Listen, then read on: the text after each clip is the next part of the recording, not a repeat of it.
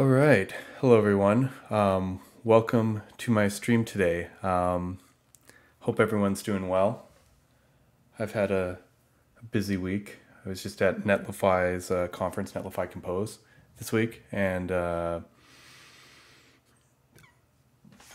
been just catching up.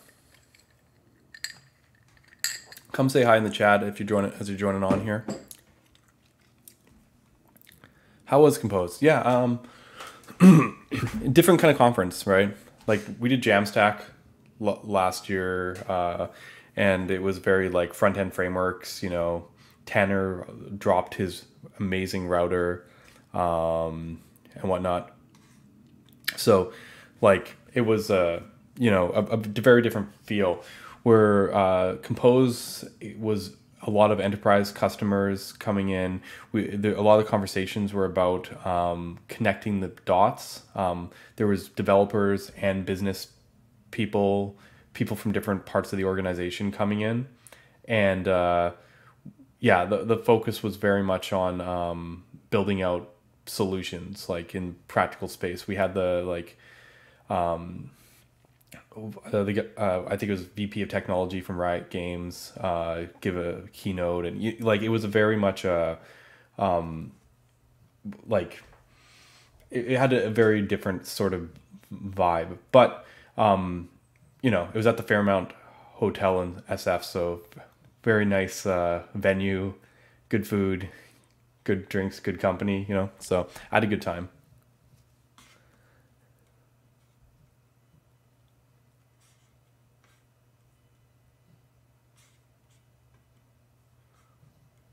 That's where you found out about Clark with Jamstack Conf last year. Finally, some news about Marko. Yeah, well, yeah, it's it's been a while, hasn't it? We had both Taylor and uh, Dylan on stream just over a year ago, but it's you know from the perspective, it's been maybe a little uh, radio silent. Hey Ryan, how's it going? Ryan works on the Marko team uh, and also is responsible for big part in creating Solid's router. Yeah, and Dylan's here too. Yeah. So, so, hey Brandon. Wow, my dad's here too. What, you know, maybe, or someone who has the same name uh, that's misspelled. It's Carniato, not Caniato, but yeah. All right. Hmm. Yeah, I don't know what's up. I'm, I'm pretty sure I'm still. Let me check the settings right here. Yeah, I'm, I'm streaming at 720. Just the lighting is perfect today. Like, what's going on? I don't know.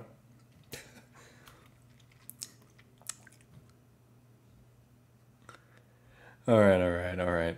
Just, yeah, no, this is orange juice. Um, I, I was a little slow. I know you're you're catching up on the comments. Let me open Twitch and make sure that people are live there. I, I should probably tell people that we're live on Twitch. Um, anyway, let me see here. My channel. All right, there we go. Cool, yeah. We've only got 10 people on Twitch right now compared to everyone else on YouTube, so gotta get gotta get some uh, some Twitch going. Hi, hi. All right, yeah. Um, yeah. Let me get on the old. It's funny. I, I still call it Twitter, but you know, people keep on correcting me out there. I keep on hearing Marko the best. Yeah, I mean, often you know everyone talks about how you know their framework of choice is the best framework, but unfortunately those people are all wrong because there can only be one best framework, and that's clearly Marko. So um, I apologize to all you out there. Um, but you know, you know, it's like Highlander. There can be only one.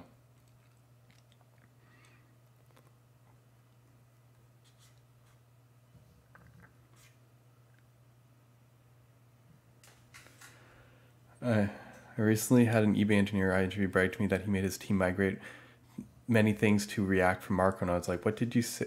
What did you say that backwards?" yeah. Oh yeah, there, there, that that's a whole other conversation. Um, yeah, it's I don't even know if we if I want to get into eBay politics. I don't work there anymore. Um, but that was always a fun piece. But yeah, let me actually tell people that we're we're live, right? Where are we? Um, where's the stream? Yeah, let me pop up my screen for a second. Yeah.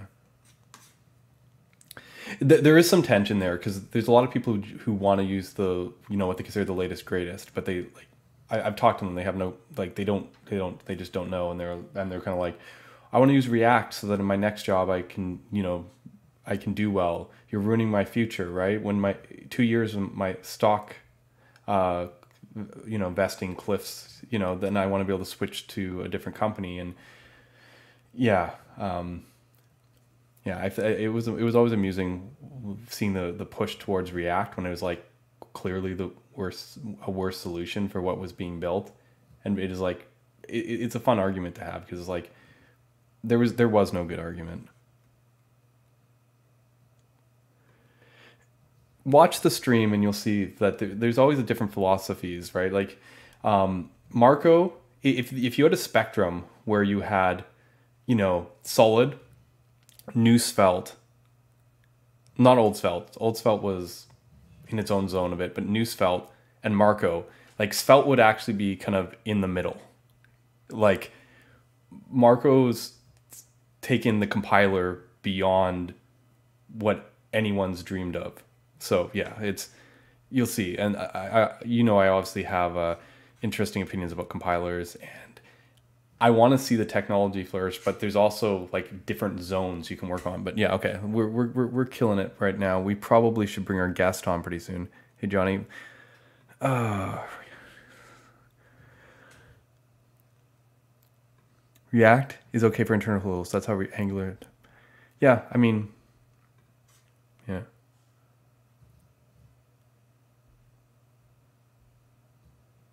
Well, no, it, that's a funny thing. It was open source back in 2014, but maybe um, let me first tweet this out. So, what is it? Quote tweet or quote post? What, what I don't even quote. Just a quote now. Um, live. Then Twitch. T- this is where I get all the Twitch viewers. I tell them where to go. Um, that's my yeah. Okay. Cool. All right. Let's let's get down to business here then, because yeah. Did I hear Zone.js? Don't you know Zone.js is coming to the browser officially? It's called async context. Angular was always right, just as they're getting away from it. Uh, there's nuance to that, but I, I, like playing with the perception. Okay, okay. Um, anyways, let me create a banner here. I'm actually really excited to have uh, our guest on uh, this week because um, he's been on before on a dual stream with him and Dylan. But if you've ever, if you know anything about putting Michael and Dylan together, like they make sure that neither of them can get a word in edgewise. So like we didn't actually get to spend the time talking to Michael about Michael. Dylan came back on and like suddenly you hear a whole different story. You hear about Rill, you hear about like, you know, how he got into development at Marko. But the, the first stream was just like them constantly like one upping and interrupting each other. So um, I think I think this will be good. And besides, I haven't talked to Michael um, legitimately for ages. Um, so we need to catch up anyways, and I can use the stream to justify my time. So yeah, uh, let's let's let's get going here. So um, without further ado, I'm gonna welcome um, Michael Rawlings onto the stream. Uh, Marko Visionary. Um, I don't know about that, but I don't know. What, what, do you, what do you do on the Marko team? We already know that Dylan builds everything. Like he's the one actually writing the code. He makes the compiler, the TypeScript. I mean, there there's a little bit of truth to that. Dylan is absurdly productive. Um, yeah, we've got a, a pretty good team now. Um, I enjoy working on it. Um, I I've been mostly focused on um, Marko six and some things around um, that. Uh, and yeah, there's there's a lot of ideas. Um, a lot of them are bad, um, and we we have to you know go down a path to figure out that that they were bad. Um, but right, yeah. So your job is to think about think come up with all the bad ideas, essentially.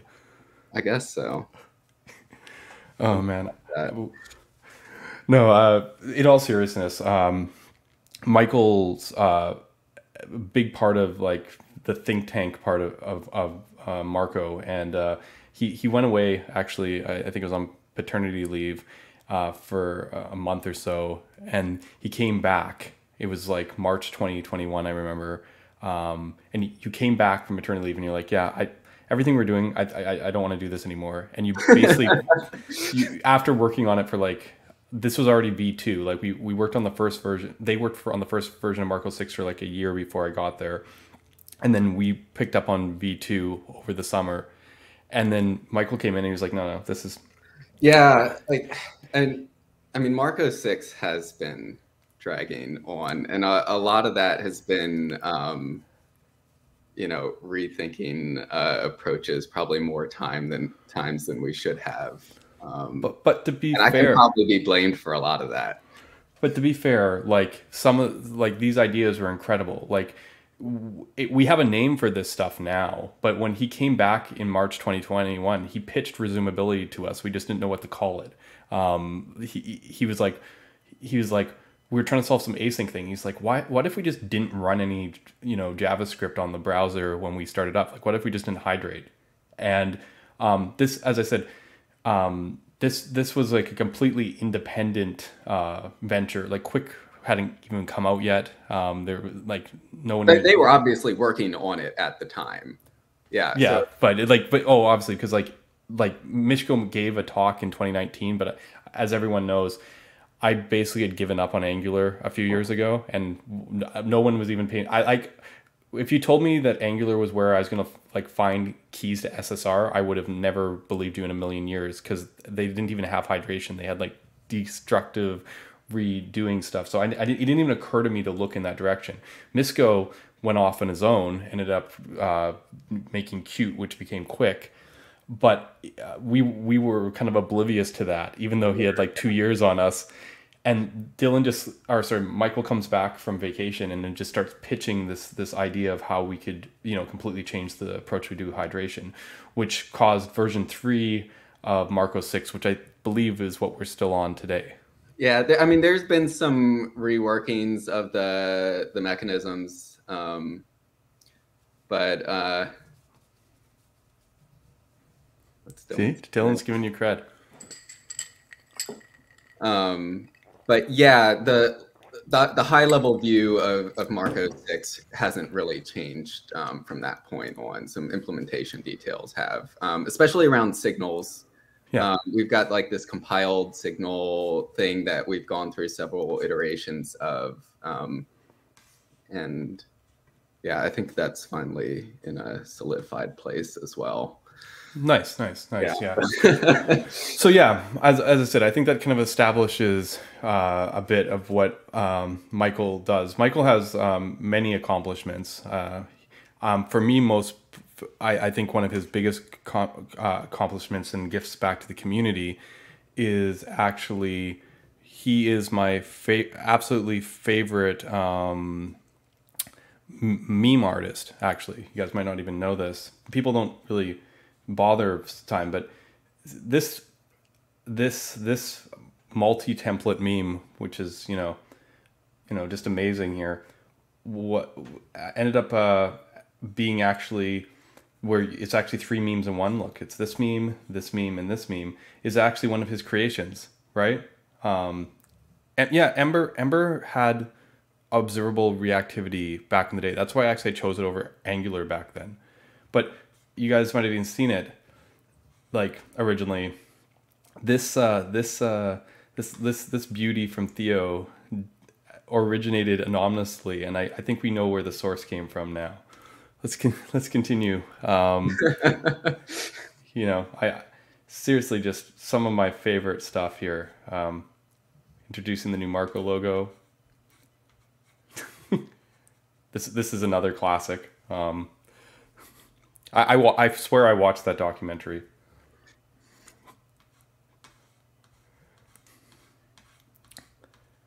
This this is an this is another another classic. Seriously, it just keeps on going.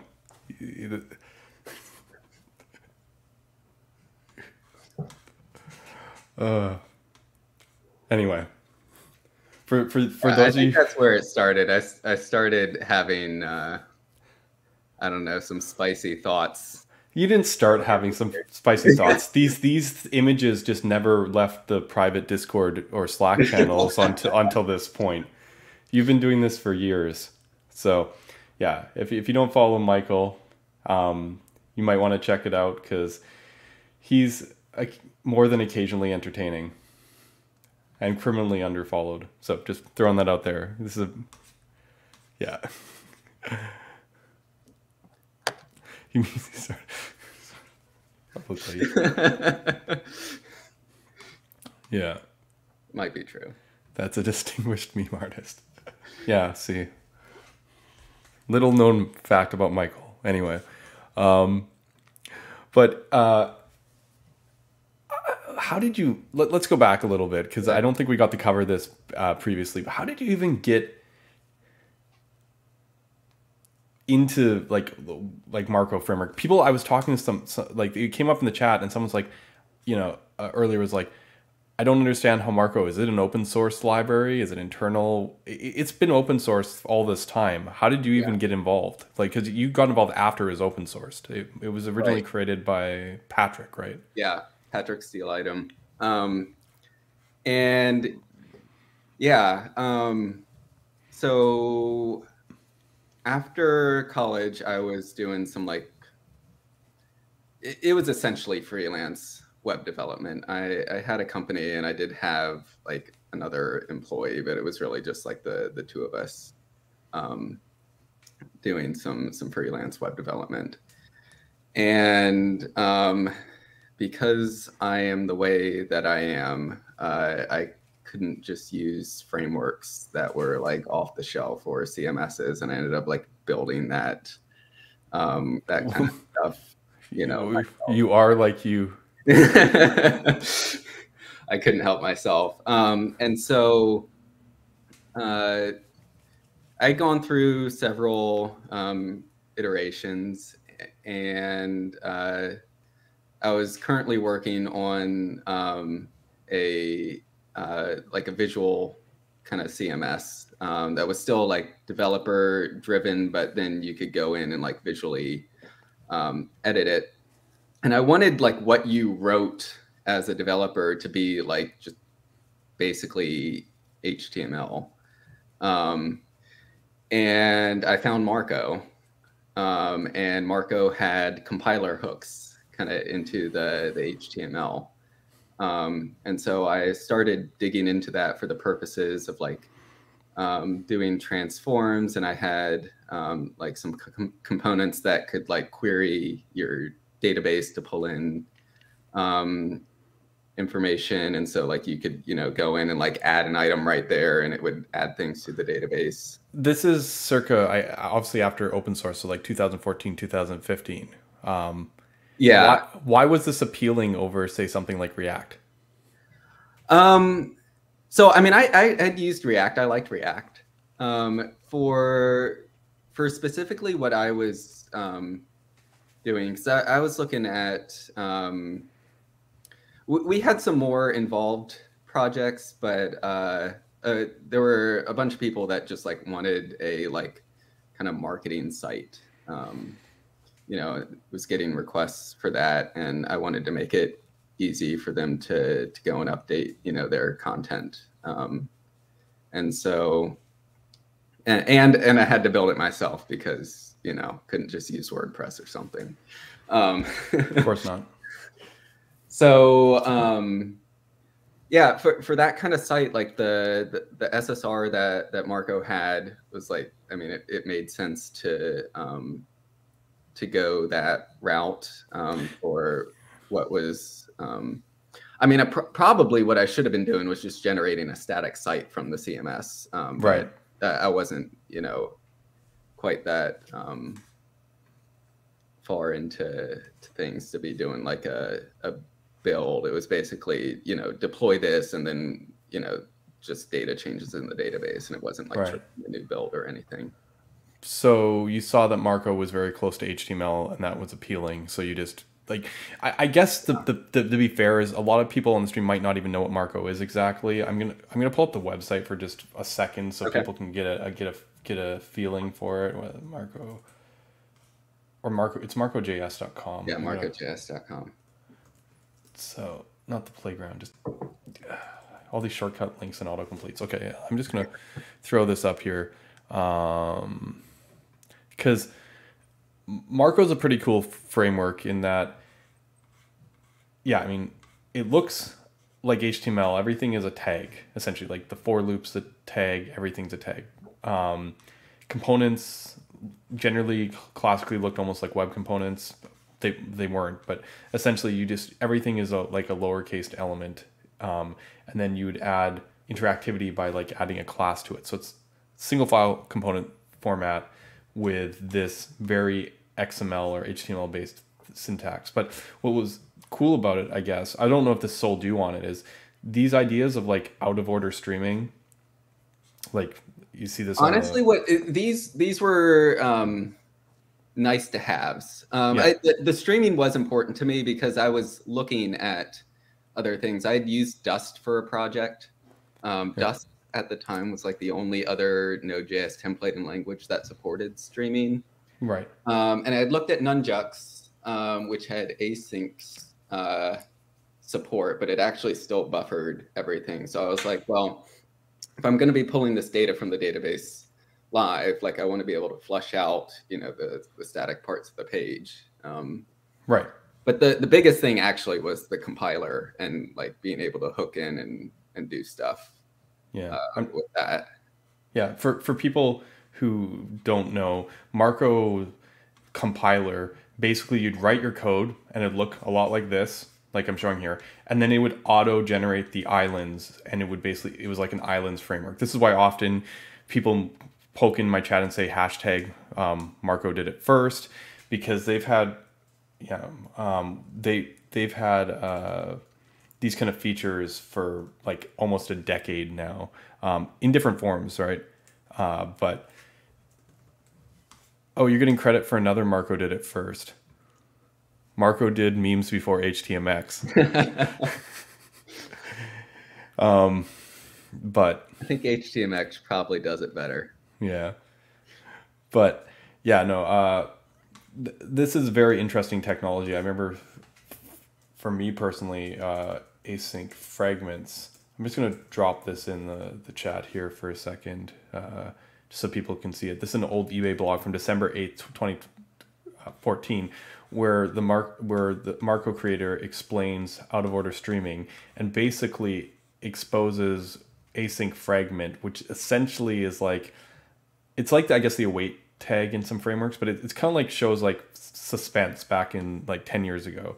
To be fair, his if I understand correctly, his inspiration for for this was actually uh, stuff that happened a decade before that, and big time a part of it was Facebook's uh, Big Pipe, which was for their PHP backend. React ended up having that same influence, which brought streaming and and, and server components into modern days. But Marko basically had this about 10 years ago in an open source JavaScript framework that any, anyone could use. But for you, I, I, I can kind of see it was like you, you were looking for like a, a server rent, like templating language primarily. Yeah, I mean, I, I just wanted to be able to like code up an HTML file. The components were nice, um, and uh, just have the the content editable. So it, it was it was even things like just saying like um, like I put might put like href and then like colon editable on like as part of the, the attribute name, and then I'd hook in with the compiler and like wrap that whole thing in a component that would like um, if you passed uh, like a, a query param and were logged in as like a, an admin of the site, then it gave you this like editing interface kind of inline on the page. Right. Um, So you started working with it. Did you reach out to Patrick for bug fixes or how did you even? yeah. Um, uh, so I started, the, the compiler wasn't documented. Of course not. Is it Um, is it documented now? to a degree. um, so actually, if you go to compiler, um, scroll down, and, and right and now today, uh, it's under reference, Reference. compiler. Yeah. Um, okay, fair Well, enough. this is a lot more than there was at the time. Yeah. Um, and it also the Marko compiler now builds on top of Babel. Um, so kind of at the end here, we just tell you like these are the extra AST nodes that you have access to in addition to um, uh, like the the JavaScript AST nodes, Right. and then um, Okay. Yeah. No, this is pretty good. You actually and talk then you can use like the Babel playbook. Yeah, you talk about the five stages in the Mar- Marko compiler Yeah. here, and and then It it was non-existent at the time, so Okay. Um, yeah, this is. Oh that yeah, I was as reaching out, asking questions. Um, I was developing on Windows at the time, and there were some bugs on Windows, so I had to make like a couple PRs to fix some things. Windows. Um, so yeah, that's sort of how I got involved in the the project. And at some point, uh, Patrick was like, "Do you have any interest working on this full time?" And I was like, "Maybe." And so, um, yeah, the the job at eBay just kind of fell in my lap. Got on a ch- chat with Patrick, um, and then uh, chatted with a, a couple other people from eBay, and eventually moved out to San Jose, California from Virginia. Yeah. Yeah. back No. in Virginia now, by the way. Yeah. Yeah. Yeah. That, that was um, interesting. I, I moved down to San Jose to join the Marko team during COVID, and then by the time COVID like was lifted, the team wasn't in San Jose anymore. gotcha.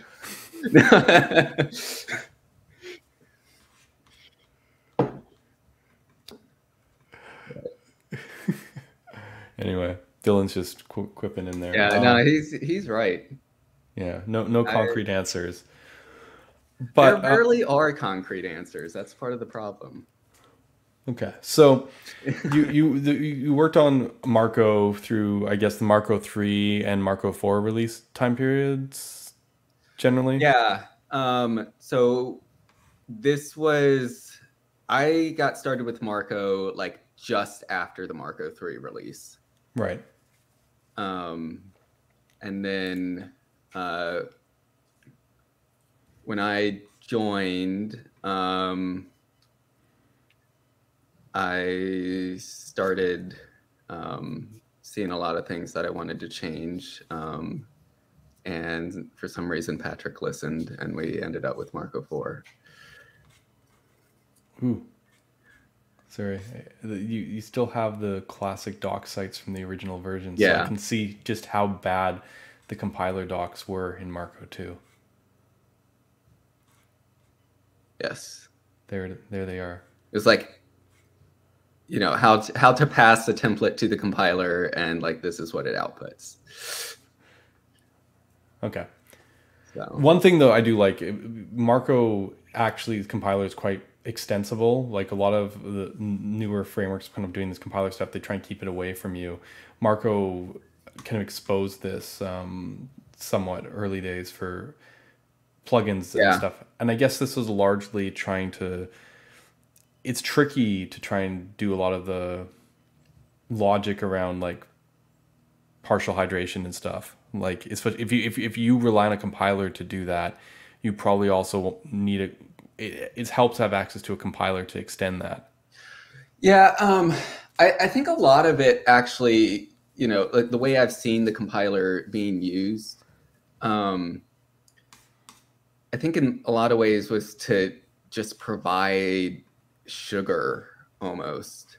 Um, and I mean, th- there there are some interesting things that you can uh, do with it, but like even going back to like the CMS that I was talking about, it, it was kind of nice that I could just like, you know, do href editable, right? And then Yeah. like have the compiler hook in and do something with that rather than creating like a custom H1 component that you could like, you know, do something with. I could just do that on a native tag and um, and change the behavior. Nice. Okay. yeah. But I, I think as we're we're moving more towards the tags API, which I'm I'm sure we'll get into more and everything, um, we're we're hoping that people don't need to lean on the the compiler APIs as much Right. as the language itself is sufficient to represent everything that you you need it to. Right, right, yeah. So, like, uh, just jumping a little forward in time here. Moved to San Jose, worked on the Marko project for let's see, Marko three came out in 2015. So worked on it for roughly a year, and then Patrick's like, "See ya." Yeah, So, leaving eBay, going to Amazon. yeah. that, that that that seems spicy. Just f- going from one e-commerce platform to the to the other platform. People don't know Patrick created Marko, but he also created morphdom, which is actually used in a lot of projects. Yeah. For doing uh, DOM diffing, like Live View uh, is is one that uses morphdom. I found out. Um, so his his his work from his early days and at eBay and that are still it's still out there um, all over the place. But um, yeah, uh, suddenly uh, Patrick left and Dylan, I believe, who was hired on like uh, two months before that, um, and yourself were basically the Marko team. Yeah, we we actually had um, a third for a little bit, um, Austin, um, Right. and uh, he left shortly after Patrick left, um, and it, that that was kind of an interesting um, dynamic because at the time Patrick and Austin were were kind of remote, um, but not kind of they were remote um, and Dylan and I were um, in the the San Jose office. Um, but then when Patrick left, Austin was like the only um, remote one, and I, I think it is, um, you know, again to the the whole remote work thing. But I think it is difficult being the, like the only remote person um, on your team. Yeah, makes sense. But you you basically Marcus is pretty distributed um, now. Yeah. Yeah, but I mean, we're in a different world now. It's just interesting because Marko Four was like the the big. I felt like that's when Marko showed up on people's radars. Like Patrick re- released a bunch of articles about like Marko versus React. Why is Marko so fast? This is when those benchmarks came out that like basically showed Marko could like server render like 10 tw- no actually back then it was like 20 or 30 times faster than React like and Yeah, the um, server side rendering shootout. If you wanted to pull that up, you don't have to. Is it is it still here? No, it's not linked from here. We never linked it from the. Um, yeah. that that was more just like a bragging article. Like th- these other articles actually have some useful information in them. And it was written by It was Patrick. me No, actually. it was you? Oh, Yeah, you. Okay, there.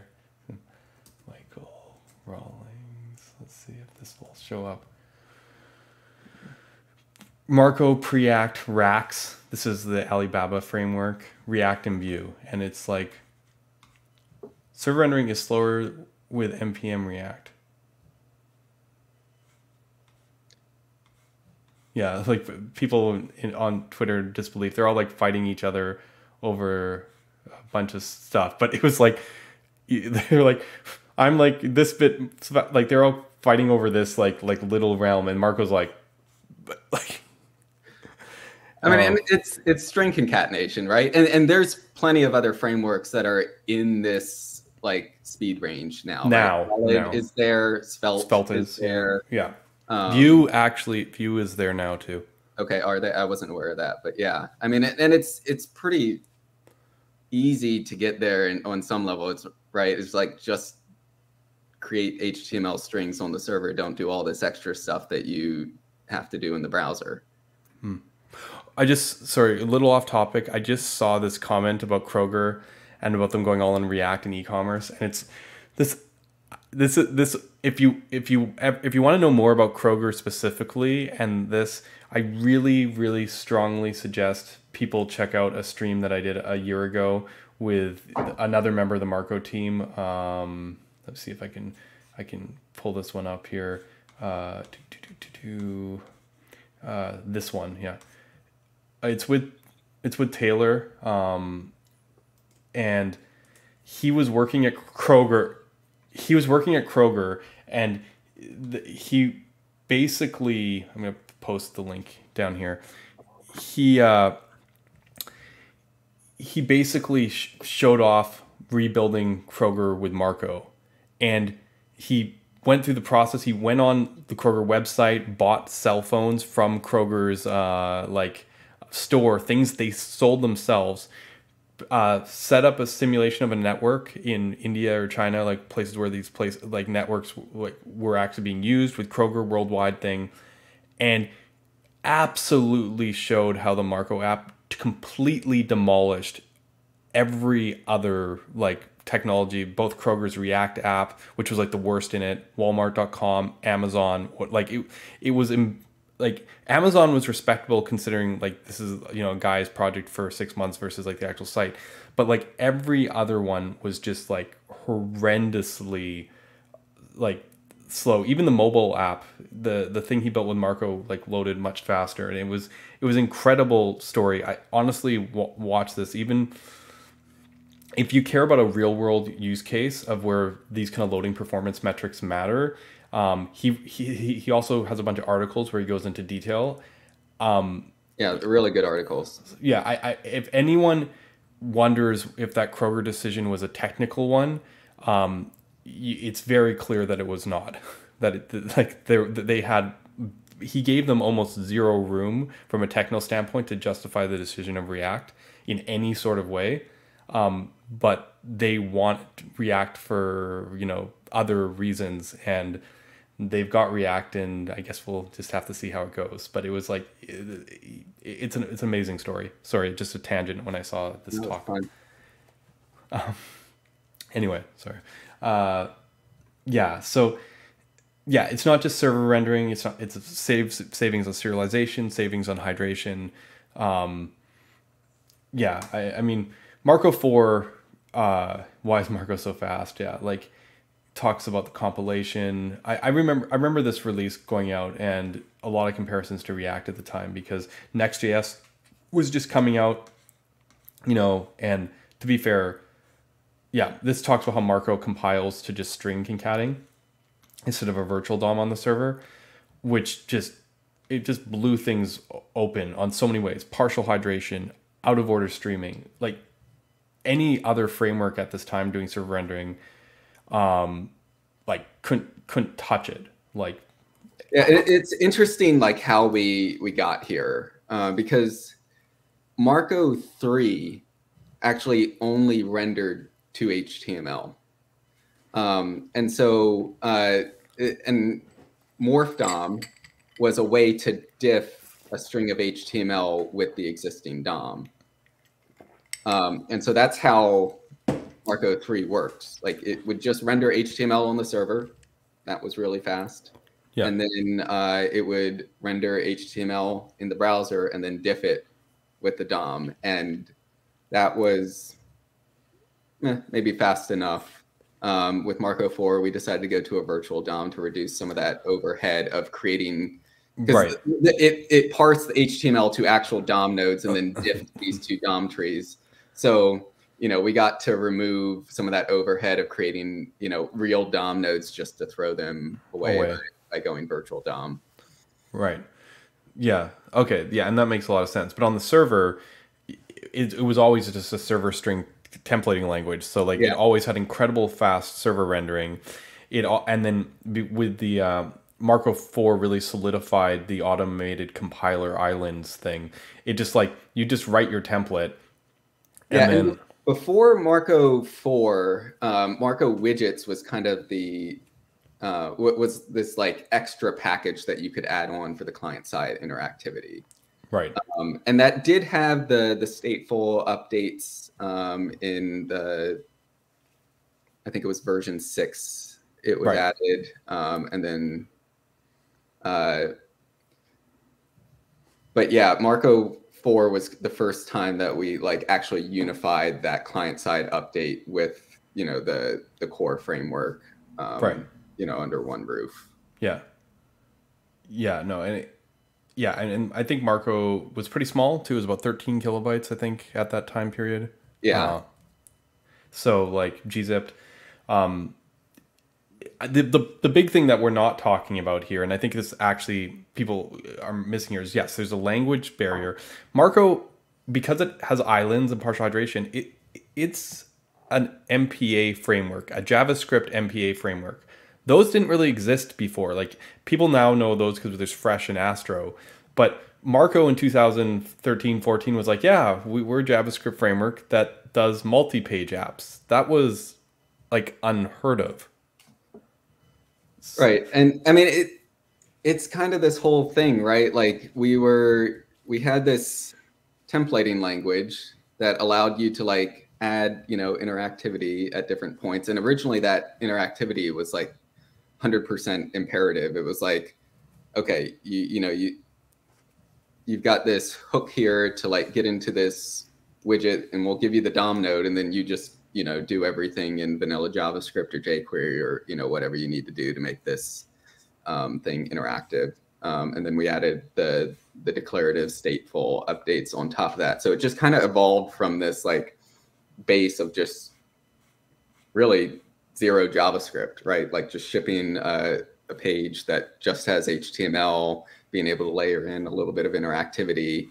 Um, and that wasn't fully automatic um, until Marko 4. Yeah. Uh, but with Marko 4, it's just like you just write a component and it's interactive on the page and it just kind of works. Yeah, no, I'm just looking at this. The migration guide from Marko 3 to Marko 4 is quite length- lengthy. If, if Marko yeah. was more popular, this would have been your Angular 2 moment. Um, yeah, um, and uh, actually, I mean, reality is uh, there are still these widget. Marko still supports that widget API. So like there are part of the reason that we have links to Marko 3 there, Marko 2 really isn't used, but Marko 3 is because like those APIs actually do still um, exist at eBay. We've kept backwards compatibility um, hmm. for you know, like almost everything uh, that yeah. could be hundred percent safely migrated. Well, what what I'm getting to is if people want to understand Marko's positioning a little bit is Dylan and Mark and Michael took over Marko after Patrick left, and they're they were basically in charge of upgrading all of eBay from Marko 3 to Marko 4, which is not an easy upgrade to do. I believe it took two years. It went from 2017 to 2019 um, ish time period. Yeah. So with just two people updating, I mean, obviously the product teams were part of it, but you know they need an expert. With two people basically updating all of eBay.com, and the guy who basically was the public face of Marko disappear disappearing, just kind of going off. No one really talked about Marko for a couple years. So much so that around by 2019, 2020 ish, I don't think it, it kind of faded from people's memories. Some people were like, "What wasn't it that like Pug like like so I remember someone saying like isn't it like Pug like a server templating language?" And that's like it's kind of crazy because like when you guys first approached me after you know reading a couple of the articles I had about reactivity and stuff, uh, I, I honestly was on the same boat. I had no clue that this technology was existed in open source for so many years.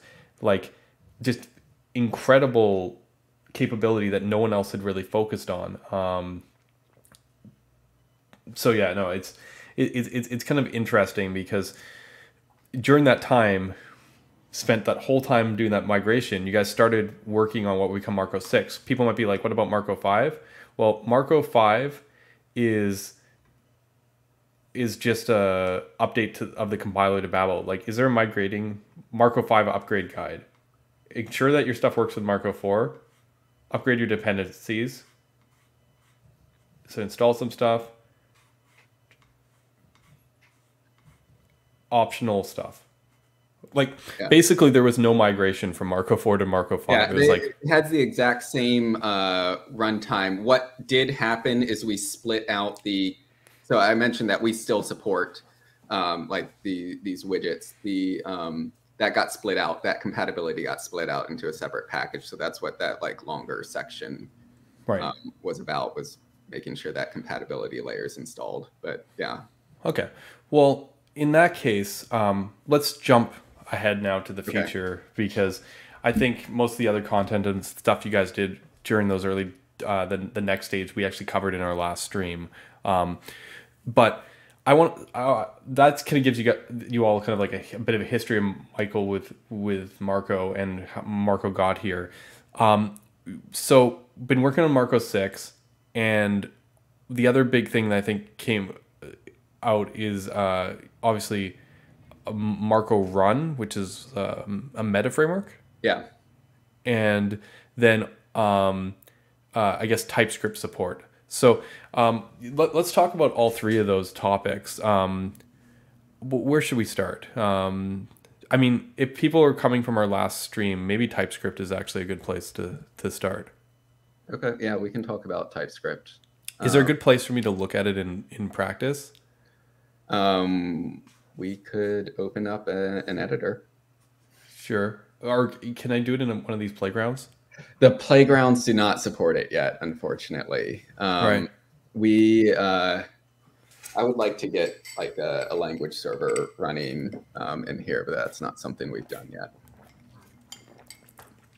Okay. Do, do you have a demo of the TypeScript stuff? I, I think we were talking about this before at some point. Do, do you got anything? Or um, I mean, I can share my screen, assuming that works, and and look at some stuff if you. Yeah, yeah. Let's let's let's let's take a look at what TypeScript because Dylan kind of gave us a, a, sneak peek of what was coming, but it wasn't ready yet last time he was on the stream. So, I would, yeah. If you share your screen, I, we can take a look at it. So. Yeah. Okay, I'm gonna need you to blow up your um, font, your font a little bit. Probably not the best place to, to do this, but all right, that at least um, okay. visible. Yeah. So um, I don't know if this is the best example. It's just okay. Yeah. So we got like, a Marko. This is the the basic like if you run uh, npm create Marko, this is that Plus, I've been messing with some stuff in here. Okay. I mean, if, if, if, if Marko Run is a more logical place for us to talk, we can we can we can go to Marko Run first. Well, I mean, let's jump into the TypeScript uh, since you know we're. I, I does the base did is I'm on D story. On D story what? Instead of on D on destroy. Yeah, that's uh, that's wrong. Thank you. I wonder yeah. if the... this uh, this component actually never gets destroyed. Um, yeah. So that's that's interesting. But so this is. Can yeah. we run? Can we can we run this example locally? It's fine. Actually, it doesn't really matter what, what it does too much, right? It's the one where you you hover with the mouse and then the. Yeah. Um, So yeah, yeah, yeah. Around it. Yeah, so that's what the logic in this component yeah. does. It basically has a div with a with a class on it, and then it it's based it applies an inline style based on the the state of x and y of the the mouse coordinates. Right. Yeah, and then it does some CSS stuff. Um, right. But not super important. Right. So what but in terms of the the TypeScript support for Marko, like, uh, I mean, getting I I already see now types in the actual uh, classes which weren't there before, um, right? Which is nice. Um, is there any typing in the template or like how? how yeah. So um, so this is expecting a string, right? right? Um, but I could as number this, and it's going to get upset. Um, Okay. Well, that's that's that's cool. So you, you can put TypeScript right in the attributes. Um, yeah. So, so basically, anywhere that you can put JavaScript, you can put uh, TypeScript um, in a in a Marko template, and so that includes all the ex- the the JavaScript expressions that are like part of your your template code. Okay, I got I got a personal grievance with the, D, uh, the JSX um, DSL. Is it possible for Marko to know a div is a div? This is this has always been so it does know a div is a div. Um, if you're so with the class API, I, I don't know that that's um, hooked. Okay, right. Um, it probably is not. I can I can check here. Right. I, I, I imagine that would be hard to do. You your key is how you used to do refs, right? You'd be like like the old Git. Yeah. Okay. Yeah. I, I, I imagine making that work with TypeScript would be pain. Yeah. Okay. Oh, It right, just knows so, it's an element. Yeah. Okay. Um, however, with the tags API, um, it actually does know the the types of the um, the elements that you're you're grabbing. Um, Okay. so Okay. I, I um, can show an example of that in a minute. Yeah, we, we can get to the tags API, but basically, do does does this just work across the board now? When I start a new Marko project, I'm, I'm just gonna get TypeScript support out of the box. Is there like Not out of the box, but as soon as you add a TS config um, in your project, then it switches over to TypeScript mode. got you and y there's no so there's no special file extensions or anything. It just like No special file extensions. Yeah. Um, I mean, obviously, there are some differences between JavaScript and TypeScript, um, but for the most part, they're they're similar enough that you know it, it just kind of works. I want that in my life. A div is a div. Yeah, um, yeah. There It's it's also um, a way that you can uh, define in your Marko JSON um, to use. Um, There, there is a comment a, Okay. a moment ago. Sorry, and it was funny about the on destroy. Isn't TypeScript supposed to catch that? But um, in the class component, but I, I, I wonder if it could because you're defining a classic legally yeah, I mean, just any. move is here just like this custom thing. So Yeah. you know, I, I can make my own foo method too. So like, it just thought that was a, a custom method. Yeah, I mean, that's a little bit unfortunate. Um, and and that's another thing that like, so we have a lifecycle tag in the the tags API that would have yelled at me if I had misspelled destroy on on that one. So Yeah, I mean, I guess that's an interesting benefit of these hook or primitive based APIs is that like they have a defined interface, whereas like, uh, like technically a class has a defined interface that it could extend for Marko's cases, but you you can add as much to it as you want, so it's not yeah. right. Right, right. Unless you start getting into like like like that where you're like forcing methods to appear um angular people twice. but um, yeah so i mean so typescript is there you know everything that you would um, expect to work um, Can work. you can you narrow the type of your children? This is another thing you can't do in JSX. That's an interesting so question. um, I mean, so like the if actually will um, maybe okay let me say this is string or number let's say so for now x is string or number um,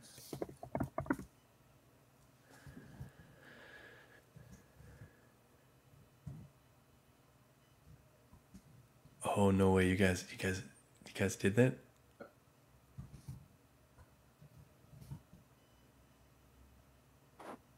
So, so it knows number here. So we we do have some like type narrowing that you don't always get in a, a lot of places uh, with other frameworks. yeah, Um, I mean i- i- JSX like generically can't know that a control flow is a control flow, but the if con- component here is special. Right. Yeah, and it, it is specific to if um, in, Yeah. in this case. There. So right now, the the way the the TypeScript compilation works is we compile to a TypeScript file, and um, we run that file through TypeScript and then map back any errors um, to the the current template. And these templates are compiled independently of each other. Um, But the Marko compiler is capable of um, what we call child template analysis, which is not a really a technical term. That's just what we've been calling it. But it can kind of see into um, its children. So if you have like child here, um, we we make it pretty easy. I mean, I can't find this because this doesn't exist, but we make it pretty easy in the compiler to just be like, okay, now give me the AST of that child and um, any meta information that was uh, gathered from that, which includes like the the input data that's passed to it um, and kind of where that flows and maybe comes back out. Um, so we could potentially have type narrowing for custom tags in the future if we decide okay. to to do that. Um, I don't know because yeah. I don't know if that's going to fall in the timeline anytime soon, uh, but that is a possibility. That's that is interesting, yeah. Because like obviously one of the biggest challenges with that if being special, as you highlighted, is you know composition. My if suddenly doesn't do that, you know. Right. But, but you're saying that the Marko's compiler has the potential to be able to do that. Yeah. Um, yeah, I mean, it, w- it would be some some work to to kind of follow those chains through through everything. But it, it, I mean, it would kind of be a recursive thing because you might need to walk into multiple children, you know, to figure out like, yeah, is this actually rendered? That this that seems expensive because I I mean I don't even know that TypeScript does that. Um, we so most of the cross template stuff that we're doing uh, is actually based on um, metadata that we collect from the the templates, and that gets cached um, for for every template. So it's we're going to need to compile this child anyways. Right. Um, and so if you're not actually making changes in the child then you know that's not going to get invalidated. So you know as you're typing here we're not like rewalking the child okay. um, every time if, if, that data is exposed to the metadata. Yeah. Um, so that that we pretty much try to put everything that um, will be needed by like a parent component in that metadata so that it can be cached and, and reused. Yeah yeah, yeah, no, and that has other benefits with the new hydration uh, or not hydration right. approach that Marko does. I'm just pretty happy here, and I think most people are pretty happy here to see that you can use TypeScript in your code in your templates, but you can also use it like right in the expressions, right in the, it actually type narrows in the template around conditional logic. Like that's that's pretty powerful stuff that I, I'm not sure. I haven't played with other SFC files, but I don't know. Like, I mean I don't. I've never tried it. I don't know if you can do that in Svelte or Vue. So, yeah. The the other thing that's kind of interesting is the generics. Um, so we the the way you define your input is um, it's like this. And so you know if I had input for people uninitiated, Marko is props. Yes, um, input is props. Um, so if I had a string here, then um, and this is going to be a string. But I can also, you know, use generics and I could make this T, but then I could also say um, that this type here is T. And, and that's actually valid that this, the generics on input are special and kind of permeate the whole um, template. So now when I come here and look at X, I see that's of type T. Um, and and this is kind of interesting because um, with with JSX, obviously you have a function, so you have like a very natural place to uh, put those generics. Right. Um, but and I, I'm curious what Svelte five is going to do now that they've um, moved stuff. I mean, they could keep what they they have. I, I think they've got like a dollar dollar generics or something like that. Um, they have a doc on their TypeScript. Can you blow it up one, just font size, so I can yeah. see what you're looking at? Yeah, thanks. Okay, so it may have never made it in. It may have just been in this RFC. Um, yeah, it looks like they were maybe looking at doing something or like you know here generics, right? Like we were just like, okay, we're just gonna you know take the, the syntax and make that available everywhere. Um, and I think that works pretty well. Um, it, it you know different than uh, technically the way TypeScript works, but it feels pretty natural. Yeah. Last time uh, Dylan was on and he was showing us all the fun challenges of actually building a coding language, he showed us a little snippet of what the the code generated um, from Yeah. a TS st- standpoint, which is like kind of crazy, right?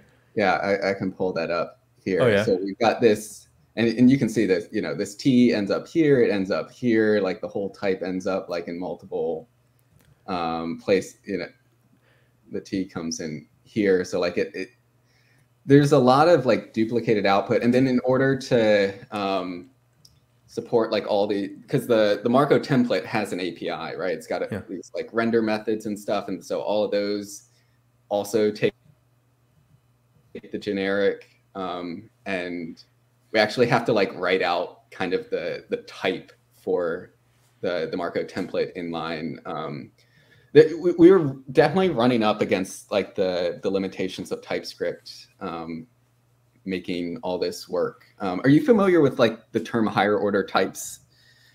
Um, because I was not prior to to us going down this. No. What are what are higher order types? So you, you're familiar with higher order components, right? Yeah, and higher order functions. Yeah. So they're they're types that create new types.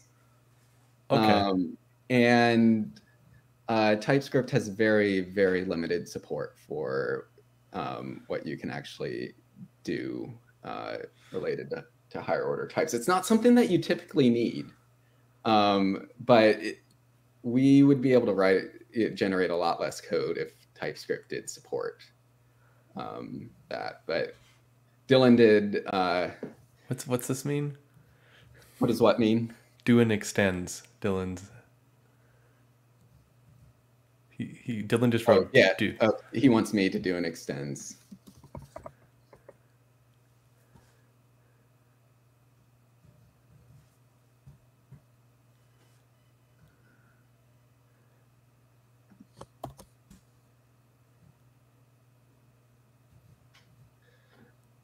But yeah, like that extends has to end up everywhere. Um, I don't know if Dylan, there was something you wanted me to to point out specifically with that.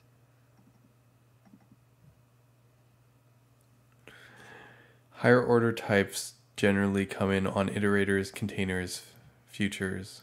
Huh. Yeah, this is th- this is beyond my TypeScript knowledge. Um,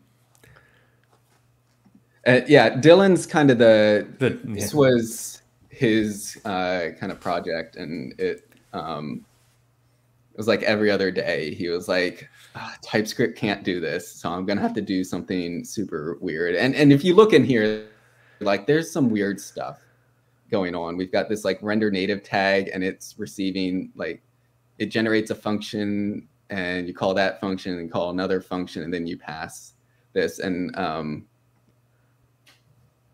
this is like well i'm, I'm not going to do this right now but um because that doesn't really make sense but you in in order to get like these generics like being passed around and, and inferred you know we kind of had to do this like almost currying thing um and you, you may run into this in typescript when you're trying to to type something um there's times where like um, partial application of um, of generics isn't possible. Like if you define one, you have to define them all. Um, Right. There's there's cases where like we needed to add a generic in, um, and so like there's this currying that's going on. So the generic that we add can go in like one function call, and then the generics that you add go in another function call, so that you'll get partial application if you don't define um, the generics and it's like or not partial application but um, partial inference is what i meant to say and you'll get the the inference since we're not uh, defining some of those so yeah it's yeah, I'm I'm not gonna pretend I know what that looks like. I, I just remember that Dylan wrote some like didn't ha- he wrote a component with no classes or anything, but just a bunch of like looking like HTML code, and what he got out the other side resembled nothing like like HTML code. It was kind of yeah. There's crazy. there's a lot going on here. Uh, he did a good job um, with this kind of covering all these um, no that's... cases, and it, it the, like the initial um, version that he had like the the code was nice and pretty and it worked for like 90% of cases but to kind of cover all of these you know being able to define generics being able to do um, you know the the type narrowing and everything you know we just kept going deeper down the rabbit hole to actually get it to behave the way that we wanted it to yeah, and the the reason like on this side is th- this is like a completely different territory. It's very cool that this kind of stuff exists. Like us using JSX and stuff have it really easy because even though I complain about JSX TypeScript support, it's like just inbuilt, and all you have to do is like type a couple things, be like, oh, type of this element, etc. These are the attributes. You know, you just set a bunch of stuff like that, and then TypeScript takes care of the rest. When you have an SFC format like Marko, like Vue, like Svelte, I, for a while I didn't think this was possible, but then I guess Vue was one of the first ones that did it with like Volar or Vetur. Yeah.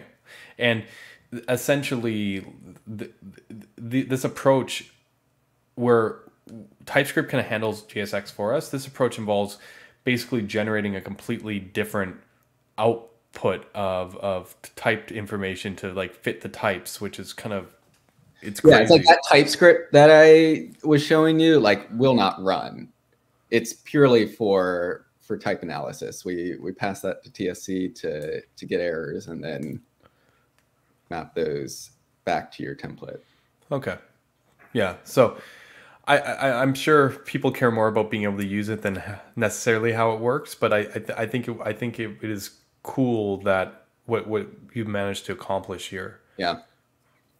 So yeah, I, I mean we're going to see probably TypeScript through the rest of what we look at today. So I, I don't know if there's any other okay. points we want to f- fix in on right now on the TypeScript stuff before we see the other one. But what's cool is everyone who uses Marko Five today now has potential for TypeScript support. Right.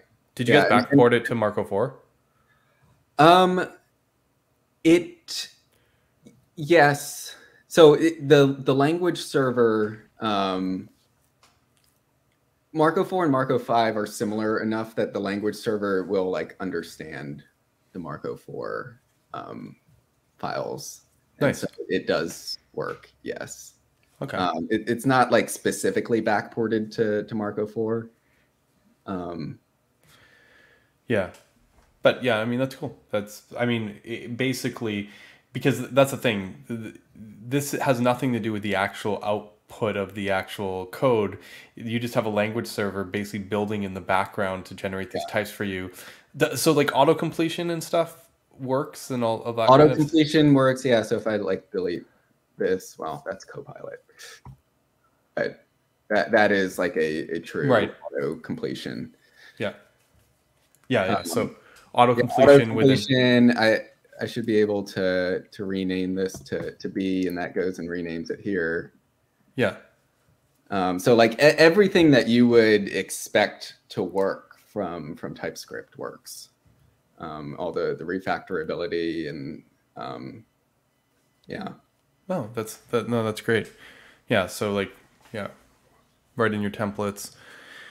Yeah, I mean, this is huge. People have been asking for this for a very, right. very long time, um, especially inside eBay. This was like one of the main thing. You know, we were talking earlier about um, you know the React versus Marko thing. They would be like, yeah, but React supports TypeScript. Like that, I got to point that that was like literally the only technical argument that they could make. Um, but yeah. So anyway. yeah, I, I, think in in some ways, I, the the TypeScript support in Marko is maybe superior to the TypeScript support in JSX. Um, I mean, that's it, what I was suggesting at because of just like, you, I mean, you, you have to go longer, but once you're there, you might as well go all the way. Like JSX assumes React or like TSX assumes React a lot, almost to its detriment. and it's, it's yeah there's there's things like even for react it's not 100% perfect and it it is you know like right yeah so yeah i mean I, yeah, I, I think we've already seen a couple of examples of, of that from um, from you know the stuff you were doing with the type narrowing, but I'm, I'm interested to see more as as we get going. Um, yeah, no TypeScript to Marko, awesome. Uh, let's let's maybe it's time to take a look at uh, what do we want, what do we want to look at first? Marko Run. Yeah, yeah let's look at Marko Run. Yeah, so I, for this one, I think I'm just gonna jump jump in here because okay. I, I, I usually do this. I'm not going to make a Hacker News demo right now, but let's just see what the what it looks like to make a new Marko Run project. Can you guide me through that? Sure. Um, yeah. So are you going to drive? You going to share your screen? Yeah, I'm going to share my screen in two okay. seconds. I'm just getting my window open and ready. Yeah. So first of all, what is what is yeah Marko movies when yeah I I I. I uh, the movies demo they're talking about. You familiar with that one? Yeah. Um, um, I, have wanted to to make one. Did you see the um, the enhance? Uh, well, that wasn't movies, um, but the the enhanced music player. No, but I did. I do think enhance made a. There is a movies demo for enhance. I haven't looked yeah. at it yet. It's okay. It's an MPA. Okay, actually, I, I haven't looked at this one yet. New incognito window. I just want to very quickly see what we're dealing with here because yeah, we definitely should make this. Yeah, the, the movies app is a lot of fun. This is an MPA, so it's not like um, it's not like apples to oranges kind of thing, but yeah, main page. Let's discover all. Yeah, yeah, it's pretty nice. So it's it's about a and let's go into a movie details page. Yeah, that's the thing with the movies app. I'm surprised the Astro version is as large as it is. Um, it is about a five kilobyte, four point seven kilobyte. Yeah, it's about a five. I wouldn't be. It's like Hacker News. I'd expect it to be about four point seven kilobytes of JavaScript. For some reason, the uh, the sorry taste the the Astro demo. It wasn't built by the Astro team. Is like 15 kilobytes. I don't know why. What's yeah, I don't know what that redirect is, but basically, yeah, 16 kilobytes. I sort of don't know. I, I have to imagine that this site could be a, smaller because the solid version of the movies app, which has client side routing, you know, like actual like no yeah. page reload, is only 13 kilobytes. So, you know, and this is this has full client side navigation. So, yeah, I don't know. Um, but anyway, sorry, we got we got thing. Yeah, it's time for the Marko Movies app because the Marko Hacker News app, Marko Six Hacker News app, has my um, my record right. It, it's a 1.6 mega or it's 1.6 kilobytes gzipped for the com- yeah yeah. So 1.6 kilobytes gzipped for the comments page which is insane right? My my solid astro is 4.7 kilobytes on the on the uh, comments page, and um, I mean, solid islands, uh, like with client side routing, is about eight kilobytes on that page. And I mean, to be fair, the the Marko one doesn't have client side routing, but like nothing is even close. The Qwik version's like uh, zero kilobytes until you do something, in which case it's like 18 kilobytes. Uh, it's like one kilobyte until you do something. Yeah. Okay. Fine. It's it's, it's you don't see that on your network. Um, yeah, that's true. It's inlined into the exactly. Yeah, I'm not counting inline stuff because Astro inlines and so does Solid in those cases, and a bunch of us do inlining. So yeah, um, but yeah, it's basically no no external JavaScript until you load it, and then it's about 18. Uh, solid start version, I think is 16. SvelteKit is 19 but yeah, Marko's 1.6. So I, am I'm looking forward to that demo, the Marko 6 um, version of the movies app. Anyways, sorry, little sidebar, but I don't know. Anyways, let's let's get back to let's get back to business here. Um, uh, let's I'm going to go into my examples folder here, and we're going to get started by how do I get started here? Is, is does Marko Run have its own like sub section docs? How do how do I find um, out? You can go to marko.run. Really? Cool. Marko.run? It's it's not really set up, but there's a logo here, and you can click on that, and it takes you to the GitHub README. Okay. Okay. we'll put something there eventually. All right. All right. Ryan saw the other day that it was available and bought it. Nice. Nice. Yeah. Ryan's a big part of the Marko Run thing. Um, yeah, it's been his. Ryan project. is is kind of the the main person behind um, Marko Run. Um, so he's been doing a great job with this. Yeah, we we stole him from Solid, where he worked on the the Solid router, router. Yeah. Um, and now he's essentially working on Marko's router. Yeah yeah, it makes a lot of sense. Uh, but yeah, okay. So then, so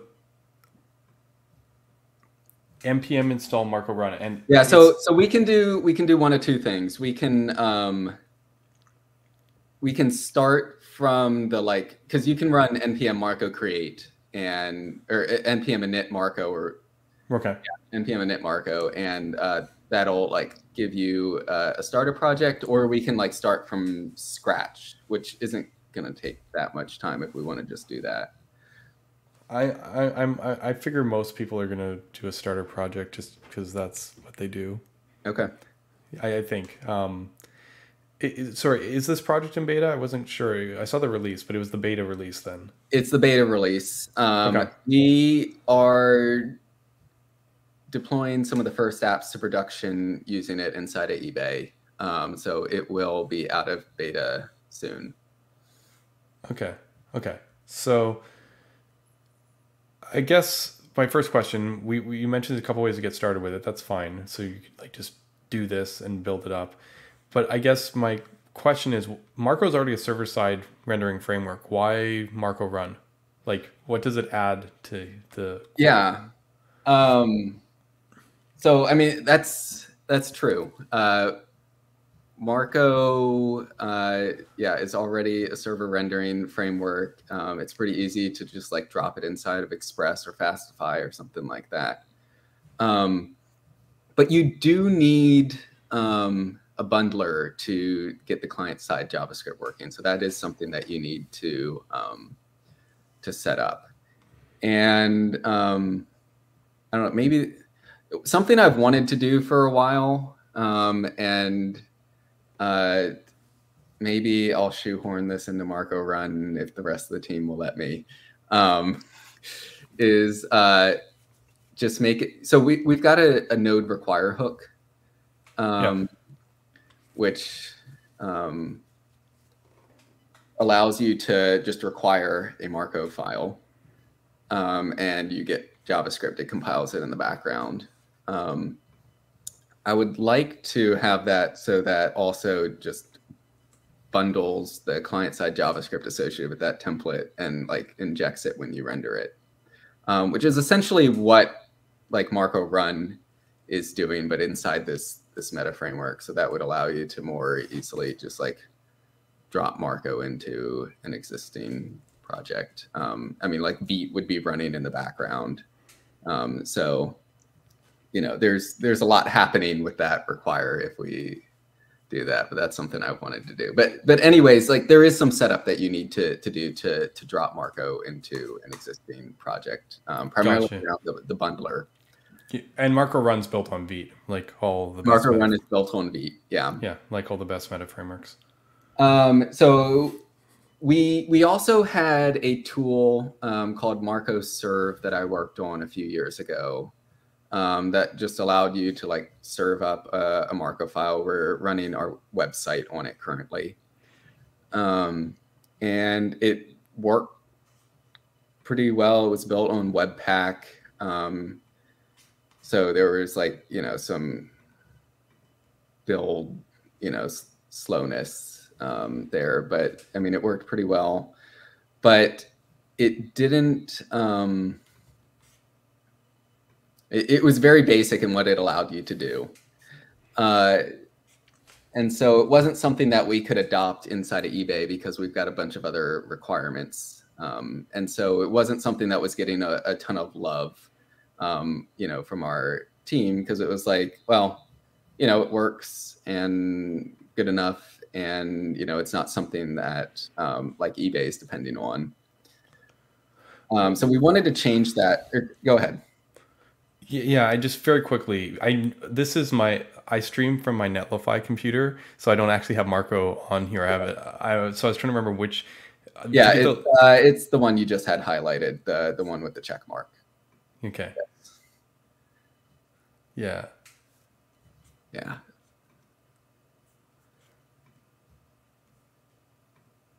There we go. Sorry, I didn't mean to interrupt. Um, but yeah, so one of the things about Marko Run that we wanted to be sure was that it could actually be used internally at eBay. Um, and so we're we're currently working on making Marko Run the default for all new projects um, at eBay, and I think we're we're pretty close um, to that. And we've already got a few teams that are um, picking it up and like migrating their their apps to to Marko Run internally um, as well. So this is something that we will have like incentive from from eBay to continue maintaining and Im- improving, but is you know a, a, really easy way to get started with Marko that's available to the open source community. Um, hmm. right. So that that's what we wanted, um, and that's that's why Marko Run exists. That's good. I remember those starter eBay templates and all the work that went into them. So does that mean eBay is on Vite now or making the move to Vite? We are in the process of moving to to Vite. Yes. Very um, cool. Because I remember,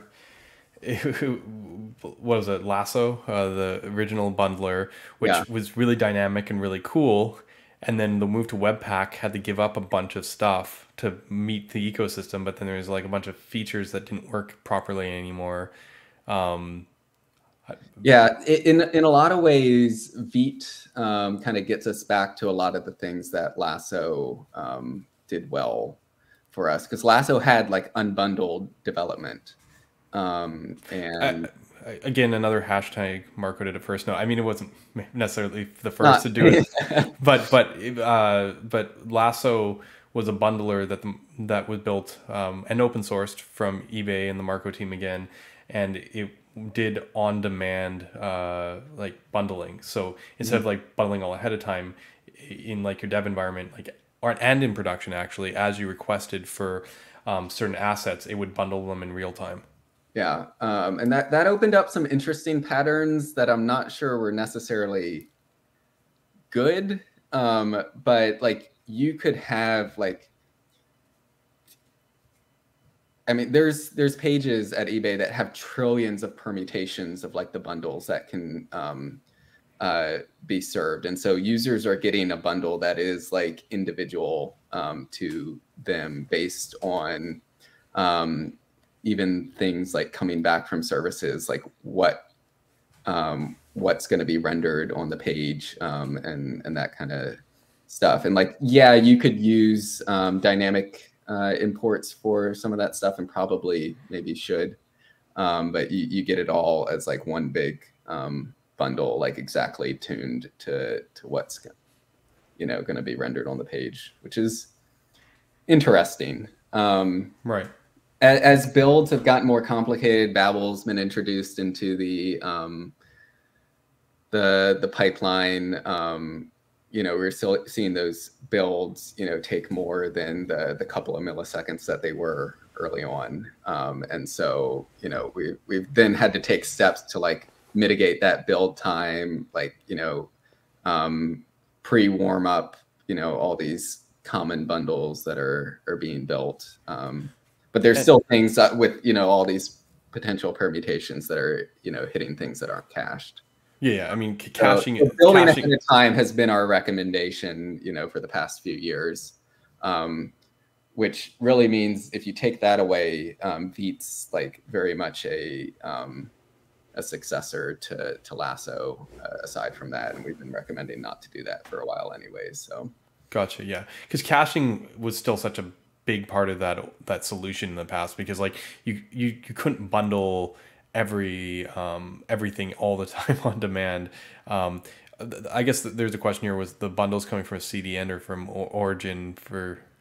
Yeah, so we've got an interesting uh, setup. So we, we use Akamai for our CDN, um, and then that is backed by a service that we call the the resource server. Um, but then, basically, um, Lasso had a, a build plugin that would go and upload um, like those on-demand bundles to the resource server if they weren't there. So it actually still would be served through the CDN and then cached um, at that point. But the um, the origin would be generating them on demand and then feeding them into the CDN.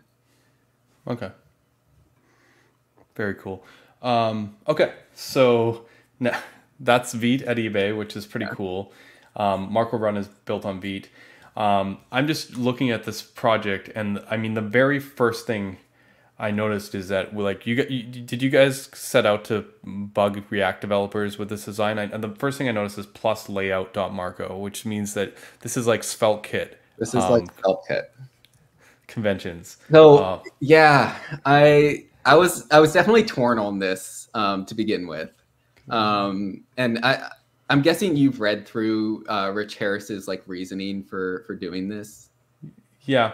Um, and it it makes a lot of sense. Um, so Marko serve the the original version that I wrote just like would serve every Marko file that it came across in the like directory that you would serve. So like your routes directory, like every Marko file in there would become a page.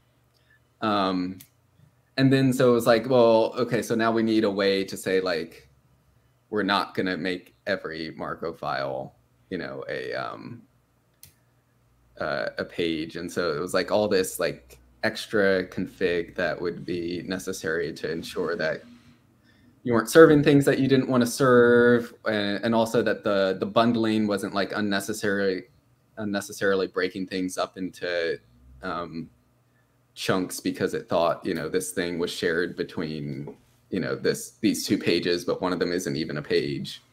Um, so so the the plus convention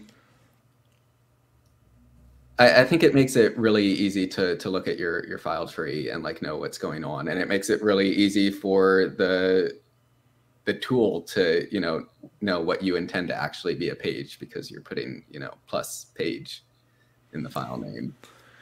Yeah, I'm just looking at the the list of APIs here, and one thing that stands out to me again, I'm just looking. Okay, so handler for APIs, middleware for middleware. Um, run for all HTTP methods. That's cool. I, I haven't I haven't explored into this space yet about nesting middleware. Um, so yeah, it's, it's interesting. It, it opens up some interesting possibilities.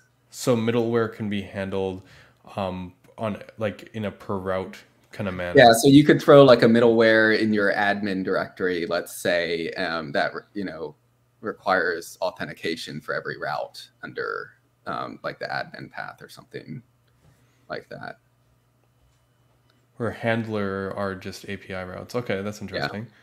Yeah. Um, meta. Um, the handler route actually gets er, gets past the um, the template if there's a dot page dot marko or plus page dot marko um, next to it, so you can do some like stuff in JavaScript land if you want, um, and then potentially, you know, return uh, HTML or you know do something else. Um, right. I think some people are using it to like, depending on the headers, return JSON or a rendered page, um, something like that.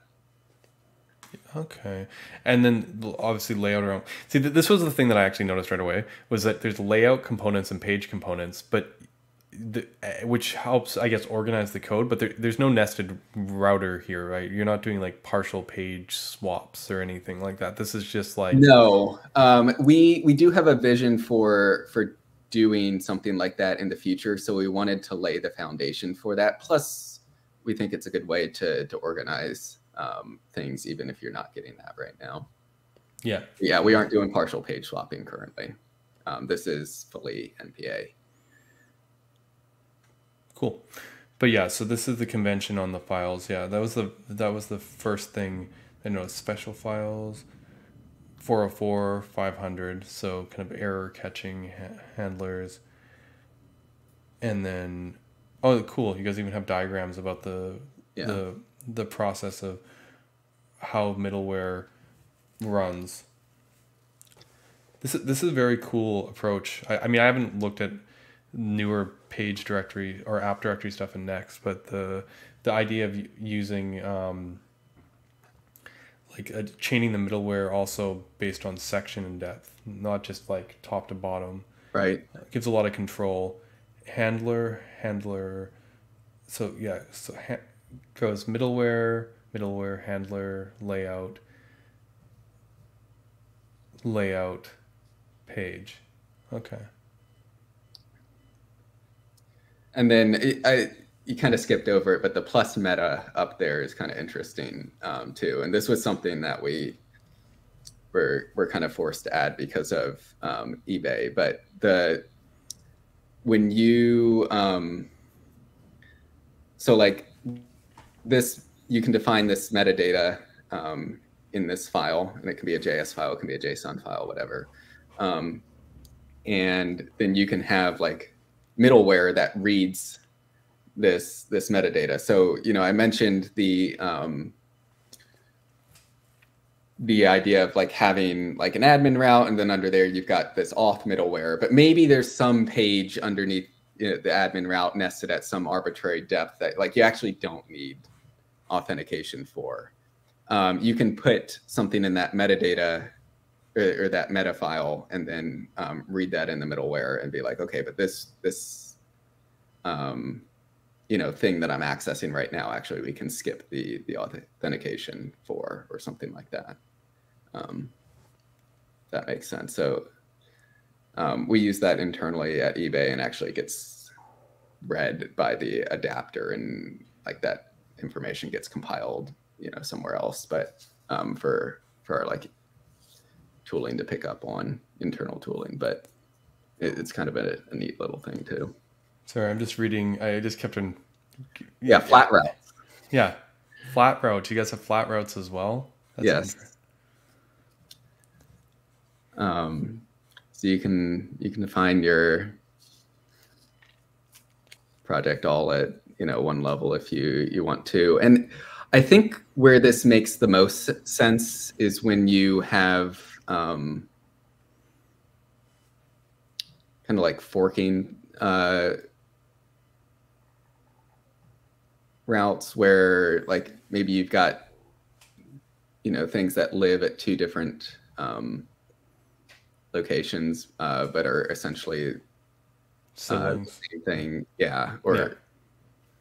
i mean c- sharing components helps with that kind of thing but you know there you may actually want to just like have the same page serving two different routes um, and the the well the, the grouping plus the flat routes kind of allows you to to do that for basically anything you can think of i mean it can get it can get pretty crazy um obviously you should keep this readable but you know Yeah. like yeah, members people um Very, very cool. You you've yeah definitely taken the expressiveness of of of the routing convention. I haven't I haven't dug too far how far people have gone. yeah this is something we thought through a lot and like how to make it not that everything necessarily should be like we would recommend like doing all this crazy stuff but we didn't want the the like file based routing to limit what kind of route you could represent or what kind of like we did, didn't want you to ever feel like man i wish i just had a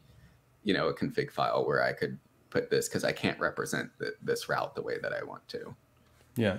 Um, no, this is so, so it is very expressive yeah. No, I can can see that. Yeah, no, this, and you get very interesting combinations of things. Yeah, I I mean, there's so many other fa- features I could ask about because like like because this lets you actually explicitly say this is not just dynamic; it actually ties to these specific values. So it's almost like a Right. type of a route uh, narrowing, filtering. Yeah, no, this is this is very very cool stuff. Um, all right, let's get back here. So Um, no, that's all start. Where are we? um, this one. Um, so yeah, layout Marko is our entry point into our app. We have styles, we have all the the stuff you would expect, and then Yeah. input render body, which, is, just normal Marko. yeah. for people that don't know, this is props children. Um, it's slightly different, but it's basically props children. Yeah. so then that's what ends up going in and then i'm gathering we have our page here Right. which gets inserted and underscore index what does that mean does that mean it's uh So group? anything prefixed with an underscore does not contribute to the path. got you okay Um, so we we did not make index special. Um, so if you put index there, you would actually have to put index in the path. So um, Right. underscore makes that kind of invisible to the path. got it then you're at your page and your mouth ma- mouse mask and as you notice marko auto detects components so mouse mask isn't imported anywhere we it's just coming from over here um, which is the component we were looking at earlier with this d story Yeah, uh, we need to fix that. um, and default i mean was there a setting where i could have got typescript by default like if i put in Uh, yes, yeah. So the default is no TypeScript. Um, if you wanted to, if you want to get TypeScript, um, you do need to choose uh, that. We should maybe prompt that in the um, in the CLI. think Right. that probably is an option that people would like but may not know exist. Yeah. But okay. But very very cool to see this. Uh okay. So basically it's mostly the file system routing because the, the other thing I was looking at and I, I think this came out as a, as a question on chat. Um, it was like um, does does Marko does Run have built-in serialization for query or body? And the thing you're not going to find in Marko Run, I guess, is like all these data APIs that people are playing. You're hot right now, like loaders and whatnot, in the same sort of way because Marko is an MPA framework. So you, if you want to use a form, use a form kind of situation, right? Like there's no like special form component or like it just works because it's a form. Right.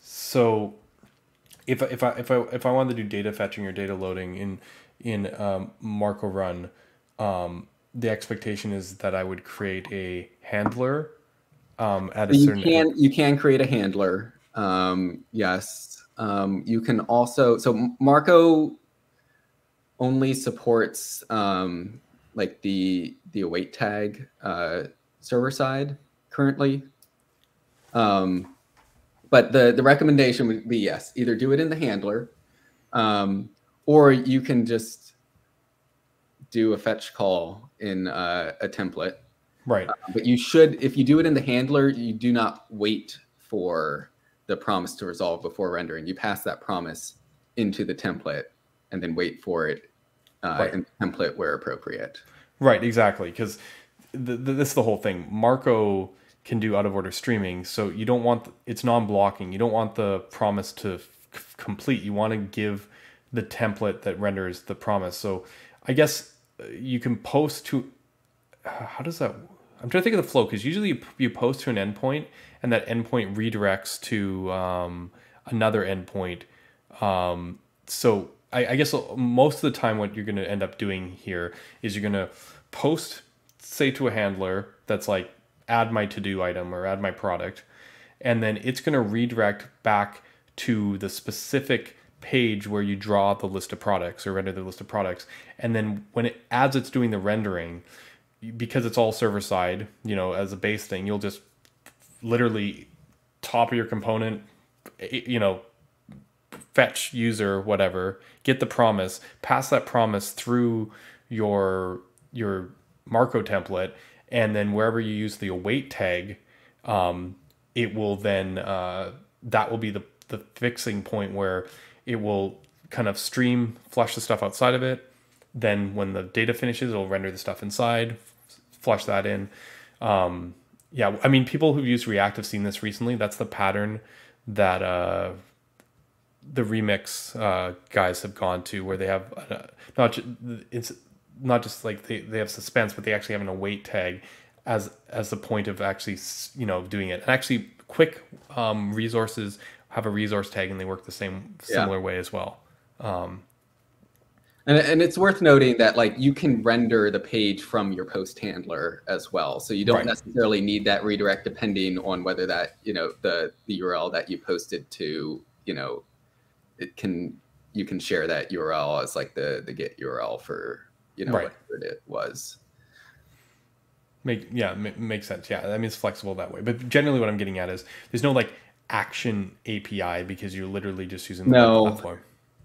Um, there's no, yeah, no bling. We talked through some of that um, kind of stuff. No bling, um, but it, some of that stuff may come in the future. Um, but but right now we're we're focused on doing MPA well. We may bleed out into um, the the spa world a little bit at some point, uh, as we've seen Astro do. Um, right. But Plus is good. Yeah, yeah. No, no. no I, I kind of hated it at first. I'll be honest. Uh, I, my my gut reaction was I do not like this plus. Yeah, yeah. I, um, I, mean, um, I still don't like this plus. I think the thing, I think the most compelling thing is, for me, is there's one thing I hate more than the plus, and that's layout.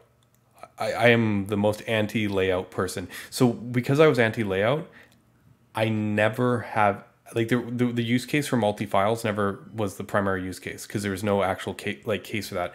Middleware is an interesting one for me. So I, I'm just I, I'm yeah. I'm I, I think that's the first case where you know I'd be tempted to have multiple files, which makes stuff like the plus um, more compelling.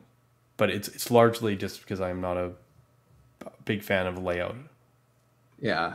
Um, yeah, we've got handler. I mean, we, you, you, saw we've got several um, files, and I think it's kind of nice that they're um, denoted.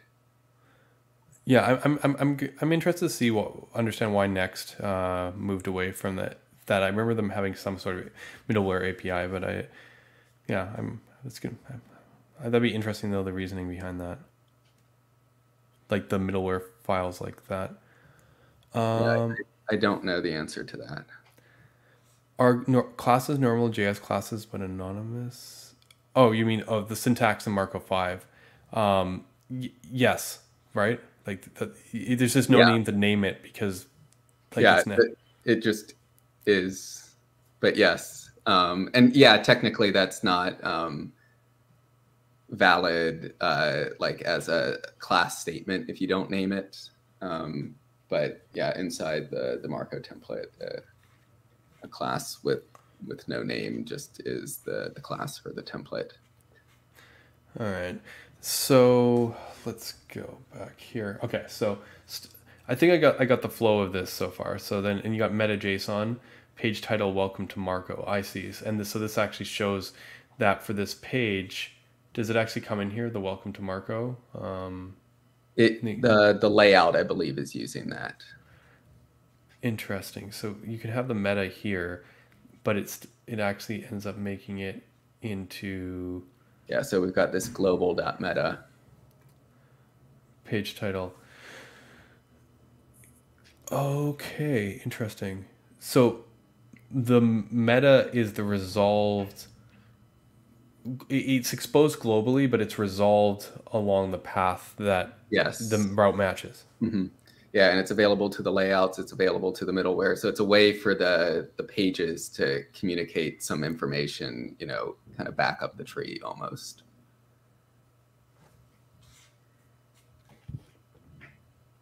Um, and like so, I said, one of the one of the big reasons that that it exists is because this is a pattern that's um, used by some of the middleware at eBay. Um, gotcha. We, we kind of needed to to fit into that to not have to like rewrite a bunch of the eBay stack as well. I, no, I, and I think this works well. One one thing I was looking at was having not like different files, but having meta as part of like a, config object on route matches. But mm-hmm. I never thought about how to actually access it. I assumed, um, yeah, I didn't. Yeah, having it as a global is kind of cool. Um, Okay. Yeah. So I'm following along the, this example now, and yeah, I mean, I think this makes a lot of sense. It's pretty easy just to build out pages and UI with this, and to run it, I'm assuming there is a bunch of commands here, like, Yeah. uh, what do we got here? Build, dev, and preview, right? So. Right. Marko Run has support for different adapters, right? I'm gathering preview is, yes. is Node when there's nothing else there. But let's Yeah, let's, Node is the default adapter. let's run Marko uh, npx Marko Run. What And then very nice ASCII art. Just props on that. No, that's very cool. Um, hmm.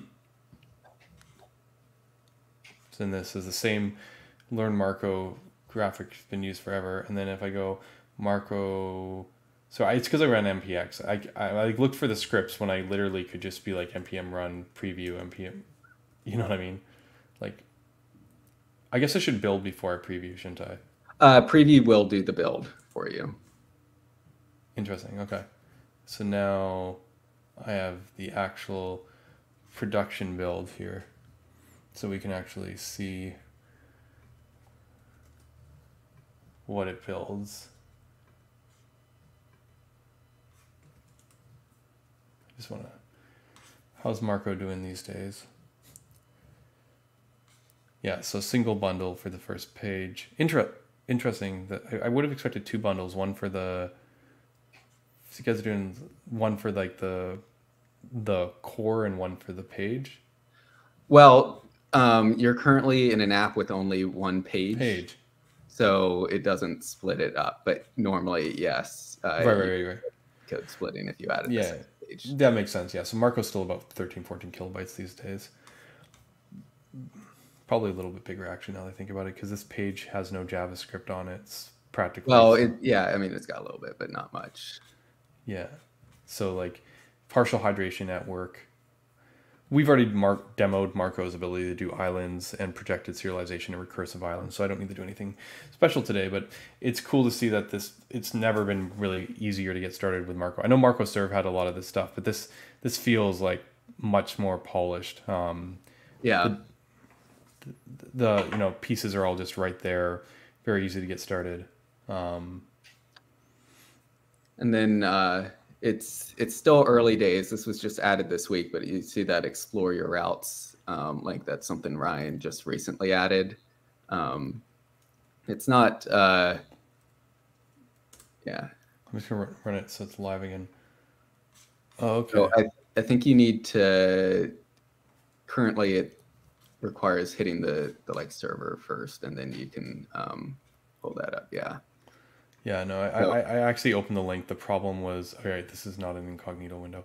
Um, it was just in another screen. Yeah, yeah. And It- then it shows you path, get, page entry, one layout, meta, yes. So this will give you an overview of all the routes um, and everything in your app and you can see um, those generated files. Right. um, the virtual files generated for Yeah.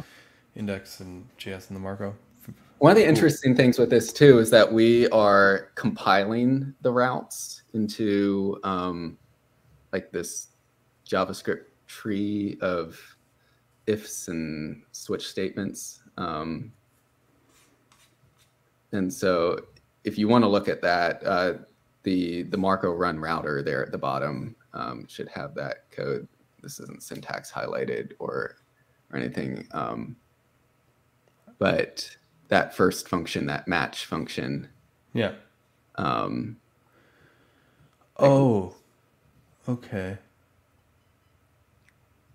I, I almost have to do I have to so does this this is this is Marko uh, router's code but yeah I, I someone you mentioned you guys had a compiled router does it compiled into a file does like yeah. So th- this is this is the router. This function, this match is the router.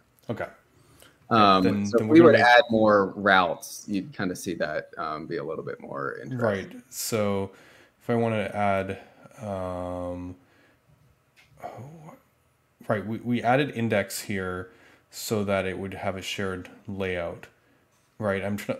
Or actually, no, we didn't need to. This is just a showcase. No, yeah. It, So, so, I could do. Uh, I could make a new folder like about, and then I could go new file page dot plus page Marko, and then I could whatever. I could just Yeah. make it like whatever. I, um, You don't even need to put anything in there if you're we're just looking at the routes. Yeah. But presumably, are- am I looking at the Right. Might need to hit the actual um like the the localhost 3000. Oh, right. Okay, because it acts. Um, let's actually see that our page exists. Does. So let's go back to the route explorer and see. Okay. And then I. I think it's because in dev mode it's lazily building. So Okay. this doesn't um, like immediately update. It's like building on the requests of the page. But I want to, I want to, if I understand, I want to understand what this is doing. Because, okay, so we index and about get pulled in, get one, get two. And then how are these used? So so here we're not even doing any string matching. We're just like, are there are there two parts to the page? Okay, that's about. If there's just the you know, if it's just slash, okay, that's the the index page. I see. Yeah. So, so basically, this function gets built up on a very like simple. Like it just expands out. It's like does this like instead of doing a regex, you, it's literally like like it. I mean, I mean, we can keep on doing this. We can we can add another page that looks just like this one. Um, copy, paste, rename about two about Q. Sure, about Q. That's that's that sounds good. All right, now we have get three, and then we get path name slice case about return this case about Q. Yeah, so this actually expands out even with nested routes, I imagine. So it actually generates instead of regex, it generate. So this is about optimizing for speed, not for size, or yeah, because this is running on the server. of course, right? Because no client side router here. So interesting. Okay, so yeah, if you have thousands of routes, this would be it'd be Large. large, but it would not actually like from a performance standpoint, it would be a much like a very Yeah, I mean it's gonna Simple. affect server startup by like a millisecond. Yeah. Cool. What I want to know is how you got the the pretty Marko logo in the. Sorry, I'm having some issues with Streamyard right now, but in the terminal, yeah. ASCII art, box drawing, Unicode. Yeah, this is definitely a highlight. Okay, so um, sorry, StreamYard recently has been like freezing up on me like terribly. Um, okay, let's continue. Um, okay, So we'll so- be expanding that explore your routes a little bit more to give you more information, um, bundle sizes, like that kind of stuff we want to put there so that you've got, you know, some insight into what's happening with your app. Um, but that's really early. Yep. No, it's, it's it's cool. Um, it's nice to see this kind of Probably add some syntax highlighting on these files. Yeah, no, it's definitely cool to see this in action and um yeah, so this is this is Marko Run. I've got a few of these open. Right. What, what any other things? I guess and the first thing everyone's probably going to be wondering because we've been covering it recently is do you guys ha- have any plans for um client side routing? You see did you see the Astro View transition API stuff? Yes. Um, and I, I think so with the, um, I think there's some things that we don't need to go full SPA for, um, specifically on the the view transitions because you um, we will eventually get uh, MPA view transitions in the browser. Right now, it's behind a, a flag in uh, Chrome Canary, um, but it's coming. Um, but persisted components, uh, what they're calling persisted islands, you know, being able to to retain this kind of ephemeral or client-side state um, across pages um, is useful in some cases. Like the the music player example um, is, you know, kind of the the one that keeps coming up. Um, so I, I, do think there's some value in being able to to represent um, that and you know potentially jumping between like an MPA experience and a SPA experience. Um, and there's some interesting stuff that we've been talking about um, specifically related to doing this in Marko 6 um, with being able to um, essentially do fine-grained updates to the existing page uh, from the server, have a, a format for um, serialized data to come back that's you know specific to you know like update this text node here um, and and that kind of uh, stuff. So, and, I think we actually got into this the last time Dylan and I were on the the stream. Um, that's still kind of Fantasyland uh, right now. We haven't really begun any um, work on that. We're actually trying to, you know, we, we've been working on these other things, trying to get Marko 6 out still, which is kind of um, a prerequisite for um, going down that road. Um, right. I but mean, I, I, do see value in it. Yeah. Okay. Which, yeah, makes sense. And we we haven't talked about Marko Six much today, and I, I, I yet. So I think it's probably time to do so. Um, can, can we yeah can we talk about Marko Six and where things well, are at? We launch Marko Six on the stream today. um, I wish that were the case. Marko Six has been uh, taking a lot longer than we initially thought that it was going to. Um, sorry, guys. Uh, but it, it is moving forward. Um, it, it is certainly not dead. Um, and yeah, we're, we're still excited about it. There, there's some new stuff that I, I haven't even uh, seen yet uh, on stream or people haven't seen yet to stream. Marko Six has a playground now, right? Marko 6 does have a playground. Um, it's not linked from anywhere, but if you go to markojs.com slash playground, which is also not linked from anywhere, slash v6, um, you'll get to the the Marko Six playground. Um, and slash playground slash V6. V6. It's like the cheat code. Oh, ooh, it's here. I see it. And um, uh, we can thank uh, Taylor Hunt for this awesome warning message.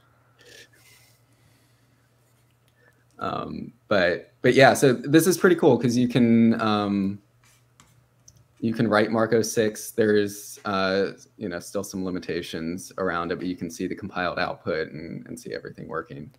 Right. So, so what, what, yeah, where's the, so we got the app preview. This clearly counts. The compiled HTML, which is the server export. Yeah. And then the compiled DOM, which is the client export. Yeah.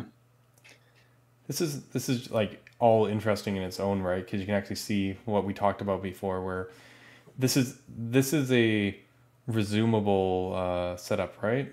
I actually how, one thing that i'm yeah it's hard you, it's hard to see what the final result is though in this example because this yeah. template this template has to be but, exported but no one's ever going to import it.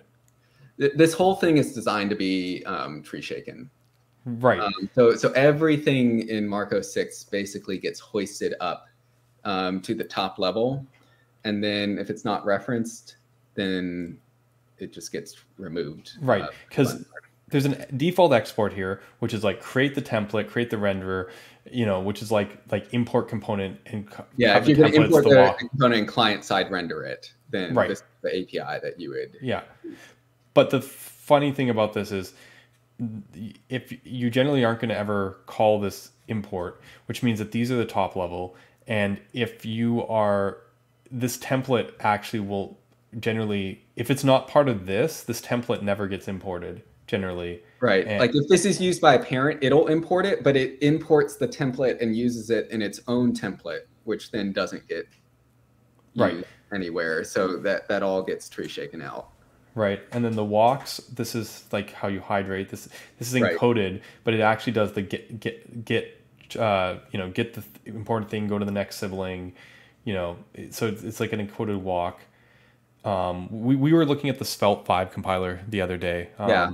And, you know, Dominic was telling us how um, the uh, extending the prototype method instead of calling the properties directly was faster. Um, so it was, just interesting. This is this is going like one step even further abstracted from calling the functions. This is actually encoding something that then will each time the template goes through and and tells it to go to the next right. thing it will yeah the, the interesting thing about this because and and this is something that you know you were um, kind of working mar- on marko daily um, at the time that we were talking about this so i know you know this but um, you can get the um, you can get more efficient walks by actually writing code right because like maybe um, the the so we we're only getting two things here right but maybe there's a third thing, and it's actually faster tr- to traverse from the first, you know, reference that we grabbed than the um, this than the second reference. Whereas this is like linear, like you're always moving. Right. Forward. You always have to go in and then out and right. Um, but in in most cases, because we did a lot of different like um, tests to see, okay, so if we if we write the you know this code that you know seems reasonable do do we end up with these like inefficient walks? And it was like most of the time like this this kind of just like continuing on through um, the the template like doesn't result in um, a, a large percentage of walks needing to do extra stuff and we can encode it really really small um, by doing this yeah what's really cool about looking at the the the the, uh, the child template is there's no component function. Like I mean, you could like if you picture you saw this in in um, Solid's uh, output. You saw this in Svelte 5's output, where there's uh, essentially it's a lot easier than looking at the old like VDOM output of Svelte. I'm sorry, it's not actual VDOM, but like the old like class output of yeah. Svelte. But you like most frameworks that hydrate there's uh, the component is a function call that runs once and then everything else even if it never runs again it runs once you can actually see the decoupling here right on the output because there's no run once here it's like there's basically register a side effect and by side effect in this case this is an event handler so it's like on the first button and I, I mean we can play with this i bet you if i put another button here just to mess with things does that does that change the the compile output at all can... Uh, the only thing that's going to change is the walk. So it's going to have to skip over that button to get to the first one. So you see over. Yeah, yeah, yeah, yeah, yeah, over. So that didn't actually change the ID of the. No, so it, it only assigns IDs to things that like actually do stuff. Yeah, so if you had a click handler. Yeah, I mean, I, I could have just yeah whatever. I'm gonna. I lo- this is an interesting syntax. You, the, the, you got Marko six has the object syntax in the you know, which saves you from the equal whatever. Um, yeah, so now there's button zero and button one. Um, but I, I got you. So what, what I'm getting at is that there's it, it figures out where the uh, the uh, effect is and it registers and says for this component index whatever Marko zero account, so it gets a specific the right. end here is an ID um, this kind of tells it like for this instance of the component uh here's like the the relative stuff and you, you basically have the scope that gets injected yeah um, that scope is probably the closest thing that we have like that scope kind of is the component almost right. Right. Because like if you think about um, solid, right? Like it, there, there are no components in solid. Right. Right. Like it, you know, from a runtime perspective. But the the component exists kind of as this like closures. Scope. Yeah, enclosures. Yeah. Yeah, and so that that's what this scope is, um, and the reason that this is pulled out as this like object that we're passing around is so that we can serialize it from the server. Right. Um, and that's that's really the big thing that enables resumability is this scope object and the fact that it's something that we can serialize down. Right. have to run code to recreate those closures. Right. Exactly. So now there's a scope here. So for that that scope, the button with this ID, it's almost like the the way people think of slots with hooks, like where there's one, two, like the it finds the the the, the right like location in the scope. The first, uh, you know, this ID, uh, you know, click handler. So this this scope will get us the button element. This will get us the click, and then um, this uh, this function is actually the click handler, which again reads from the scope to get the count, which is a signal, and then it will or source. You guys call them sources. It'll queue the update of that source here, uh, basically schedule it. So scope count, set the new value to count plus one, and then if you look at the rest of the code, there is a actually can can, can we add something a little bit more interesting? And I I, don't, I mean this is such a lame way of doing it, but let's add double count. Um, which uh, there there's a whole topic on Twitter about how you should never make this uh, overwrapping computeds or whatever. But we're just gonna, we're just gonna do double count here, and now we're gonna use double count here. Um, so what you're gonna notice is this is still the effect that gets registered. Um, this is basically the signal being generated, right? Again, top level, but it it, it, it defines for the I guess it, it defines for the scope count and it sets up the dependencies because you're like here this is the effect that is that what's going on here? What's this count effect? And then double count. These are the things that run when count updates. And then double count is oh wow this is cool. It's actually reading the value is it reading the value from the the, the tech or no. No. Is it, this is writing this is data. Yeah. This is text data right. Yeah text so, data.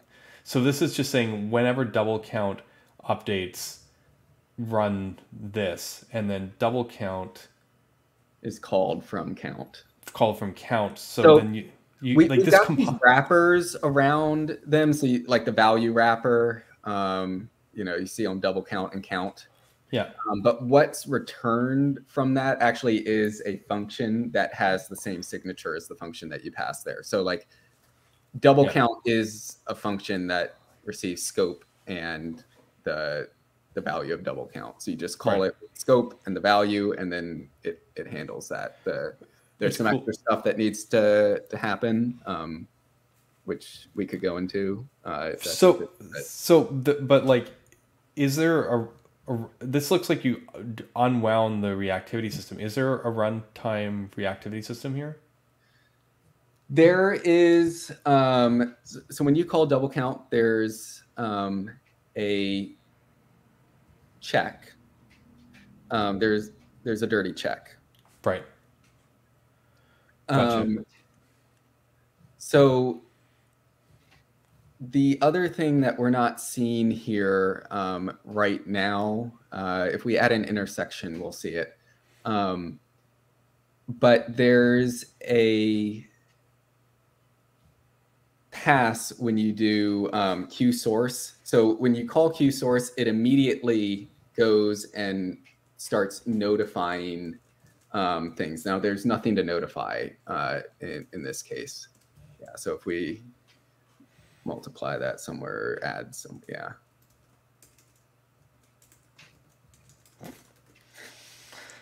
All right. Okay. So, so we've got an intersection here, and then if you come down to count, or yeah, uh, let's look at count. So now there's a, this expression count count, um, which is Babel doing weird stuff, but um, that, that's count count two. But then Babel strips off the number. Um, right. Yeah. so when we queue the source, it's going to look and say, okay, I queued this source. Does it have any intersections that I need to like go notify that like an update's coming? Um, and this is to solve the diamond problem, which I, I think you've gone yeah. over on several streams, so we don't necessarily yeah. need to, to go into that. Um, but now when when count updates and it comes to that intersection, it knows how many updates it's expecting to receive. Right. Um, but when those intersections aren't there, and so like if if you were to add something downstream of this like um, of this double count, then there won't.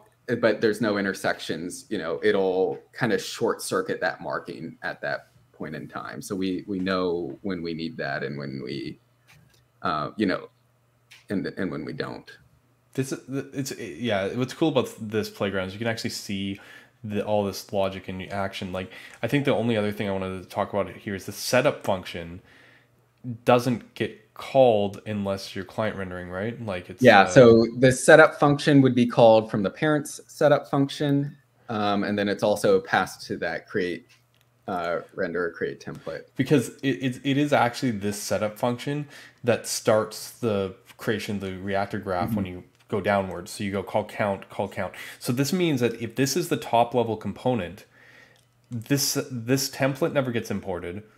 Um, the the we need the walks, but the the setup function also never gets imported in this case, and this never gets imported. So basically, um, you grab the walks if I'm right, and since you don't actually call counter count two, we actually don't use the walks for hydration either. We had talked about using them at one point, but we decided to annotate nodes that are that come from the server.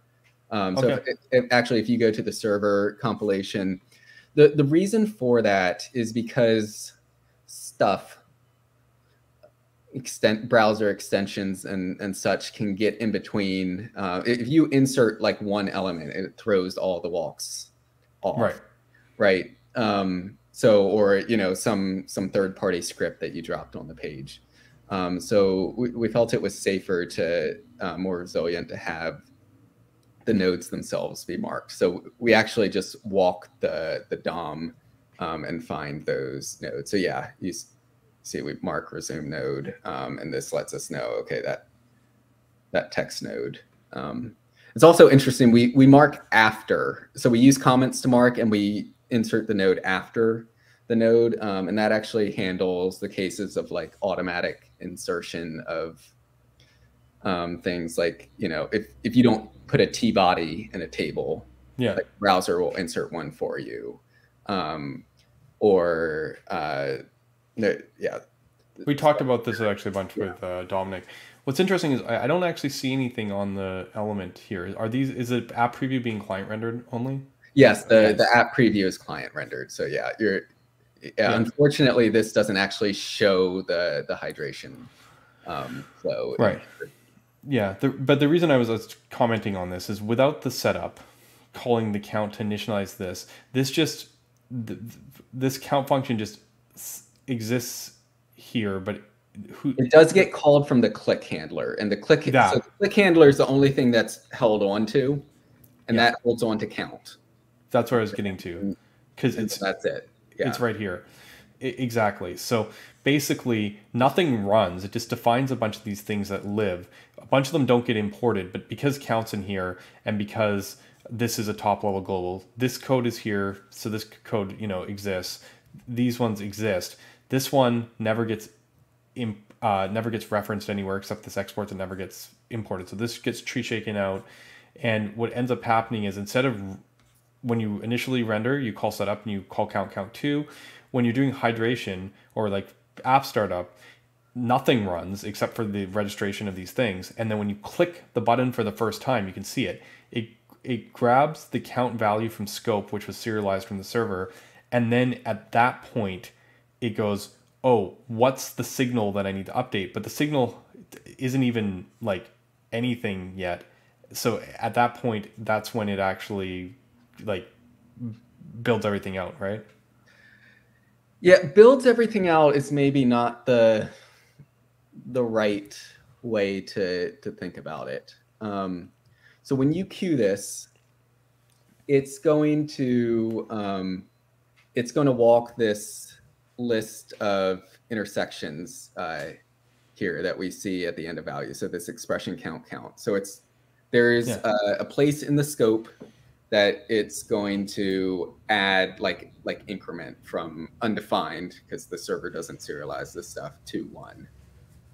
Um, and then that's going to be all that happens synchronously, but we, we also queue that source to, Right. to um, and then so we, we hit the micro task, the, the queue starts flushing or draining. And um, then we're going to call this, uh, this count function with the new value of count uh, that was queued. Yeah. And, And so that's that's like- going to run this function. And then it's also going to say, okay, expression count count, like I I'm done. And because it only got marked once, then expression count count is going to run. And so then we're going to grab count and count two out of the scope. Count was just updated by our click handler. Count two was serialized from the server. That code is never Yeah. executed um, in the browser. And then we call double count with the new value double count, and then it updates the text node. Exactly. Yeah. So, So- so, it's pretty much just function calls kind of all the way down. There are some dirty checks um, in there. Yeah. Uh, yeah, there's no like objects or anything that are created uh, through this. Um, we we do update some like integers in the the scope through the process. But I always thought this. Yeah, I always thought this method was very clever, uh, just because um, the compiler does a bunch of work, but then it's literally just tree shaking to make um, everything work. Like it, like there's like older Marko, you, there's kind of like a bit of a bundling, post bundling analysis to figure out like the islands and the islands. Like sometimes you know something ends up on the client just because it's under an island, right? Whereas this system, the it's basically built ahead and then simply the tree shaking actually drops everything off the right Right. Yeah. Um, and we still need to determine if that's going to be um, sufficient. right because this is resumable but i don't see any like dollar signs anywhere or anything right so like Yeah. what's up with that So um, you're talking Qwik, right? yeah of course i'm talking Qwik yeah Um, we are our, our goal is for you to just write this um, this tags API language, which um, I'm a I'm a big fan of. I, I don't know how you feel uh, about it. I, I know you appreciate aspects of it, but I don't know if you love it yourself. I mean, it, it has a lot of qualities that are really quite nice. Biggest one is that like the the the the whole, you know, um like portability of stuff, like the fact that you can go like if component and then like, you know, now the state existing is conditional or you can because the Right. imports automatically work, you can literally cut and paste and drop stuff in a different file and it just continues to to work like like basically there's no boundary between the the declaration of uh, data and data dependencies and the view code, which makes it incredibly like WYSIWYG as a development experience. Yeah. So yes, from that perspective, obviously, I think telling everyone that they have to write everything as XML is an adjustment. Um, You can get rid of all the angle brackets if you want. right, right. We can go in uh terse. What is it called? Concise mode. Yeah, concise mode. Yeah, and then you, so like you can just go like this, right? It still works hybrid, so like you can Yeah. there the, the people can feel you know we can where's the other one const i mean technically we can do it even with the button too right? Because i can just go Yeah, we can. i can remove this. That and and then, then yeah the- add the dash dash. Sometimes joke that marko's like people who want to write less like marko's even less than svelte what's interesting to me is is uh, and we talked about this before is a lot of the reasons that svelte changed the runes uh, are things that marko has already like kept in, taken in mind because like this is let and const, but they're tags. They already have like a specific syntax and meaning in Marko. You can also make custom let right here and you know whatever we, we haven't defined a custom let but like technically you get the same composability uh, that you get with signals but the base primitive is still just a let right. and the computed is still just a const um, which is interesting it means that generally speaking there's no framework out there that lets you write less code um, that's probably true unless you've got like you know built-in helpers for for mm-hmm. something yeah right like I, I, guess like I saw Alpine has like an outside click or something like that, and you can represent that you know pretty concisely in Marko, but you're you know you're going to need to write an effect for that. Whereas like they, they allow you to just put an attribute on you know something. So I mean like when you build in things like that, but in terms of like yeah, I, I think being able to having a lightweight core and being able to express all this self, yeah, Marko can can be pretty concise. So it's a tricky one because it's it's not even a question anymore of like whether you can build the language that can represent the ideas. It's like a question of like how comfortable people are of say like what level Marko is. It's just like like we have JavaScript expressions, but like Marko is a language. It is not JavaScript. It's not pretending to be JavaScript. It's not like you can ever get fooled and think that you wrote some JavaScript code and it uh, acts differently. And where the rest of the ecosystem is right now is they, they they're kind of like I want you to just write JavaScript code and it to work the way you would imagine it to work, but not the way JavaScript actually works. And I think in that place, I like Marko from its purity of like this is doing what it says it's doing, whereas like it's very. I mean, yeah, everyone we've been fighting the temptation to like leave the Marko file, but I think that is one of the principles that we're gonna stick to. That like we will do some crazy stuff with your Marko file, but we're not gonna touch your JavaScript.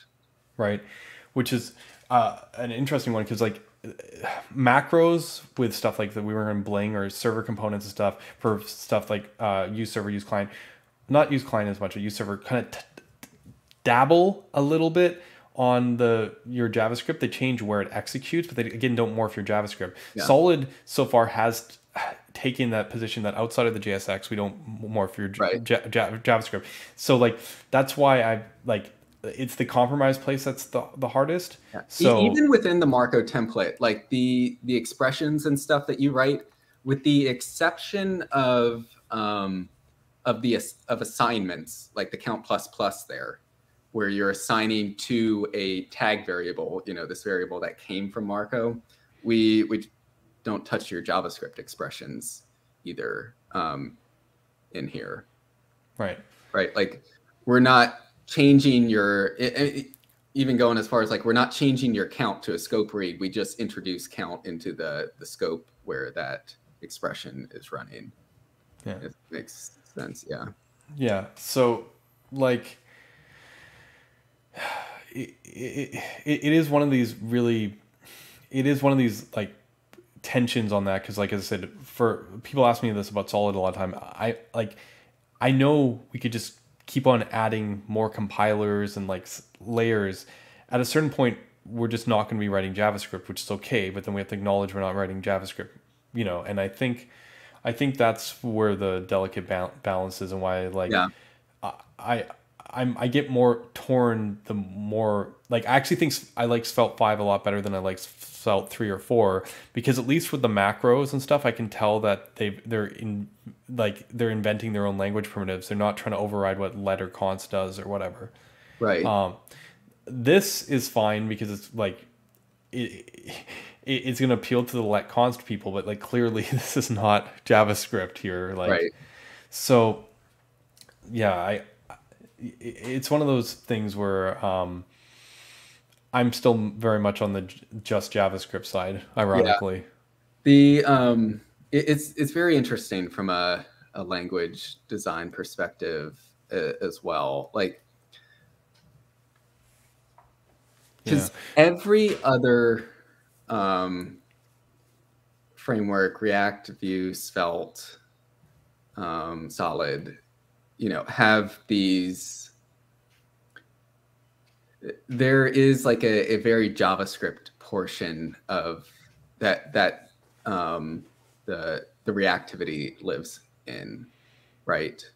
Um, Right. e- Even Svelte four, you know, there there's the script tag and there's like reactivity going on um, in there. And now with Svelte five, it's escaping even the the Svelte file with the runes. Um, Right. but with Vue and Solid and React, you know, you've got hooks that you can just write in other files. Um, and I, I'm curious to see what that looks like um, for for Svelte specifically, because uh, of the the languages that I just mentioned, um, I mean, I guess they're the only one that can't also define components in the JavaScript. Right. Okay. Um, so, Can you know, huh? Vue, Can you can opt into JSX, so you right. you can do that. Um, I'm I'm sure you're going to be able to accomplish like you know whatever you need to in Svelte by like you create another Svelte file and import that and then expose that through your like custom hook, you know, or whatever. But um, it, it's kind of interesting that like as you start to pull this out, there may be some patterns that are like potentially more um, more difficult um, to to represent it, it's interesting because Marko kind of forces you to stay in Marko land whenever there's reactivity um, Right. involved, and so there's there's also a natural place to be able to do some of these powerful things like these you know so-called hooks or tags like they can be aware of where they are in the tree they can render stuff they can return stuff that renders stuff um, and so you, you Yeah. get some benefit uh, of that, um, but and it, it's interesting too because like if you call use state in React, like yeah, you're just using that in a JavaScript function, but that JavaScript function is only usable within React, right? Um, Yes. Or I mean, even with Solid, Solid's reactivity system is is open, right? Like I could, you know, write some stuff that um, you know doesn't actually use like The components or the the, components or, or JSX. stuff, but you still need to use solid to consume whatever's coming back from that, you know, just a function. Um, same with Svelte, same with Hmm. Vue. Um, and so that ultimately has to be consumed by the framework.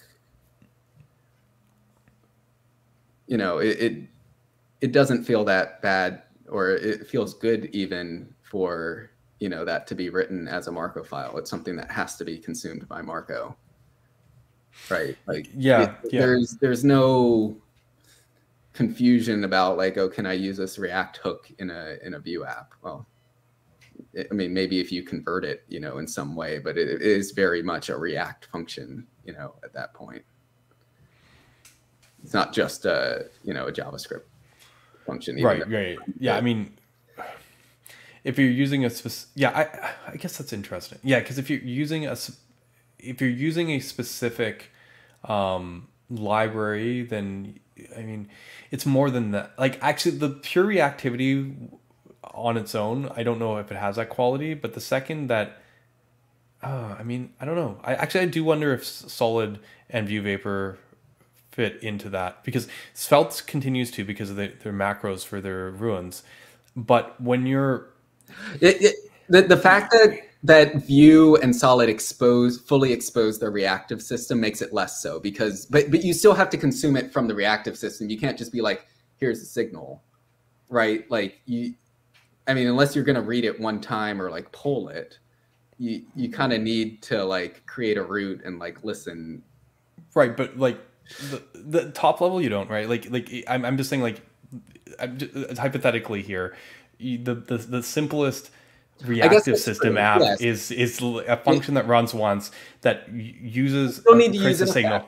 To, and then to, you make it a, and you make yeah. an effect right so from that perspective it's not like being Yeah. fed into a framework to process it and in so the JSX is sort of also just creating the effect. So you could argue that with solid style Right. render, it doesn't actually get fed into a framework. We maybe we can actually claim to be a library where almost n- none of these other ones can actually claim to be a library. They're, they're I would say that's fair. Yeah, I, I really like the intro that you do with um, Solid. You know, starting with these like singleton um, uh, signals, and uh, I almost forgot signals. How did that happen? Um, these singleton signals, and you know, just creating raw DOM nodes and updating. right. Ex- ex- exactly. So I, I think that's a really nice um, introduction.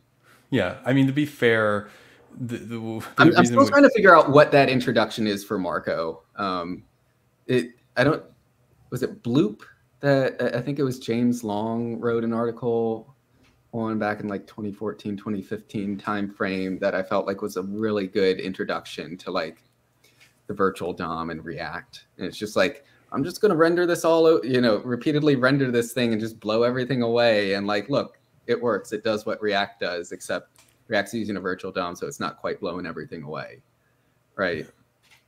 yeah. Um, Um, yeah, there there was a uh, there was a question here. Uh, let me see if I can get Streamyard to play. I might have to restart it, I, but I'll wait. Hopefully, I, I can leave it till.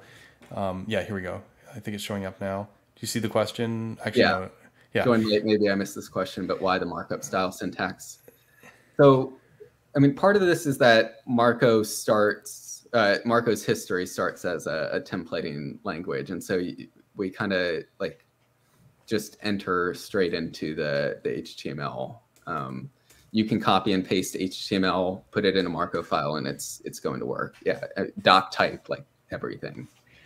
Um, and so the the tags API, uh, which is what you're seeing here, is um, kind of it, it's it's a cohesive language that brings reactivity to this like HTML like language. Um, and we were just having a discussion. Uh, I don't know if you called it or not on like the the value or perhaps not value of you know having this in the template versus like coming from Yeah. um, JavaScript. But ul- ultimately, like these values have to be consumed by the the template, um, and like there, there's composability here, right? Like you can create your own um, custom let. You can, you know, create essentially hooks, um, custom renderers, all, all kinds of stuff that are um, quite powerful. And I, I, I really enjoy writing with the tags API. I almost wish, not almost, I, I wish we hadn't tied the tags API to the the Marko six release so tightly. I, I wish this was out in the wild for for people to be using if it even if it was backed by VDOM. I think it's a, a really awesome way to um, to write Marko and write applications. Yeah. Um, So, yeah. So there's a comparison being made that it's kind of like Svelte the way that it hides the reactivity. But what one thing that Marko's done, and we haven't really shown, we don't have time to show on this stream. I think we showed it before. Is it actually the there there's because of the use of the tags in the language, it's actually defined how it goes. You, you continue using it as a variable even cross file boundaries. There's like a syntax for like returning the variable out, but essentially. Um, it, it's it still continues to be um, y the wrapper doesn't change. Where Svelte is kind of going like, hey, you can wrap it however you want when it leaves a local scope. Marko actually defines a wrapper, which is it still looks like a variable because it because the compiler is smart enough with cross template analysis to actually know everything that's reactive across your whole application. Yeah.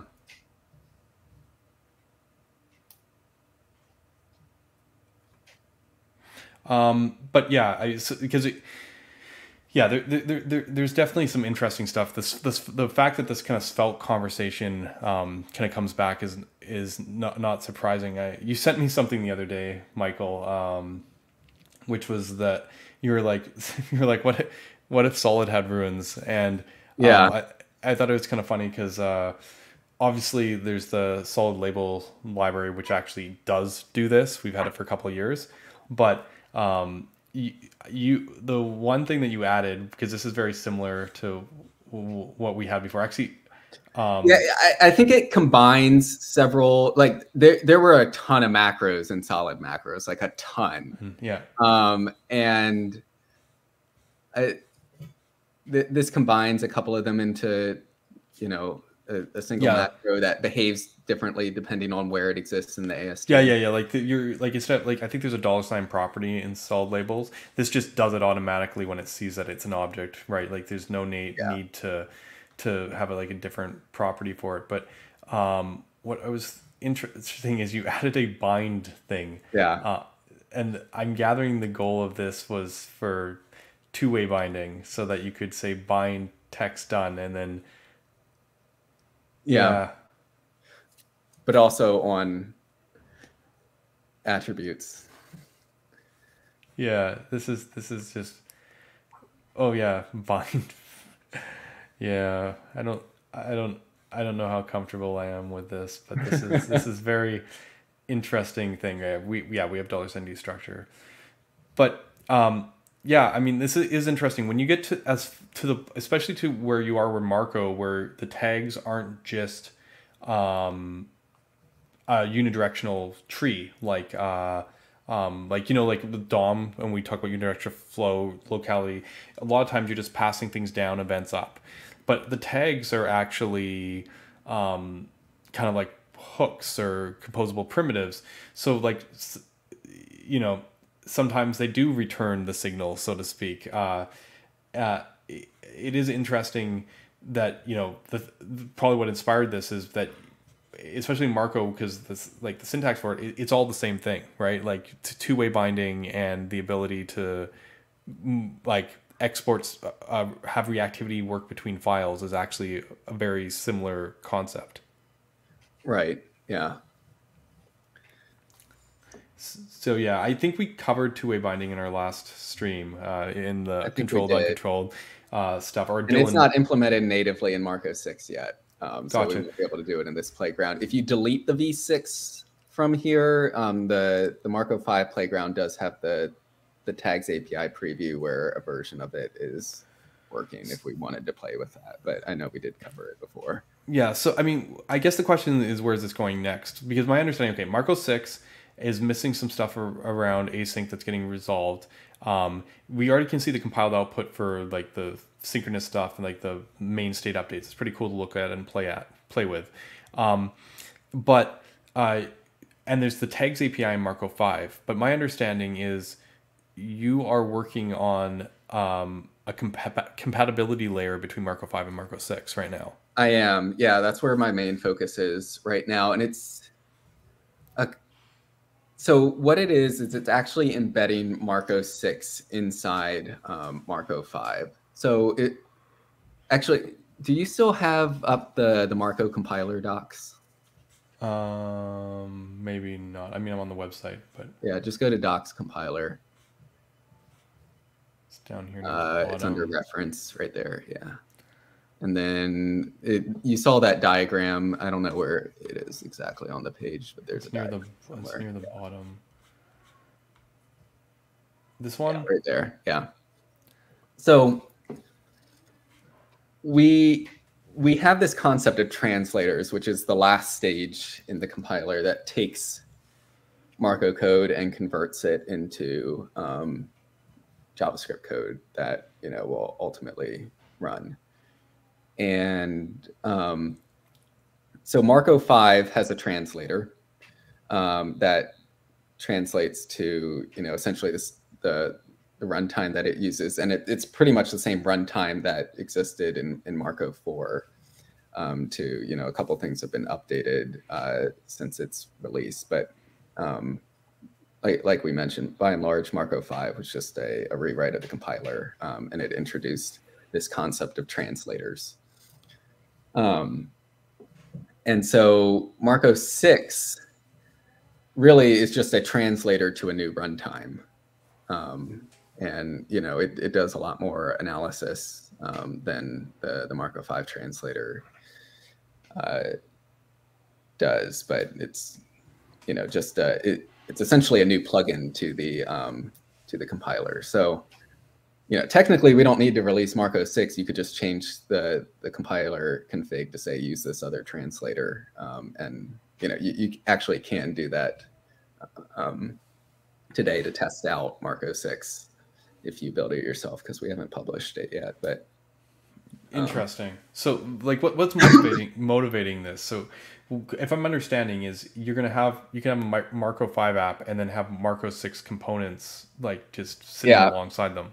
So, so what I'm working on is this interop translator. I'm calling it, and so it actually wraps both the Marko Five and the Marko Six translator, and so it detects different language features um, that are uh, basically tags API. The tags API preview implementation that we have in Marko 5 has the same check. So I, I kind of ripped the, the checks um, out of that package. And so if it's if it determines it to be a Marko 5 component, you know, it sees a class or, you know, some some other things that are Marko 5 only that have been deprecated, then it goes down the um, the the Marko 5 path. And if it sees, you know, some of this newer stuff like a let tag or, or stuff like that, then it goes down the Marko 6 path. And so what you actually get out truly is a, a Marko 6 component. It's not like, you know, the tags API running on the VDOM or, or anything like that.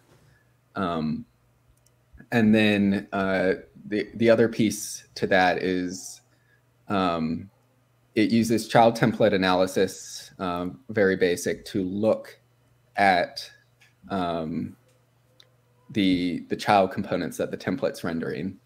And if it sees that, oh, these child components are actually tags API components, but I'm a class component, rather than going down the normal like custom tag compilation that would like, you know, inline a call to the tag, it um, it swaps that for a dynamic tag. And then um, so it swaps it for a dynamic tag and then it injects a, a script that patches the behavior of the dynamic tag. Um, so now the dynamic tag has this like logic to be able to say, oh, this is a component from the other runtime, and it will do some some interop at runtime. Right, because I was going to say, um, VDOM re-renders over and over again. Yeah. Leaf node Marko six component doesn't want to re-render over and over again. Right. Yeah. So so when um, when the VDOM re-renders, it's going to get new uh, attributes, new input, and then that that input's going to be passed to the the Marko six component. It'll fine grainedly update. Fine grainedly is that a, a word?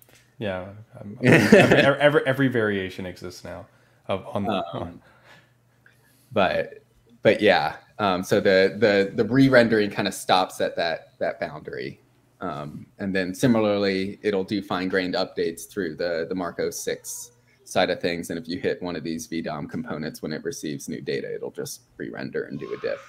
And so um, we we did want at some point to have like the the class components actually running on top of this like fine-grained update, but the it, we've been through this whole thing before. Um, yeah. you, you, alluded to it, you know, having to to upgrade hundreds of apps across the the company, um, and I I think we're going to be served by uh, you know having exactly the same behavior for the the existing components, um, rather than trying to to get them to run on top of this or having you know letting you use the the tags API now, um, running it on top of VDOM, and then swapping out the the implementation underneath. And there's a few slight differences that cause you know confusing breakages um, when when right. people update. Um, so when you once this is done, you'll be able to start using um, Marko 6 components in your Marko 5 apps. Um, like you mentioned, async is not quite done yet. There's there's still some open questions there. I think we know the route that we have to go down, which is going to look very similar to Solid and React. Um, but you know, I had a different vision for async that I don't know is going to pan out. So I'm still kind of, uh, we've been pushing that off and I'm still kind of holding on hope that I can get that working the, um, the way that I would like to, but it's it's not looking good. yeah, yeah. Uh, concurrency models are hard. I, I was explaining to people before. This is like the hang up. It's like when you know that you're going to be going to a place where you're going to need this, especially because streaming is so important to eBay's use case. And, and as you mentioned, uh, async or the await tag only ever worked on the server. Now you want to have the server and the client. You get you almost have to solve all these problems at the same time, which is really hard because they're both part of the problem is like a lot of these solutions feel like they're more complex than they need to. So you spend a whole bunch of time trying to figure out if you like there's some revelation that could make you find a solution that's correct and also less complex and yeah. you, you can't really like break these things apart because they're all related. Right. But uh but that's when like so yeah what's we, this let's say this com, com, uh, interop layer between marko 6 uh, and Marko Five comes out. Um, and so are we are we getting close to the finish line for Marko Six? We are getting close. Um, yes, there's there's a couple like basic things that still need to um, need to be handled. Uh, and the the compatibility layer the compatibility layer is is very close. I'm I'm hoping to have that um, done here in the next uh, couple weeks. Um, and then we'll be shifting focus back to, to Marko 6 itself so that what you know you can run in Marko 5 actually like covers all the bases. Um, but it is kind of nice, I think, that you know um, we'll be able to um, experiment with this and kind of supplement with the class components where where things aren't fully implemented. Um, yeah. But no, I, I, yeah. Oh, you have your Marko shirt too? Oh yeah. I haven't seen it yet. Yeah. or I guess I, I probably just haven't been looking at you all that much. Yeah, just yeah. I, it's it, it I, it's hard to estimate how much more time it's going to take to iron it out. It really is, and it's part and it's largely because the the async model as long as there's like a question that's undecided that's expensive you can't like you can't just like put a stamp on it. Like if right. you understand like the work that's left to done you can put a stamp on it. It's probably an underestimate but it's at least in the ballpark. The problem with this async stuff is like at a certain point like you leave it as long as possible so you can make all the other decisions you can and push right. things forward but you're getting to the we're getting to the end of the line here. Yes. Um and and i think that's a big reason why things have have dragged on because we've had these like we want to do this and we don't even know if it's possible right. Um and uh we're we're getting to the end of those which is good. Um but yeah. you know you, and then you when you're trying to even figure out if something's possible you know you kind of have different tracks that you go down try something. Well that that didn't work you know the or it, it worked but there were trade-offs that we're not willing to make um and, and that kind of are, are you ever concerned that uh like just you started on this project because you wanted an html templating language yeah right are you ever concerned that like front end frameworks and like the complexity that we bring in has just gone like way off the deep end like you've watched the whole progression from like literally yes. like template almost to like yes. whatever this Am I is. concerned that we're contributing to it? Yes. Um, and, I mean, and that's one of the the things, right? Like, it. There's a ton, a ton of complexity in computing, right? Like, not not even talking web development, but just like computing in general, right? There's abstraction upon abstraction upon abstraction and a lot of those abstractions are super helpful. I mean, HTML itself is an abstraction, right? Yeah. Um, the problem is when they're leaky. Um, and so, I mean, that has been one of the the big things that we're, we're trying to solve. But I, I also have concerns because I am very aware of where you know things with Marko six currently leak. Um, but if you don't have to um, if you don't have to think about the layer underneath, right? Like if you're not having to think about the the compiler, right? Um, if it actually works the way that you expect it to when you're, you know, debugging, you know, you can just look at the values in your template and see, you know, how they're changing. You get the the type inference in your template. Like you never have to think about what it compiles to. Um, not what it compiles to does should influence, you know, the your your mental model, but you don't necessarily have to to understand that for um, for it all to work. Just like you don't need to understand exactly how the the browser's parsing HTML, how it's rendering it, right? Like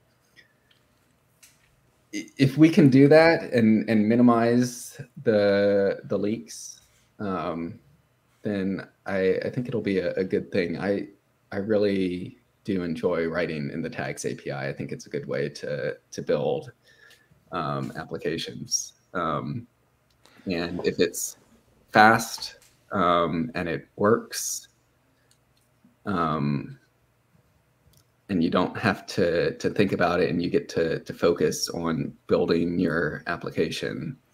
Um, I, I think we'll have added something positive to the the web community. Yeah. Yeah, the, the, the reason the reason that I, I ask is because there's been like a backlash recently, and it, it's happened to different degrees. Obviously, you know, GraphQL. I I, I was just reading about people. Uh, I think Adam Rackis wrote yeah, something. I saw that tweet this morning about, and maybe I'll, I'll I'll talk a bit about that more in this week in JavaScript. Um, but like like a, a, another backlash is something like HTMX. Um, yeah. I, have you looked at HTMX at all? I I have to a degree. Um,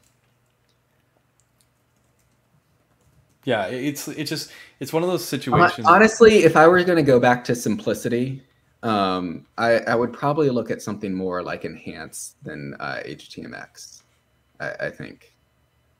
Um, I, yeah. Yeah, it just it, it's it's interesting because it's like we're they're they're trying to reset back to like I don't know hyperscript or you know um, I don't know. Well, hyperscript is its own thing. No, not not hyperscript JSX, but like like hypermedia or whatever. Yeah, but you've seen hyperscript, right? Not hyper, not JSX hyperscript, but, but HTMX is hyperscript, like language. Like I'm gonna write like this made up programming language in HTML attributes. Yeah, yeah, I did actually see a bit of that. Yeah. Um, I don't know. It, it's like one of those things where you like, if you're going to design a new language, like you kind of want all the tooling around it. Like you don't want it to just be a string that nothing understands, right? Like how do I debug that? You know, I I'm not going to be able to hover over that in my editor unless you know like the the efforts put into to actually truly make it like a language with all the the language tools right um and it doesn't i feel like it doesn't bring a whole lot new to the the table that um you know javascript doesn't already have or, or could have during you know with a library yeah. i mean you could potentially make the same argument with with marko but but marko's got like this whole you know to, totally different flow. Like hyperscript is just an imperative scripting language that you know has some syntax sugar for common web dev stuff, which I mean isn't to say that's useless. But um, I mean the the reason we got there we're there is simply because HTMX alone, expressiveness of its HTML is insufficient to handle all the use cases. Right. So, yeah, I mean this this is, yeah, as I said, there there is an attempt right now at a reset like uh, yeah. like like a baseline I, of I think I think philosophically like I I kind of agree like the the the philosophy of Marko from the language standpoint is like add as little to HTML as necessary to make it you know like truly capable as uh, a language to to build these you know modern applications that have you know the need for you know composable components and and everything. and it, it, it really isn't a whole lot that's been added, you know, syntactically to um, to HTML. But there there is this whole compiler tool chain attached um, to it, and so I mean I I understand that. Yeah, I mean, I don't know. What do you? I, I I'm just using this opportunity to ask you about like all the all the hot topics here. Like, what do you, do you can you can we take no build people seriously? Like, I, I so actually, um, this was a while ago, several months ago. I actually decided I wanted to to build something, and I was like, I don't feel like dealing with a build um, but I was like, okay, so I know Solid supports like tag template literals. I'll just start building with the tag template literals and and Solid. Um, and it didn't take too long before I was like, nah, I'm I'm gonna set up Vite. yeah. Yeah. Um, so so I don't know. Yeah, it's just it's just interesting. We we're on one hand you like you, you kind of like we shouldn't be accustomed to this. Um, it's so hard when the both lines keep on moving, right? You could say that the baseline is way better now than it used to be. So when you can talk about no build in the past, you could be like, no, like like you needed a build, and now maybe you don't because the the the floor is so much higher. But on the yeah, other hand, I mean, I was still able to break components up into multiple files, right? Like I just include a script tag. I don't need it write everyone in one file. I've still got modularization, right? But I don't know. There were there were things. part part of it was uh, it was solid specific and you know needing to to wrap things in, in functions. functions that I didn't Yeah. want, really want to have to think about, but I don't know. Right. So like it, it, it makes sense for why there's a desire for this reset, but I wonder if I, I can we get there without inventing a new language essentially is is, is kind of like the thing like we've been forcing against the language um this whole time right like it, it it's like as you mentioned earlier is is it about filling the holes of abstraction So, yeah, I, I think we can hide some of it, but I don't know if it's going away, right? Like with, um, because if you're going to do no build with a bunch of different modules, right? Even if your module graph is fairly shallow, like you're going to end up with with network waterfalls, and network waterfalls are a bad thing. Um, especially you know when you're you're talking these um Yeah. these devices on on slow internet it's just like this like Yeah, Be- before the Qwik optimizer was working properly, I had some demos where I was on a slow network, and then I'd like click an interaction, and uh, don't get me wrong, Qwik doesn't actually Yeah. do this in a preload, but it was like it was an example where I had a ton of bundles for something that like you wouldn't expect it, and it was like click load one bundle, then load three, that loaded two, like it just like started fanning out. Um, well yeah yeah and so i i actually really admire Qwik in the the way that they've like launched incrementally um Marko's marko team could probably learn something from that um but yeah like early on uh I, I think I went to the builder website after they had just converted it to, to Qwik and like tried to open the menu. And I had like just left my house um, and I was uh, in the car. And so I was like disconnecting from my my Wi-Fi network and like switching over to um, the the cell network. And it was like three seconds before the menu opened. And it was like come on now. Um, Right. but, but mean- definitely they're, they're not doing that anymore right? They're they've got to build Right. um, that is you know determining what needs to be sent. And and similar for, for no build like people will say okay well you don't need to bundle it you know you just create the um, the export maps you know preloads and everything. It's like well something needs to run on the files to do that.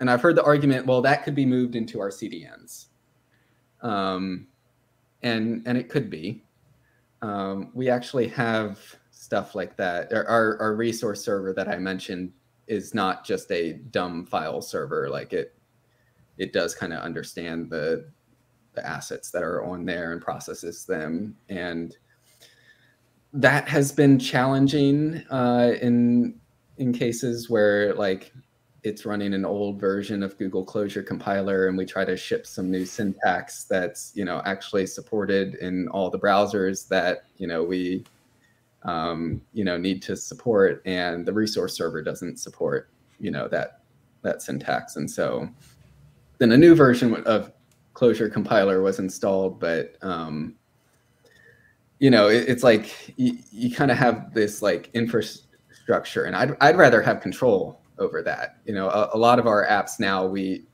we disable uh, some of the features from the resource server and like we'll, we'll, just handle that ourselves at our build time. You know, we'll we'll make sure that the JavaScript that's being served is is correct for our users. And I, would much rather have that control at the application level rather than outsourcing that to some infrastructure because it's going to work when it works, and when it doesn't work, you have very limited control to actually fix anything. Right. Yeah, so I wonder how much of this stuff just comes back to like the classic split between like websites and applications, where the people who are asking for a lot of these features are that like uh, there's a comment here about like no build works well when you're using a jQuery esque library, not for full JavaScript frame applications. It, it, it's it's I mean vanilla. The point is like if you can build an application basically in vanilla JavaScript, maybe a little library here and there, and like that's works for you, then this can definitely work for you. I just I guess there's this question of like can any actual real application be sustained? Like we have these frameworks and tools for a reason. Like can they actually be sustained using like just javascript? Because obviously it'll be lighter it'll be faster it'll be better in in like all those kind of you know at least in theory in all those mechanical ways but like is like it, i think it's one of those things where um depending on how it's used. And a lot of these no build um, proponents are also like low JavaScript proponents, you know, low dependency proponents. And so in that scenario, it can it can work. And the um, and the downsides, you know, it, it, there there are objective downsides, you know, don't add up enough to to matter enough, right? Um, but even so, you know, it, it might be in a an amount that doesn't matter, but a build is still going to be able to optimize things to a point where build should always be faster than no build holding everything else constant right? Like if i can if i can minify and and inline you know everything into a single request there are overhead to, to http requests then um you know your your one file that you're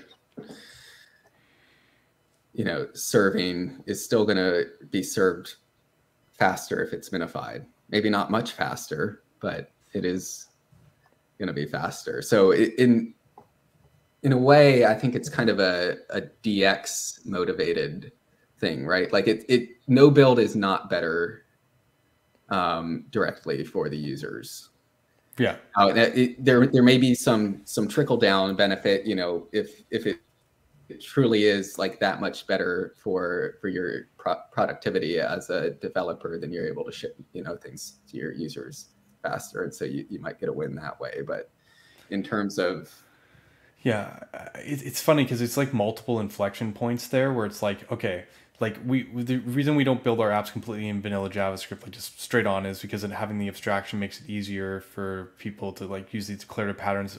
Other people understand other people's intents and do that. So like like if you, on one hand the dx you know improves of not worrying about these build structures and all the setup but then on the other hand like at the point another piece scales will you hit it again? Like it's i wonder if there's like too many moving like rising pieces that trying to like jump from platform to platform is like very difficult when the, the floor right. keeps on rising or whatever, you know. Uh, yeah, it's it's it's definitely interesting. I actually there's a comment a while ago that I wanted to actually throw up on the stream and see if you had an opinion on. We're at Q and A's with Michael. If you haven't uh, followed, so if you have any questions for Michael, mind, sorry, would you mind if I took a quick break to use the restroom real quick? I'll be right back. Okay, fine. Uh, All right. Yes. I'll be super quick. Yeah. Yeah, because there, there's a comment here that about uh, I saw this about like Svelte introducing compilation step is a huge win. I wish it came 20 years earlier. Um, the thing is, compilation JavaScript frameworks has existed well before Svelte. Um, Elm is uh, is is a is a good example of that. Um, sorry, this was the question I want. StreamYard is really giving me a hard time right now. Um, anyways, Elm had compilation in JavaScript, uh, and uh, Marko had compilation in JavaScript. You know, back in 2013, 14. Um, so it was pretty early on. Then there's uh, the thing. Uh, it's not coming to me right now. Uh, the there's another JS framework. Uh, uh, what is it? The they they, they Imba. Yeah, Imba. Um, so yeah, Elm 2011 or 12, Marko 2013 14, Imba 2015, uh, Svelte 2019. So I, there were things out there earlier doing this stuff. It's just, um, yeah. Sorry. Let, let, let, me go back to that other comment that I wanted to to ask uh, Michael about because it's actually kind of on key with this thing. It was it, it, people want to know if the, if you if you have any more secrets behind the the curtain at Marko and eBay. Like we've talked about a lot of things that that Marko was doing very and the eBay, eBay team were doing early on, and part of this comes from uh, coming from a different place where a lot of you know Meta was looking at how they could build mobile apps and kind of tie that stuff together when they built React. eBay was like, how can we replace our Java backend with a JavaScript one that's like fast enough to actually render our pages. And you know so a lot of things mattered like streaming. It was i think in terms of javascript frameworks and open source first for streaming first for uh, uh, i mean technically dust was first yeah is dust a, is dust a framework? But no yeah, it's a templating language. Yeah. Uh, um, what's another early let's say not even necessarily first because other people um, using compiler like a single file components uh, format uh, there's riot also back then uh, but i i don't know how many yeah i don't know. pretty early on in that thing. Riot may have been earlier than us. Yeah. Maybe. it was around the same time period. Single file components compiled so compiled framework um, partial hydration and islands um, uh, obviously, uh, like there's a lot of innovation in the Lasso bundler. Um, but yeah, the question is: Is there something we haven't seen? Um,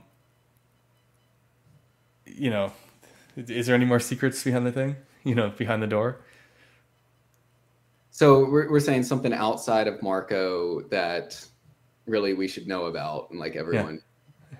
should be doing. I don't know. Um, yeah, I mean it's a tough question. I was just curious if you had anything to add to that.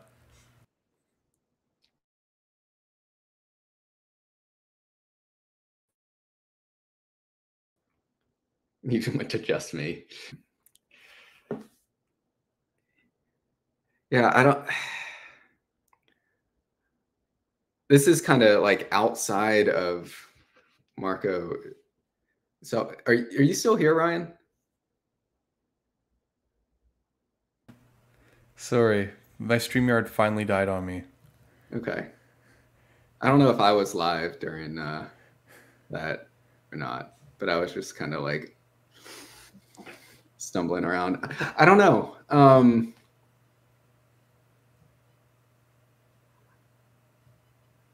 yeah. I think there's um, streaming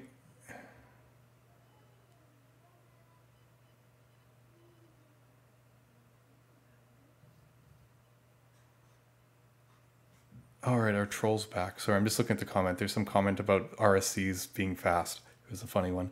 Anyways, um, um, yeah, uh, yeah. I don't know. That's a tough question. Do we have any other? Uh, let's move on. Let's see. Yeah, we've had compiled templates for for ages. Um, but yeah, I, I I'm just catching up on chat because it seems like people are talking about some old tech. Yeah, CoffeeScript. Yeah, okay. Uh, let's rebrand no build to compile. Yeah, sorry. I was missing comments, I'm realizing now, just because of how bad StreamYard was choking on me.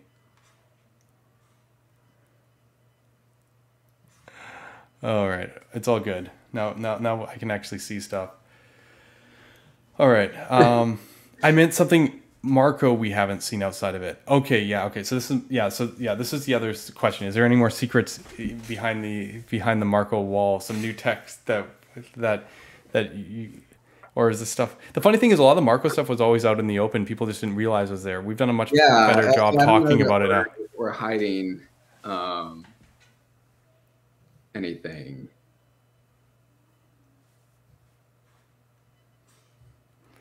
Yeah. Yeah. Okay. So we're good. We, we, we haven't talked about serialization at all. I think that's something that's interesting. Although Qwik's doing some very similar stuff. Um, yeah. I mean, we briefly arena. talked about. I was like, how did Marko not have the dollar sign? So. Oh yeah. And like. I guess it's a fair question. I just want your thoughts on like resumability type stuff in general because, um, like it's tricky. To, how, how do we figure out if it's worth it? Because the thing is, we're trading one serialization cost for uh, that happens on the server that slows down server right. rendering for execution costs in the client. Like we don't need, we can shrink the amount of JavaScript um, without like you know fairly effectively, regardless. Yeah. because uh, Dominic last week was talking about how they could eliminate parts of their components, but they would still be doing a fairly normal hydrate. Right. Um, step with that, right? Like rerunning stuff. Yeah. Um. Yeah. uh. I'd, you would be able to come up with um, with cases where I think you'd be able to come up with cases where resumability is slower than just hydrating. Um, now, if you defer that work, then you know maybe um, maybe it doesn't matter. But if you defer hydration, you know which you know selective hydration, um, deferred hydration, you can do. I mean. It, not exactly, but like I almost felt like early Qwik was almost doing deferred hydration. Hydration, yeah, really, yeah. Well, you I, in an article I said that they weren't truly resumable, and um, got offended. But the, the truth of the matter is they weren't because they were a VDOM library, and there still are. But what the final piece, and they've really acknowledged this with the, it was when they got signals in. That's when it actually became like completely resumable. But ironically, to get that benefit, you have to write Qwik the way you write solid. If you write Qwik the way you write React, then you're back to like, yeah. you know what I mean? I do. Do, does the audience know what I mean? Like you're back to like rerunning components on. Yeah, but yeah, so yeah, it's interesting because you don't rerun you, you don't rerun everything immediately, right? But yeah. you still needed to to rerun the component when the, the data change. So like, is that really all that different than like waiting to hydrate until the data changes? Right. Obviously now with signals, you don't have to rerun the component. The other things that are non-related don't have to wake up. And now they, they, they achieve that. But like the earliest versions of, of Qwik, you could say were, were like that. So yeah, I mean, it's, it's, it's a tricky problem and it, I don't know. So, but yeah, so I mean, we've got this whole matrix of like, you know, potential optimizations where you have like deferring work, uh, eliminating code, which eliminating code also eliminates what's actually executing. But then, you know, also like trying to make it so code doesn't need to execute to become interactive, right? And like these are all kind of different approaches to the the cost of you know initializing a, server rendered app. Um, and it's it's interesting. Yeah. Um, Yeah, I mean, this is this, there's trade-offs involved with with every uh, approach. We've taken an approach with Marko um, where we're trying to eliminate as much code as possible, trying to make it so that as little code as possible is needed to be executed, but we're going to do everything eagerly. Um, right. And I mean, that does have some trade offs, right? Because it's, it's not a instant startup necessarily. Right. Right. Um, yeah. And, and but, but once it is booted up, it's, it's done right? Like, you know, we talked about, you know, the the hacker news example with like the what was 1.6 KB or whatever, right? Like that's that's all yeah. that ever gets loaded. Right. Like everything's there. Yeah. Uh, one of the things here is actually this is for our resumable solutions we're talking about. This isn't actually true. We don't rerun the compute. The we only we don't like yeah, okay, we, we rerun the computed computations, but they're isolated from like how should I put it? During hydration time period, we don't. I, I guess it depends on what part of the conversation you're talking about. Like like the with the with these resumable frameworks, we run the computation on the server, which means we track the dependencies, so we don't have to run them on the client. So we actually know the data dependencies at startup. So then essentially, it's only if something changes at that point that we don't actually we we change the we yeah if something depends on something then yes it's going to continue down the path but we don't actually end up in a place where like adjacent things that have nothing to do with it will rerun. Right. so so this is where like the differentiation comes in because like we know the dependencies before the app update uh, starts off where like what was happening early Qwik before they had signals is it was literally like a like uh like react like re-render the component this data over here this data here it's almost more like you right? Like yeah. they, they had they did have a reactive system that was feeding into a vdom yeah yeah um, and they still have that as a fallback but yeah right. exactly. But it's like one of those situations where like like the whole thing kind of gets entangled at that point and like all, you need to render all the jsx and you need to be aware of all the the, the primitives or computations that are happening instead of just like direct lining it. Right. Um, yeah, in in Marko, rather than serialize, we do have one case um, where we need to serialize uh, dependencies down, but in in the vast majority of cases, the um, the code and we, we saw that compiled code right, like count calls double count. Right. So there there actually aren't the, the code kind of implicitly has those dependencies because count saying when I change, I'm going to pass this value to double count, and therefore, you know, it's changing. But yeah, you need those those dependencies created in some way that doesn't have to do with, you know, running them. Right. Yeah. It is. Yeah. It is. It is interesting because yeah, when I was working on that other resumable thing, again without the dollar signs, trying to avoid some level of the hoisting. It is actually, I, I, look at it, it is kind of the Marko solution, largely what I was playing around with, where like you you, don't have to worry. Like you can you can do like a, a minor replay of not replay like you're not hydrating it. You can just create it with the right value on the fly as you go, and then suddenly all the need for the serialization boundaries. Like you don't need the dependencies all the way down because you just need to know that when this thing change changes, like as long as it can wake up along those lines, like it can do it. It's only the intersection uh, where you have the problem. Right. So yeah.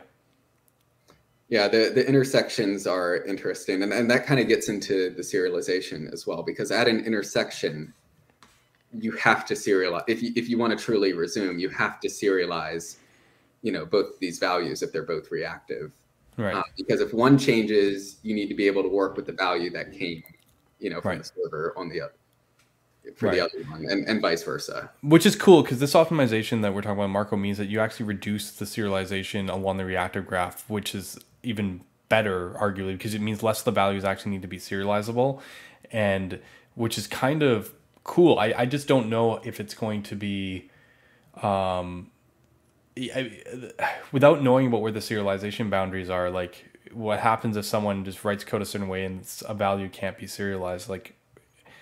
Well, so yeah, yeah, um, that that is something that we have been um, looking at. Um, we we have an approach that we're we're going with, um, but it's not perfect. Um, uh, but yeah, that so you asked about you know the dollar signs and everything right and right. i think it's it's pretty fair to say that like okay if you're going to access this value you know inside an effect or inside an event handler like it has to be serializable right yeah. because we're saying that's going to you know those things are going to run on the client that and you know the stuff may not have run but if you've just got two values that like happen to intersect because you use them in the same expression like enforcing that to be serializable doesn't feel as great because like you know you I, that's not something you want to think about. Yeah. Um and so we've been it, we we have a way to to serialize the unserializable um that sounds great. And uh, I mean, it, it's it's pretty simple, right? You just like you replay it. Right, you replay. Yes, it was that was like the the that was the basically when I did that that that document about resumability a couple months ago, I was at the extreme. Like, what if you did something that acted like resumability but re- replayed everything? This is like, what if you could, you know, mem- memorize most things you need to, but replay the like how would you know? Yeah. Um, so so what we're doing is we're doing some compiler analysis, which isn't perfect, um, but we um, and we're making a few assumptions about that you're not like mutating global variables. So there's certain like global functions that we're marking as like safe um, functions, essentially. Um, so like if I don't know what's uh, an example. Uh, but like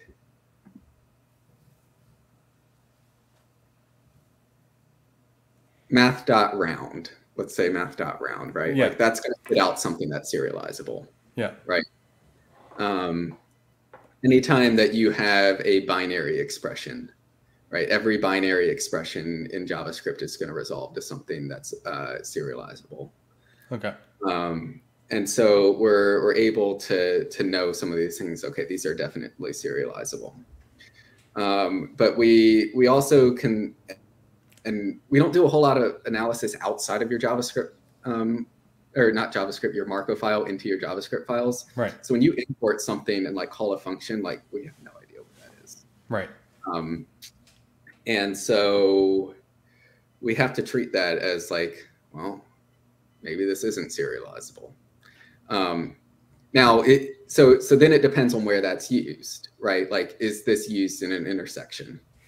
If it's if it's not used upstream of an intersection, then like it doesn't matter because it's never going to try to be serialized. But maybe it is used upstream of an intersection, or maybe it's passed to like a dynamic tag where we're like, who knows? You know, this this could end up needing to get serialized inside that dynamic tag that we're we're passing it to.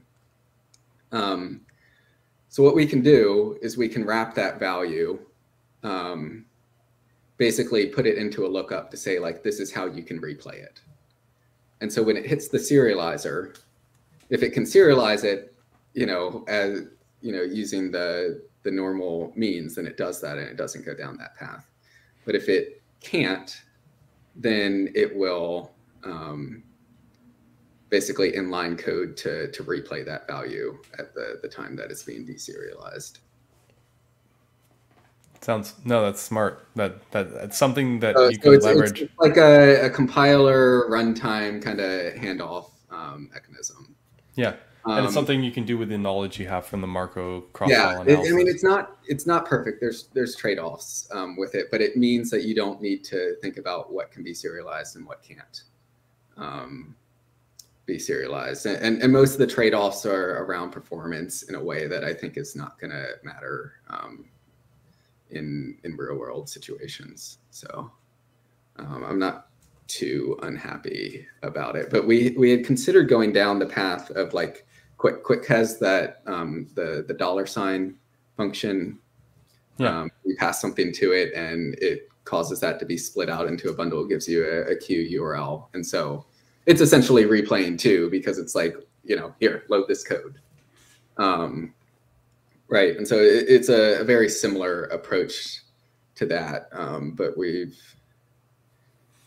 we're just doing it automatically, and I, I the, the big thing really was those intersections um, because if it was just this is used in a, an event handler or in an effect like i think that would have been perfectly reasonable to reason about like you know we need things to be serializable across this boundary but um yeah if, if if the value that you're passing to a child component intersects with something and like now that needs to be serializable and like maybe the child component is a third party component and it changes like its internal implementation to introduce an intersection like now that's a breaking change like that's terrible yeah. um yeah i mean th- this is this is this is a hard problem problem because you're, you're trying to solve this at such a granular level and I don't even know if we've like on the server component side of things have solved this at a coarser grain level.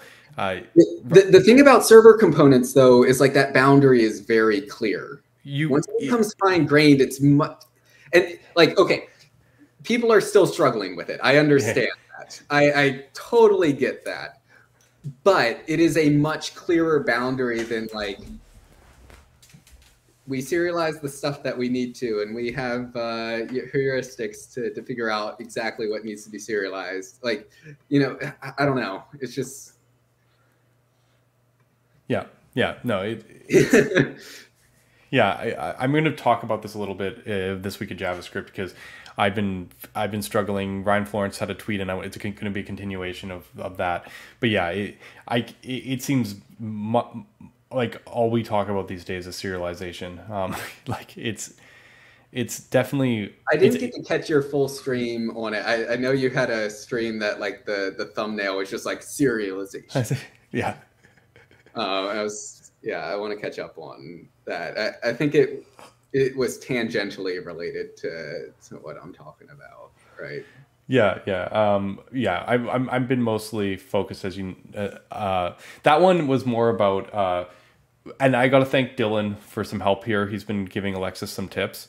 Solid 1.8 release, we actually built uh, our first like we, instead of just having serializer as like a thing that we feed to it became the, the core mechanism behind our streaming mechanism uh, thing so the serializer actually is the thing running the stream now and we built the deduping cross flush serializer okay. yeah yeah so it's it, might not be as optimal as some of the stuff we're thinking about um but yeah that's like, an interesting piece too like you already flushed this thing out to the client but oh i referenced it again like yeah yeah, yeah. so we built a very d- dumb version where we're just allocating an array of references in the client while in the serialization code but it does the trick and uh uh yeah, it, uh, Dylan was a big influence help. Uh, Alexis kept on, uh, you know, tapping his shoulder a few times to kind of get some ideas on stuff. He's pretty happy we landed um, because the the core base performance of the serializer didn't degrade very much. It's still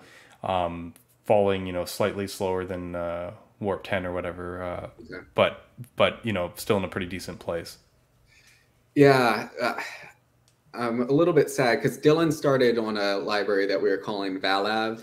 Yeah which is like you know value forward and backwards. Um, yeah.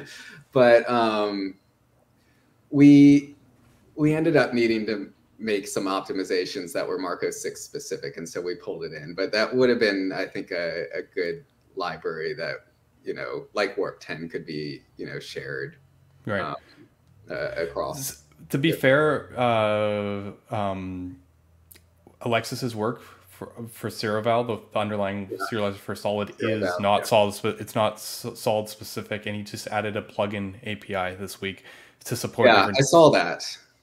So maybe that can carry the torch of that idea somewhat. So. Yeah, um, th- that was one of the things that we were uh, we considered something like the the plugins. Um, I know Meteor had a plugin uh, API for their serializer that was um, you know interesting. eJSON, I think, is what they they were calling their thing. Um, but with with all of this, like again, coming back to like the boundaries not always being like super intuitive, like the like yeah you can make it so the the serializer knows how to serialize this like new value you know this this class or or whatever um but like you shouldn't have to ideally you shouldn't have to think about whether or not you know this value's being serialized i, I think is the ideal again there's trade-offs involved with like going down that route and we're we're mitigating some of them by adding compiler analysis into the the mix, but it's not fully mitigated. Yeah, I, I can't. Yeah, I, yeah. I'm going to talk about this topic a bit more. I, I have gone full circle here because I started from a position and I was very strong about it last week in my stream, where I was like, like people need to know that client server divide. They need to understand what gets serialized because then they can feel comfortable. I, I think it's still important to to understand that it is there. But the problem is as you mentioned, the downstream change, breaking, adding intersect, you act. This is actually an impossible task for a, like from an API level for a human to actually be able to to see it unless you literally like if the problem is it's one of those situations if you tell everything can be serialized well then everything like sure then everything has to be serializable but like you're not like like you're not winning anything there either like it's it's it's essentially um there's i don't think there's like a great solu- solution from an API level. Like obviously compiler can do smart stuff, but like you can just never completely trust. That's why, you know, say guarding secrets from the yeah. source makes sense. And obviously we're doing that additionally anyways because you can't be sure that everything works properly, but it like or as you expect, but um, you know, because people do weird stuff, but more so than that, it's that like there there is just there there can't be i think fundamentally that uh like you just can't know like the the locality of thinking is going to get compromised because yeah. someone downstream can change that decision for you as soon as you pass control it's not like um that's one of the things and i think react has added this like taint api right um, yeah. that like if this object ever tries to be serialized like don't let that happen right um, and uh, uh, and yeah. I think something like that's going to be necessary um, for for us because it's replaying values too. It's like code that you didn't intend to go to the browser could go to the browser. You know, if if some unserializable value generated by that code intersects with state, then it you know might need to, be played in order to faithfully represent your app, and then you that's what the browser that you don't want there. That's why we use compiler macros. We have secret dollar sign in Bling, um, right? Which is like. Well, I, I, looked at that actually, like the secret and the, the hmm. server. Um, I'm wondering, and I actually Ryan Turnquist. Uh, I didn't watch exactly every part of the the stream last week with Dominic, but he he had mentioned that um, and and this is something we were thinking too like using import assertions to say like this this import should like never end up in the browser right? And so if it if it tried to replay something that required code from that import we would just be like okay no you know that's that's going to break. Um right yeah that, that's is that something i'm still not totally happy with? I'm not sure if there's going to be like a, a better um solution we're not. Um, yeah, we're still kind of thinking about a little bit, but I think we have a plan that we're moving forward with if if nothing better comes up. Yeah, I what I was actually just playing with just now was uh, Jay Larky shared the uh, the um, conversation that we missed last week talking about this is the taint yeah. unique yeah. reference API, but this is mostly, a, I guess, a runtime reference. But yes, I think. See, I said like it solves the secret this issue. Is, this is very limited though because it, it's tied to a specific object. And, and this is one of the challenges too, right? Like because if you clone that object or you like grab something off of it, it's no longer tainted, right? It, it's just tainting that object reference. Oh, okay. Um, yeah, well, it's right there in the name, taint object reference. Um, yeah, I'll throw this in, in, in here. Yeah, this is an interesting one because actually, I, I, I, this tells you how quickly I changed my opinion because here I was like, yeah, this solves, you know, this works for the secret, but like, I think there's more about serialization boundaries.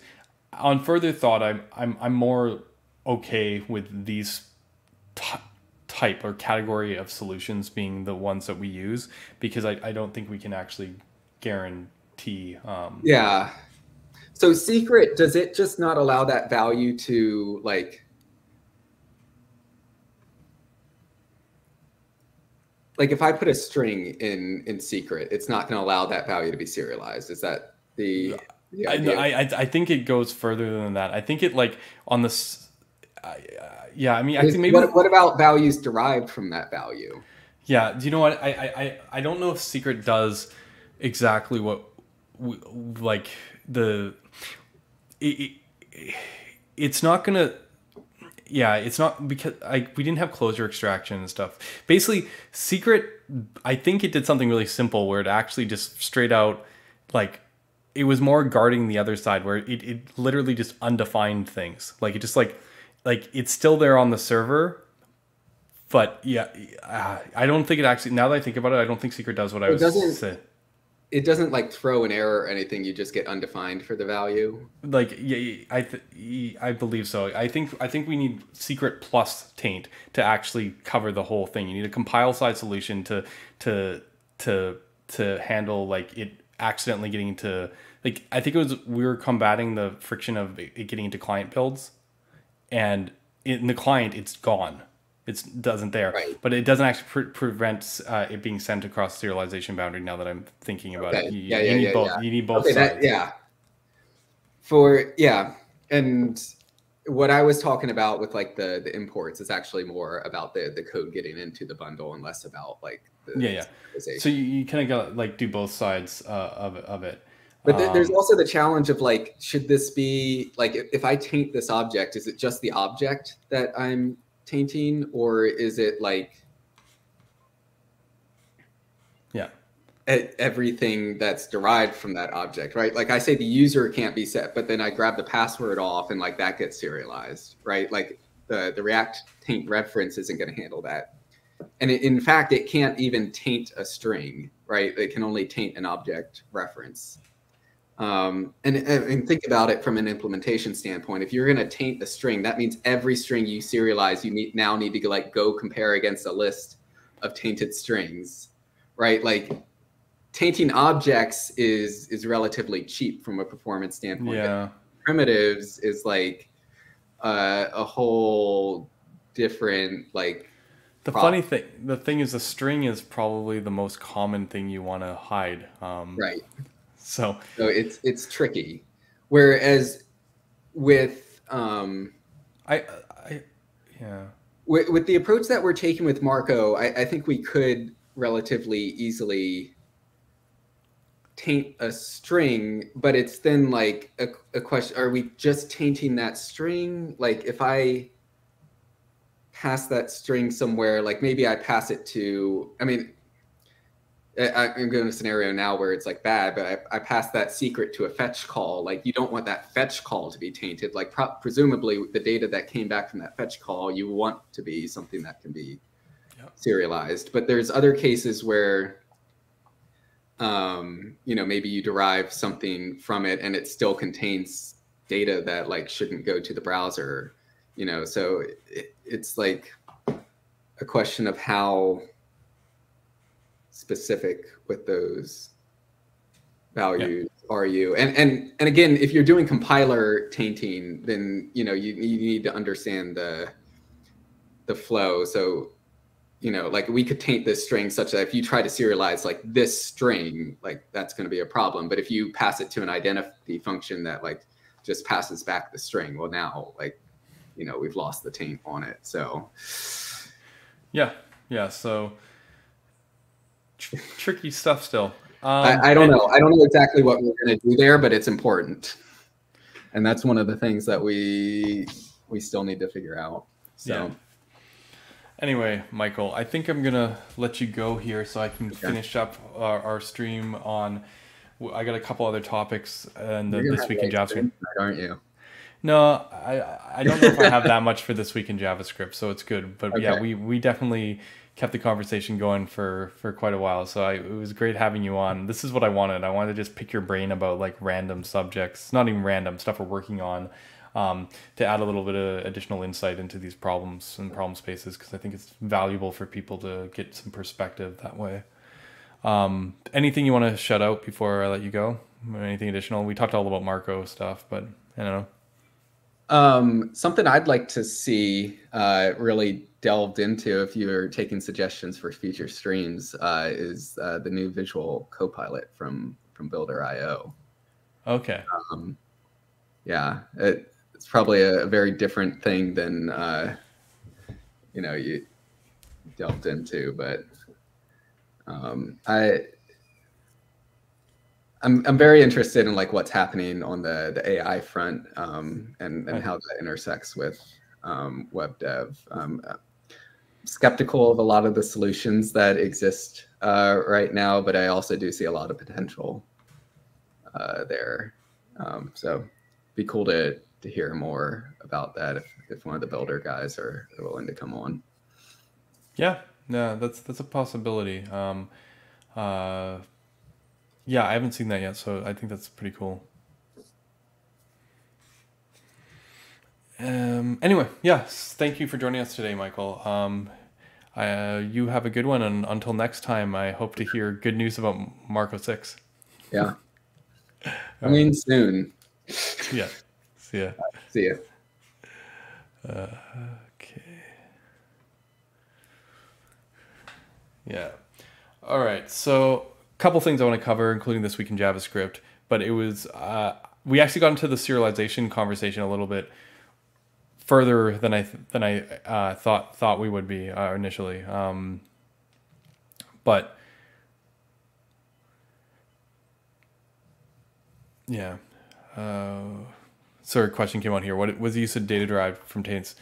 Making sense. Medical records. Yeah, I'm, I'm, I'm not sure. This is one of those things where the, the, it's it's it's tricky because, like, obviously there's like string type stuff like direct secrets, and you can understand like why you wouldn't do that. But when it comes to sensitive data, um, yeah, I. I mean, even applying the taints might be a little bit tricky, even that case when you're like, if you're pulling it from data, like, you know, like you're dealing with multiple users with partially tainted data. I think this is this is this is still like a, a challenge um, in general to think about. I we'll, we'll talk about that in a bit more in a minute.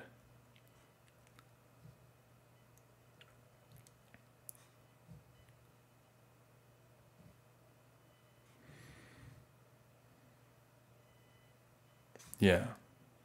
Yeah, I'm not I'm not I'm not sure. I mean, this is the it's all, you know, theoretical until someone does something.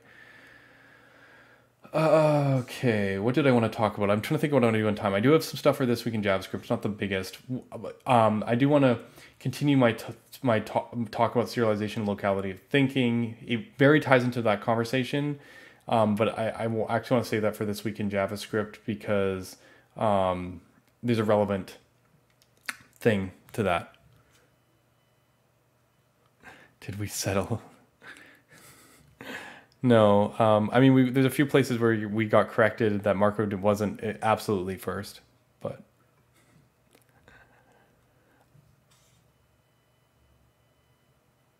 Anyway, um, yeah, something I wanted to talk about was um, so I've been working on Solid Start Beta 2, and um, people are obviously, you know, I, I gave that beat talk. It's now out there in the wild as a separate talk you can go check out. And, you know, it's been a couple weeks and people are like, okay, so wh- when, when is beta 2 coming out? Um, what's going on? You know, how can I help? And the truth of the matter is, while the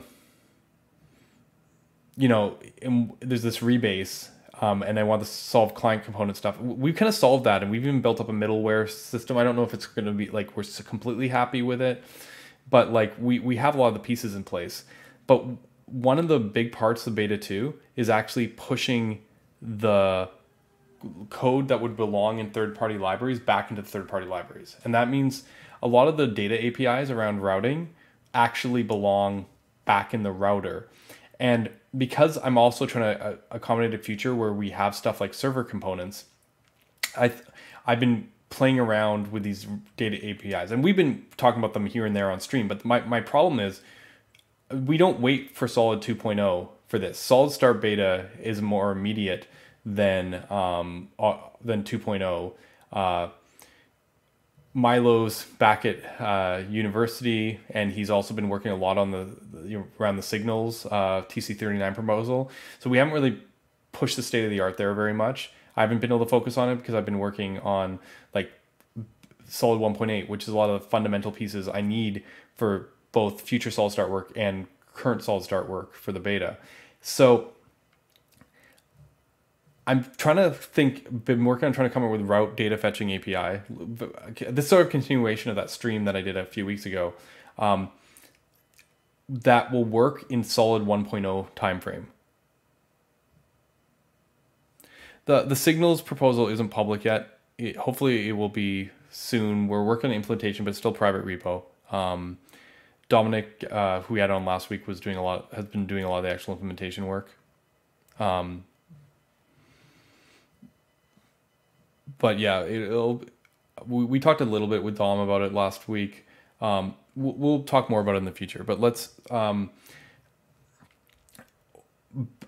I, I, I, I've kind of like sketched up something that's kind of the beginning of an idea here for how to approach um, routed API data loading. You guys have probably seen some of this before but I've been working a lot on actions. I already talked a bit about this cache function into create async for Solid 2.0, but it occurred to me, obviously, that, and this key here that I'm talking about for could be optional. You could just use the argument by default and the function reference for the cache identity, and we could add other fields to this. But the idea is you could just feed that cache reference into a create resource today and essentially this is how like solid query works under the hood already.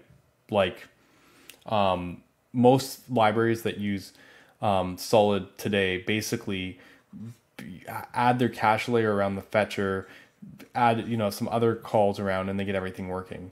And then if we have this cache layer we can you know have a refresh cache all or key and you know it's fairly straightforward. The problem with resources today, though, is why I'm not sure that I can get to this API um, because there's you want this cache behavior, but you also want to have like the deep diffing store stuff. And the fact that resources have um, mutation APIs like mutate and refetch, and that um, hydration too. I think there's like an on hydrate thing.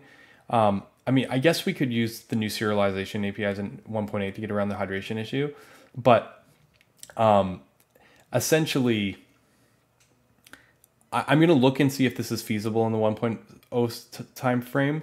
Um, but this, like, alternatively, I could just wrap this behavior that I'm talking about inside create loader and just come up with basically something that looks like uh, create uh, resource but without the mutation APIs, and it builds the cache in. And this is basically what create route data is um, in Solid Start, um, but essentially just um, it, it's these pieces put together. So this is kind of where I've, I've been looking at because I'm adding this to the router because the router needs to be aware of the cache so it can do the invalidation on mutation and, and navigation. So I, I, believe this is where it belongs. It's not in the core solid library, but rather something specific for the router. Of course, you can choose not to use the router's cache mechanism, but then you could use, um, you know, solid query or whatever. I think for 1.0 time period, I'm probably not going to be looking at preload, but you know, continue to use um, route data, which means that this might not be as beneficial.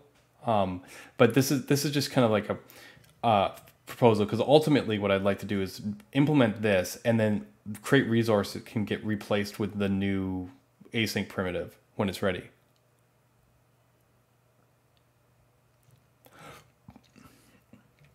Because th- that way, caching here is mostly about um, deduping ultimately.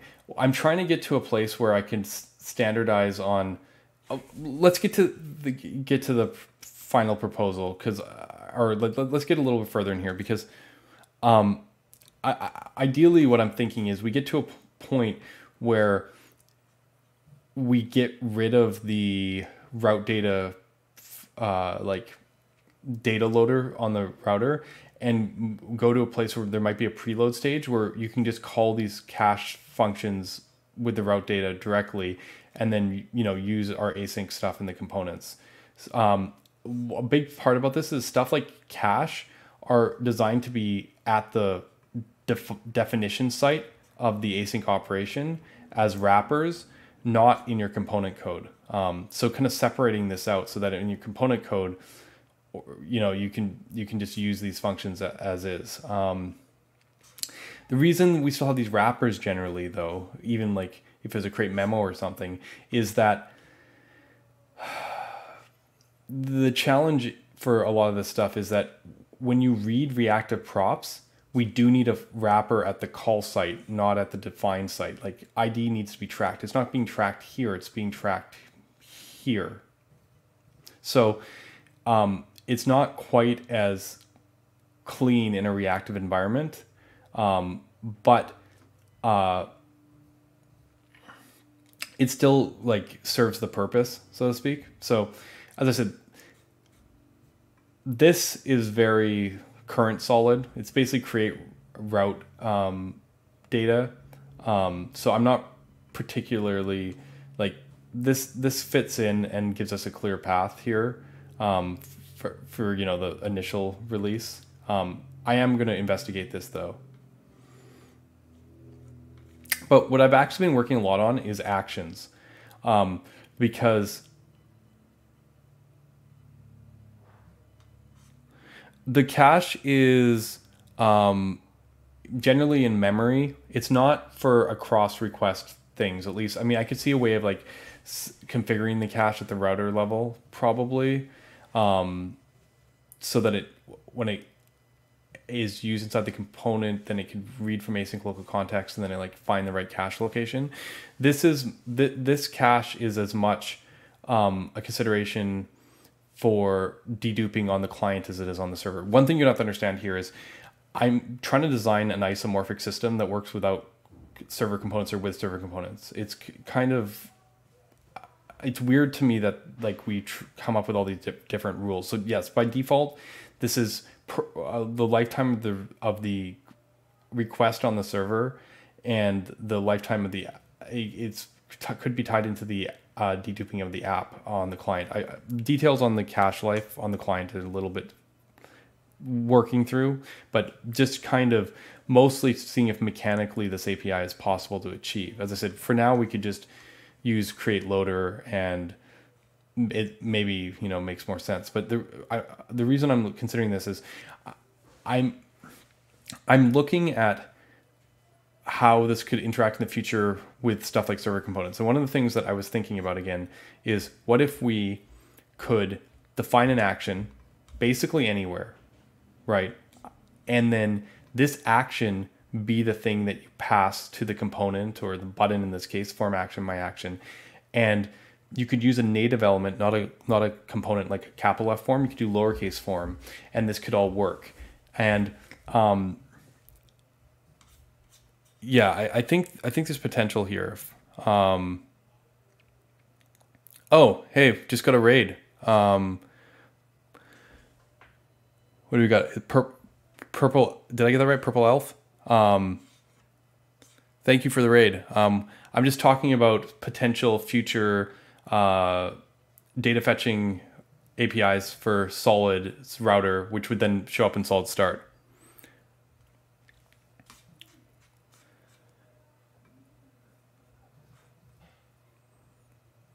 So um, just kind of I'm getting into the this Action API. The, the benefit of having an Action API, and I have a demo of this showing it working in a minute, is that your base components are actually native components instead of like are native elements of components. So like the, they can be used in server components or in client components the same. Like it's not a consideration.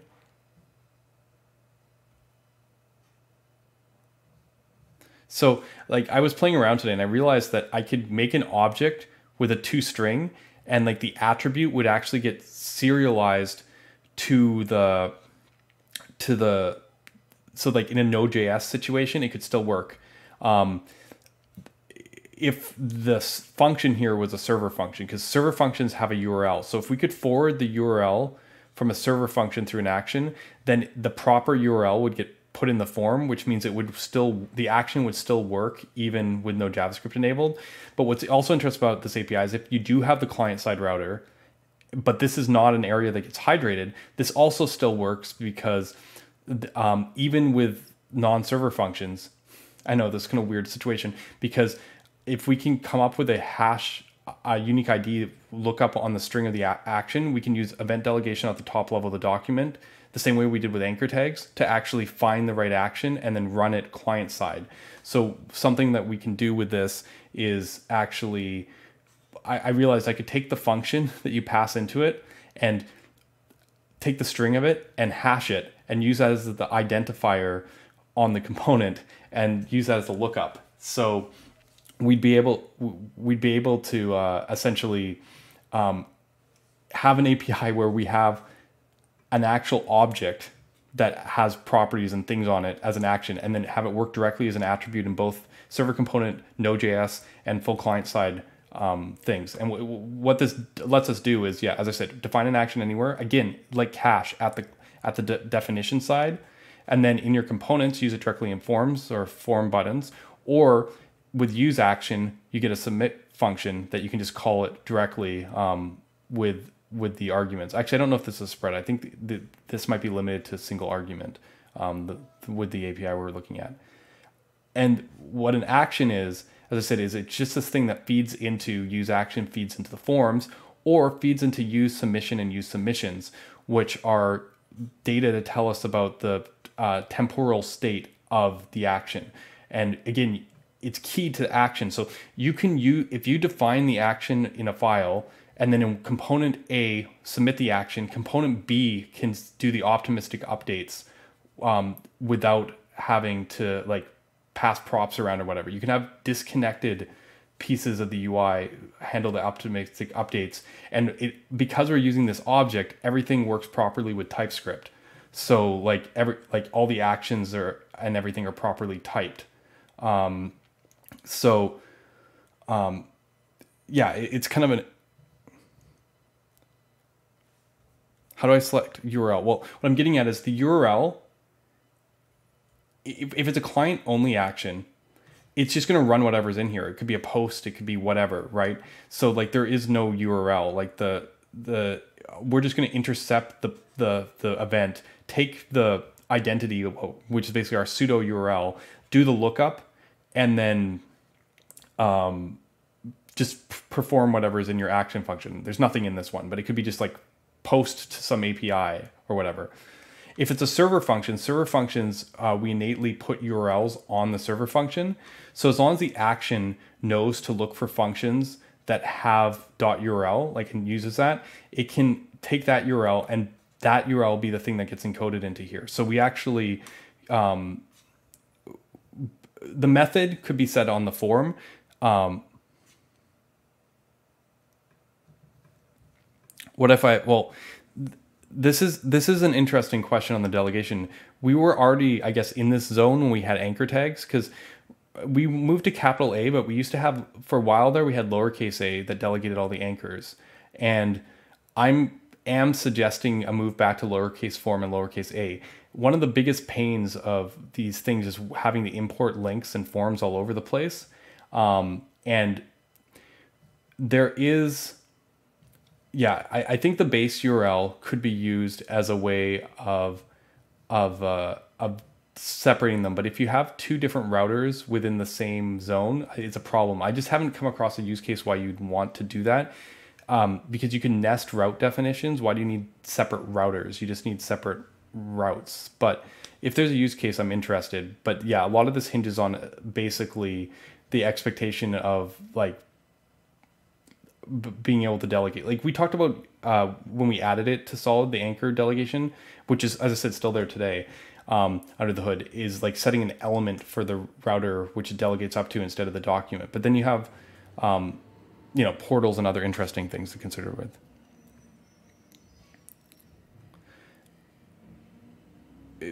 But so like technically i think it's solvable if we can find a way to uh, assign an element for for the router perhaps but i'm hoping that this that scenario just isn't a thing that we have to worry about.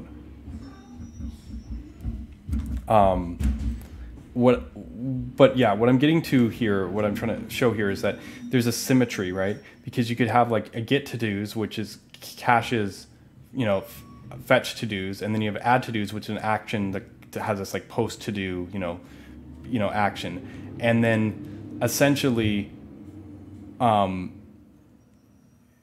like this happens at definition side and then you can go on and then use it in your app. Like here's an example where I, i'm using server components.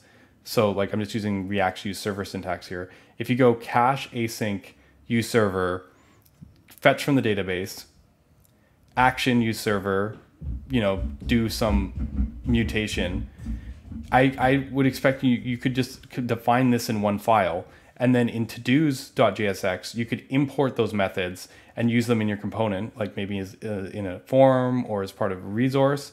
And what i'm trying to say what's cool here is todos jsx here doesn't necessarily have to be a server component a client component.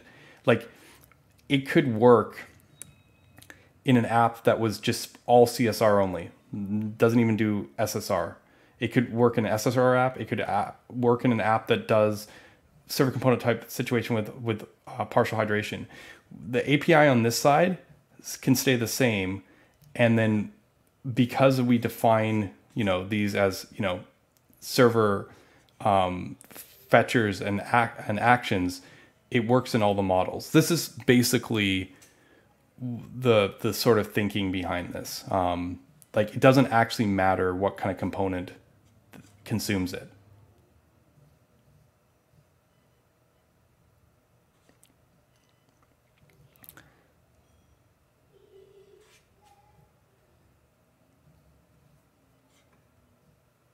I'm missing.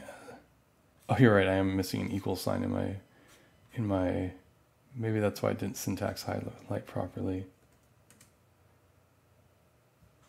I always wonder because there's JSX here, but there's no. If I put TS to, yeah, see, it's weird. It highlights differently in this. I'm just gonna go back to JSX. It seems to highlight in a happier form, but not perfect. Anyways, um, this is this is just the the rough idea. Um, as I said, I feel the the Action API is more um, doable than than the fetch or loader side today. I made a, a, code sandbox where I was playing around with this example. Uh, it's a, it's a to-dos app with suspense and transitions and data loading. It doesn't do the form thing. I'm just using submit directly uh, using use action here. In fact, for this simple implementation that I just put together here, use action um, is actually just returns it straight through. The reason for that is that um, the reason we need use is we need to get the router context. So if you build something top level, like here where you just define actions, then it's um, it's difficult to like get the router context. So I, I, this is why I need this use. I was really debating on if I could like just remove this whole line and just use the action directly, like call as a function. But because it needs to handle navigation, there does need to be a use in the middle. But yeah, fake API is just like some create delay timer fake fetch with our database is an array essentially here that I'm just playing with that I update. Data is a very simple, uh, let me shrink this down. It's just a very uh, simplistic uh, loader thing, which is basically just wraps create resource, and then I, I took an action with a global submission. Again, this would be tied to the router, but just kind of showing that how um, these APIs could work. And then in the application, what I've done here is I've yeah I basically imported some stuff from the fake API. These pieces could go together. Imported some of the these like use action, use submissions thing, and then I wrapped um, the the stuff from the database in action, and then what which is this could all be defined in a separate file, but the idea is that the process is we create a loader for our to dos, and then we have a submit um, to do, which is add to do. I just call it submit to do, and then we use submission, use that same thing to get the list of to dos that are in flight, and then while they're in flight, we're going to show a dot dot dot here on this example, um, and then we call our submit to do when we add the new to do here, and then again, yeah, I don't know why they're being weird to me here. Like they can tell that this is a partial, like the types are working. I've had Code Sandbox give me really weird syntax highlighting, but anyways, we have a, for each row I put in a update and remove action, and then I again use instead of using the plural, I'm using use singular submission. Again, I'm passing the action, and then I'm using a filter saying I only want the submission that matches this particular ID um, for both of these. Like you get the arguments that you pass to the submit function back through to, to use as a filter here. And then basically show when I'm not removing it. So while it's pending, we actually optimistically remove a row in this to-do list. And then again, we disable stuff while it's updating using updating to do pending. And then for each of the pending to-dos that are going to get added, we we show a row. And then I've added that when there's an error we actually can use a retry method. So we can actually uh, call retry which is something we build into our actions. Each action has the option of having a retry. And then uh, that's basically the code um, for the example. And then in practice it means that we can you know add something here and you can see like while it's in flight this one I, I put in the API that one out of three times it errors just to kind of show you what's going on. Um, we optimistically remove immediately, um, but let's go let's do that again. See it kind of load in, it errored again. I can retry until it succeeds. I can add different stuff multi in flight. Um, That was interesting. I wonder if I type the same word and it's using the string as the key. Um, I should double check that. But the basic gist of this is, uh, failed again, is that we can handle these form error states and we can, you know, like it's very much like the the remix style solution look. But as I said, by having the actions globally like this, you have the ability to um, basically import them in any file and use them anywhere and also see the current status to show optimistic UIs anywhere. Um, anyways, it's just something that I've been working on um, because if we nail this piece and get a good data fetching thing back in the router, that's pretty much that and the the proper uh, server component, um, not server component, sorry, the proper uh, server function representation, like getting the inline stuff working again. Right now we can only do it module level um, in Vinxi. Once we get it like working per, we have everything we need for solid beta 2. Um, these, these are the last things kind of hanging me up right now. Um, I don't know if anyone has any thoughts on this. I, I, I think this is very powerful, but I feel like people who haven't used Remix might not appreciate how powerful th- like this ability pattern of um, is like this. So it's hard to say. I mean, obviously, I'm showing a non-form example. So this this work would all have to be done with client components, but you could picture a world where you know you could put this action directly into the form and it work, you know, as I said, in no-JS situations or partially hydrated situations. All right. Nothing. Everyone's silent. All good. All good.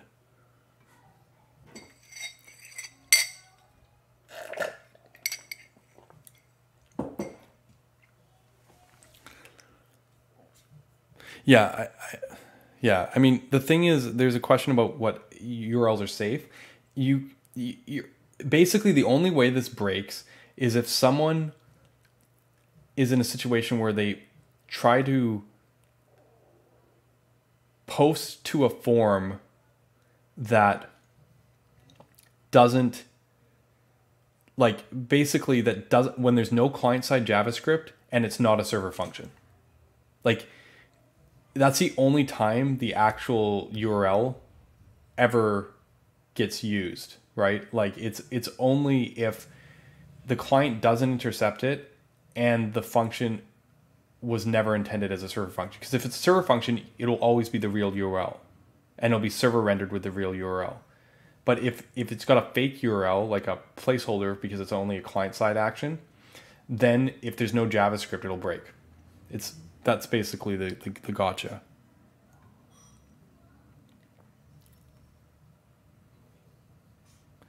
Yeah, I mean, this is all about getting to there's no context in server components on the server.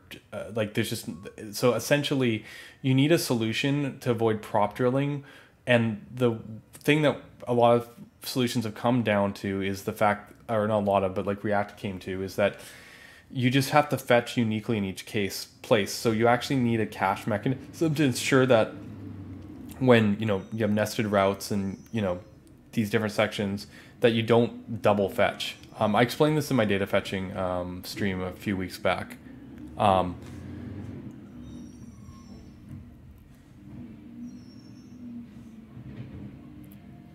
yeah, I mean the biggest problem is they're blocking. If you if you look at this API um, that I that I'm proposing here, especially on the on the this side, there's no uh, where is it now here? There's no async components. I'm really really I mean trying to get away from it. I, I did propose at one point, like instead of having a create async here, which is kind of what I'm keeping in this this version, that we could just literally use the cache API to get back fetch user and just call it top level in your component. And honestly, that could work. Um, I, I, I know how we could write that, but the problem is if the props to fetch user were reactive, you'd have to wrap it anyways. And at that point, um, it's kind of clunkier and it's it almost guides people to the wrong pattern where this is kind of like saying like look you still need to wrap it in an async you know primitive. So yeah. But good. I, am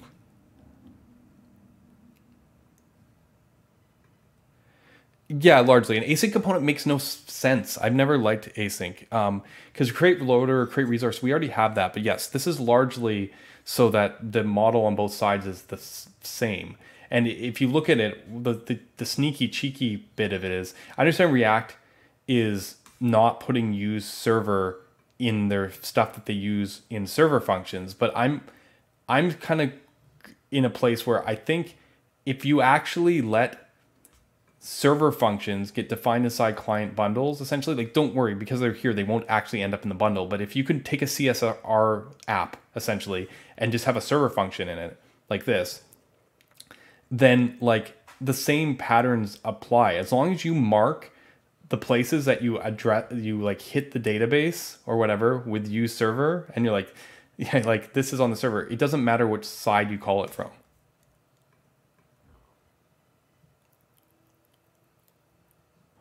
Yeah, I mean, I'm not sure. I, I, I honestly hadn't looked at the next solution. I was like sitting there on Discord today, and I like, I was on the next channel, which is not Next.js, but like the next ideas channel for Solid, and I was just like thinking out loud, and I was like, wait, JavaScript is such a weird language.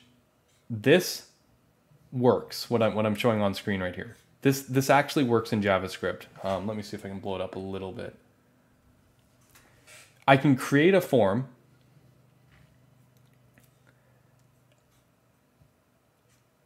I can call, call make a function, say console log hi. I can go action to string on it to say like put a URL on it, like as a thing, like define a function on it, and then I can set that action as action using set attribute. And if I ask the attribute what the action is, it will tell me hello. Um, this is only half the problem, obviously, but I, then I realized that like I could just I I could just hash up the function passed to action like as a string, and again you don't have to worry about server functions because they'll never use that string because they they'll have their own URL.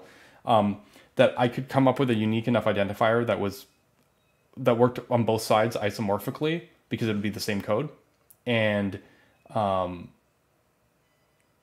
ooh, ooh, would it be the same code if people put isServer inside of it? Like if tree shaking caused code to disappear out of it? Probably not, but that seems like an edge case. But um, oh, that's interesting. But yeah, I was trying to find a way to get a unique identity without using our ID gen for the resources, like something that I could do globally, and then I could use that hash to look up. Yeah, anyway.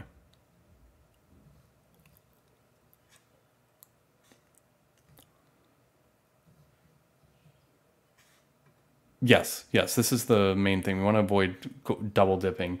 And this is very easy. When you don't have context to pass stuff through, like it doesn't take much to look at uh maybe not this. Let me open a new Twitter page to like look at like a page like um where's my profile? Look here and like pretend that this is a different route section. Like pretend that you could just render this route section without rendering this. Like when you switch between these, I am not sure. I these guys might actually render the whole thing, but if you if you could avoid rendering this thing, like you need the user information for this, but you also need it down here. So when you're just rendering that little piece down here, like you could write it in such a way that both of these fetch for the same thing, and that will cause the dedupe. I I can see how this can get out of hand, but because we're talking about direct function references, the DD should should work. Like it's not like people are doing a slightly different API call or whatever.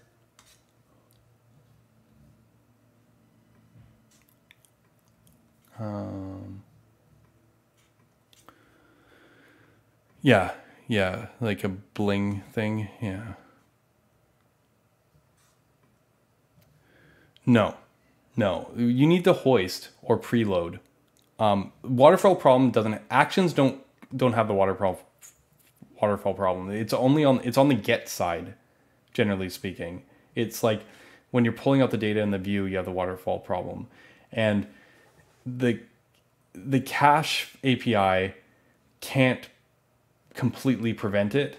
Um, it, but the beauty of it is because it's ab- available globally like this is top level, you could go to a top level place, like a preload function in your router, you know, at each route section, and just call the function with the route parameters directly. You could just go back in here and be like, okay, um, I'm just going to call fetch user in my preload function with the route ID, and then yeah, I'll end up making a resource with it down here as well. But you you can solve the waterfall problem by having it at least fetch once higher in the tree.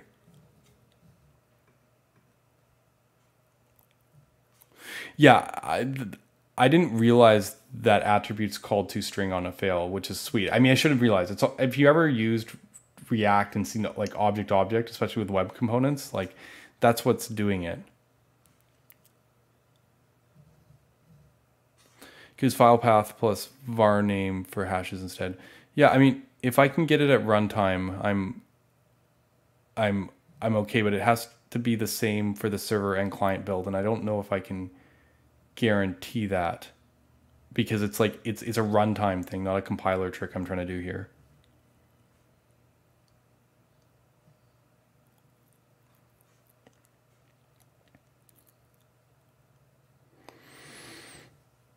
ISR. Um,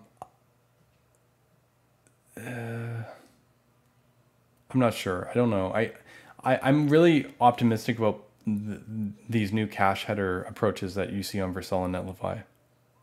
I this is mostly I'm thinking lifetime of the request kind of scenarios. I, I'm it's mechanical there. I'm not thinking about invalidation. Though to be fair, some so I I got into that conversation about invalidation with someone uh, on the from Netlify yesterday because we were talking about what if we could use proxies to know exactly what the data dependencies are on the we have a, a service on Netlify called Netlify Connect which is like a big GraphQL like amalgamation thing so we're like what if we knew like on the GraphQL side for Connect, we know exactly whenever any data updates. Like we just know like what piece, what part of the graph updates. And they're like, but we don't know what they don't know what pages to re-render. But what if they could use a proxy at re- render time, kind of like how solid stores work, that you know all the data dependencies for any given page, so that when Connect gets realizes that part of the database updates, it could it could basically figure out the pages that use that data and invalidate to specifically those pages automatically. So, yeah, this is still a, a zone, definitely.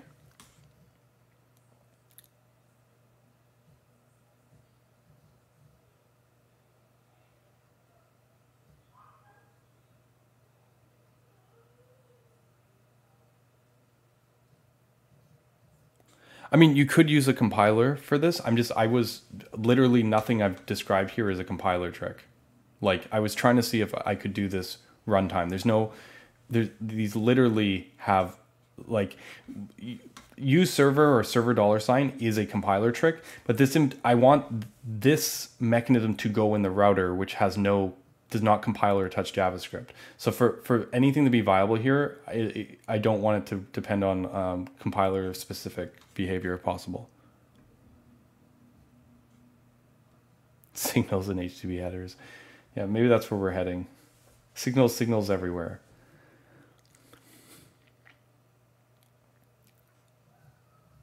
Right? Like solid plus HTMX. I mean, people will do it, I suppose. Uh, but yeah, yeah. My hope here is that the base core mechanism can work um, without needing to do any compilation type stuff. But yeah, it's interesting if bundling can change the contents of a function between server and and not.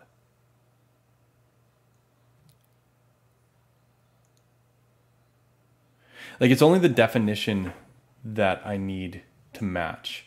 But I guess the thing is, can we end up with like different names? I mean, I could trim off. I wonder if we can just take the what's in the the the the, the curly braces inward. I don't know. It's interesting if if there's a way to do this, like we, I basically need an approach that doesn't that's unaware of the bundler or the I guess sorry that's the wrong thing. I should have highlighted this. I need something that's una, unaware of the bundler and unaware of the uh, com, uh, and doesn't use compilation. I don't know if that's accomplishable, but it was an idea I had. Um, yeah, I mean, I, I I I see lots of problems with that now that I think about it. Minification minification breaks this idea too. Okay, I need to go back to the drawing board on this because, um, yeah, minification breaks it. Like if you don't minify on the server, you'd minify differently. They might choose different variables for the minification, like different like because which ones are. You'll find Terser optimizes for gzip, so it looks at what what other variables are used. Yeah. Okay. No no dice. Yeah. That's that's what I'm, that's that's the biggest thing because they'll, they'll, they'll literally use different variable names. Okay, well, if this doesn't work, then uh, for the action side, then I need a, I need a different I need a different idea. Okay, well, this is why this is why we talk it out. You guys have been very helpful.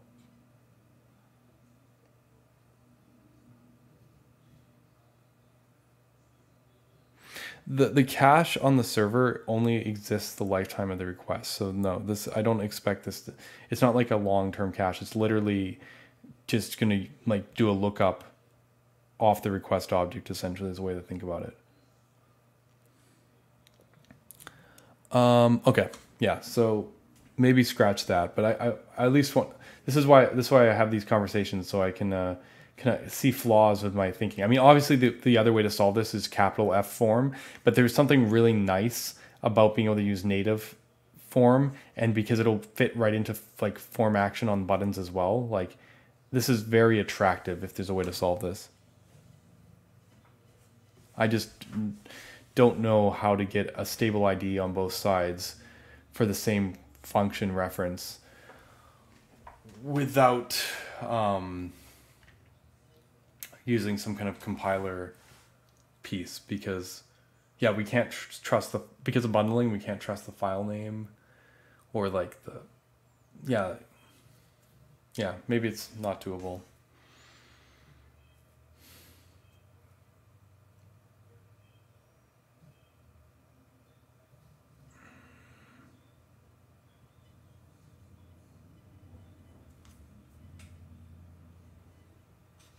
yeah but i, I, these are not the kind of special cases that I want to do. That then then this doesn't belong in the router. This belongs in solid core, and I don't know if I'm ready for that.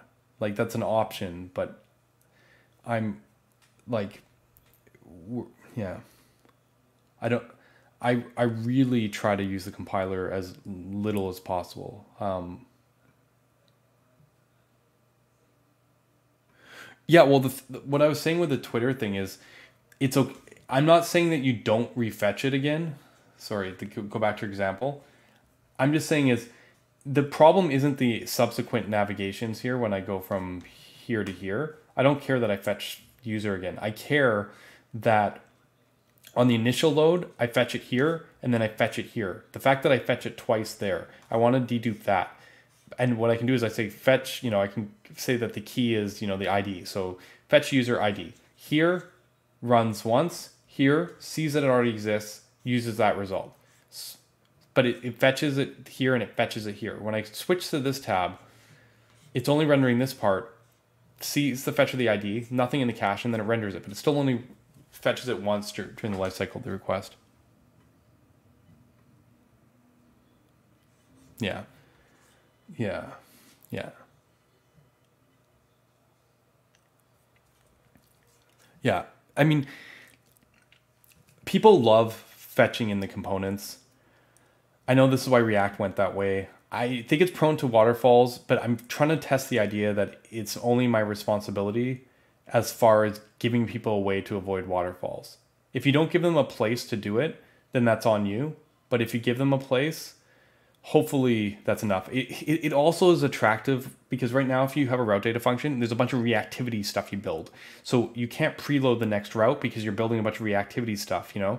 Whereas in this world, preload would literally just run and could be thrown away. And there's no reactivity associated with the preloading of the cache. So it just, solid router doesn't have uh, preload you know, where you go over routes today. This would also give us that feature in a in a nice way, I think.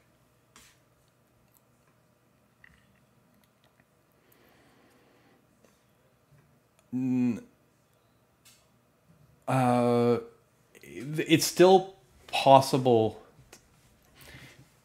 The, these non-blocking approaches do help a lot for waterfalls because the decision happens lower. But it's still possible for someone to do something like in their UI, have something where, let's say you have a user and you have their list of friends, right? It's to load both of those, you just need the user ID. You don't actually need to have the user loaded. You just need to go, get me the user with this ID, get me um, friends of user with this ID. And let's pretend those are two different separate service requests. If it's still possible for someone in their template to go like show if user and then show the list of friends. And in that zone, even if you're mostly non-blocking, um, like so, so, but you don't fetch the friends until you get down to the friends component, you still have an unnecessary waterfall there, right? Because you wrote the code that said um, it depends on, you know, don't show this thing unless the user's loaded. So like the non-blocking works well for siblings. It works well for even descendants that aren't directly underneath the conditional. But we're still letting the view make the decision for us because like layout wise, you just chose not to show the friends panel until like if, the, if there's no users there. I'm hoping you're right. uh, Dev, in that because um, of the fine grained suspense throwing mechanism uh, with along the graph, it will just com- like people won't make those show components. They'll just like instead of guarding, they'll just be like they'll just you know have the user's information and then they'll have the the friend's information and it'll get to that for loop um, without actually having it. But it, the developer would have to not do the show. So don't get me wrong. Yes, you're, you're correct. With this async model, I think the number of unavoidable or uh, avoidable waterfalls would reduce much better than if someone was using like async components. Like I think it, it drastically improves the situation, which is maybe why I'm, I feel more comfortable to be like, okay, there's this preload thing, but maybe you don't need it. Um, and in that world, um, yeah, we're going to tell people to fetch within their components, which is insane. But I think that's where we're going. Right. Yeah, that it's unavoidable from a UI standpoint, but it's completely avoidable from a data standpoint, is what I was trying to get at. So, like, I think I, I'm excited to see what our new new patterns um, unlock here.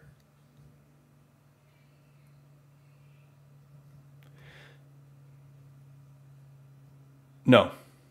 I, there, there is an SSR, but in server component models, there, there isn't. And you could try and add this, although I think React just officially canned it. It's just, it's, it's tricky. You can't have client context being read by server components, and you can't have server context being read by client components. They can't cross. So it's a lot cleaner to keep a separate implementation. But the big problem is when I was talking about just having this part render on its own is like the possibility of some dis- parent not seeding the thing for you because it never runs. So like that also can break server context um, when you get into these kind of architectures. So I think we're going to a world where uh, the server, like each nested section, is almost treated like its own page. Is the is is kind of where I'm getting at um, in which case, um, I mean, I could picture people making the mechanism, but it's also maybe just better to think beyond the context API for this server component centric world.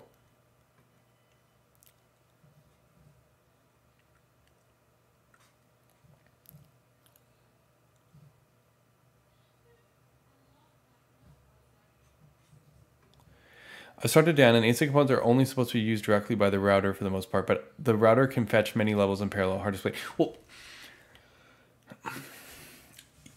the router can do the separation I'm talking about, where they can route, they can they can render this section and this section independently. But the the the thing with async, and I mean, I think you can see this if I just like play around for a second, is like screw this. Okay, if you have function, if we have async function a, okay? And we await uh, B, okay?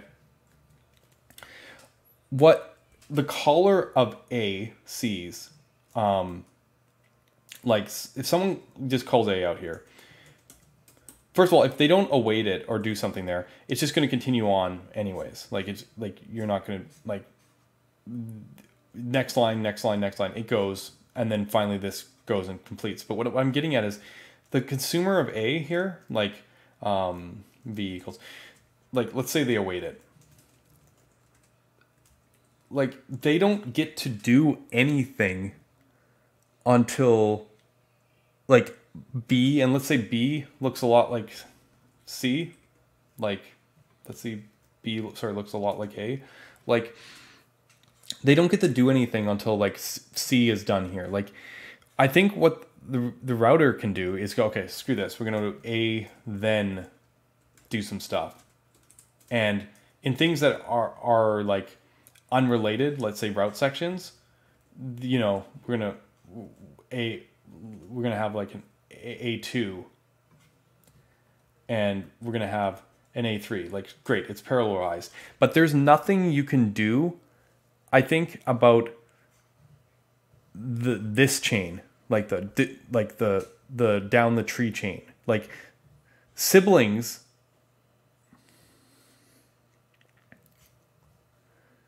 like siblings could escape it because the topmost async component is this. Like you could actually have not even separate route sections, but you could be in a component that's not async and then have three async components in it. And then like these could be parallelized. But once you're in it, you know, like you're in it. Um, whereas an, an, it's, it's kind of like like fine grained reactivity and signals in an alternate model where you're not awaiting and blocking like this, like you can go much further. You, the code doesn't stop here, right? Because if you have await, let's let's await D here or something like it doesn't it doesn't stop here. You like it's quite possible that like actually I wanted to do await DNA. It, it, it's more like we do this. Uh, how should I put it? It's more like we do this.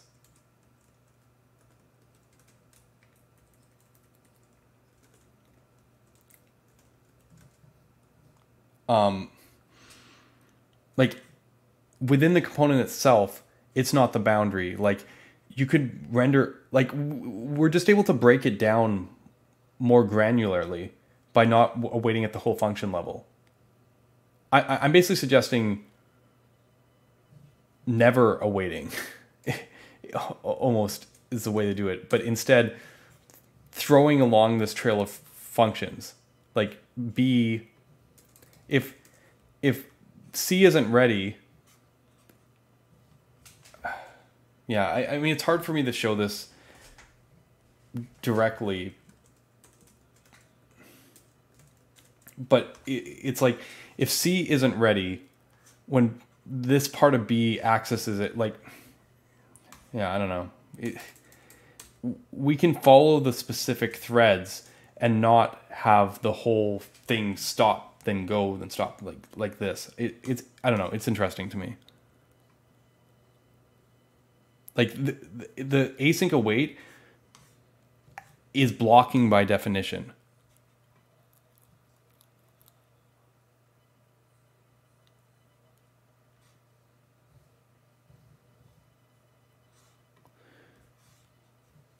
Yeah, I just don't know how he's ever going to prevent that, especially when you in import your server function from a third party library that you use further down in your UI. So like you fetch your data at the top level server function for your page, and then you have a clerk widget on it further down that has something. I'm, sorry not to pick on them, but you know what I mean. Like, and then it has its own data fetching. Like, people are hundred percent gonna. If you tell them they can fetch in the components, they're hundred percent gonna nest this. Like, definitely like this this isn't just going to be like oh it happens sometimes it's going to be like all the time if you let the floodgates open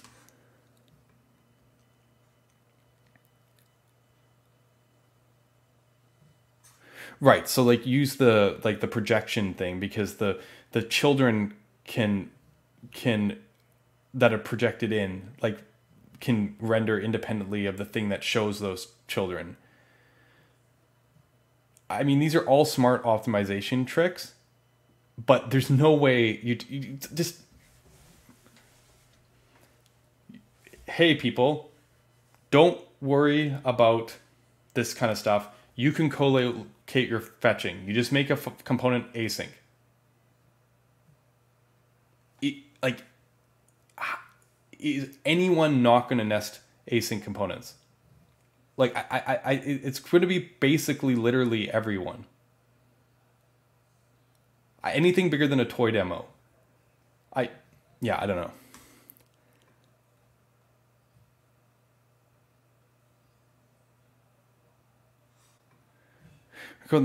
Well, you don't want to wait at all either because streaming.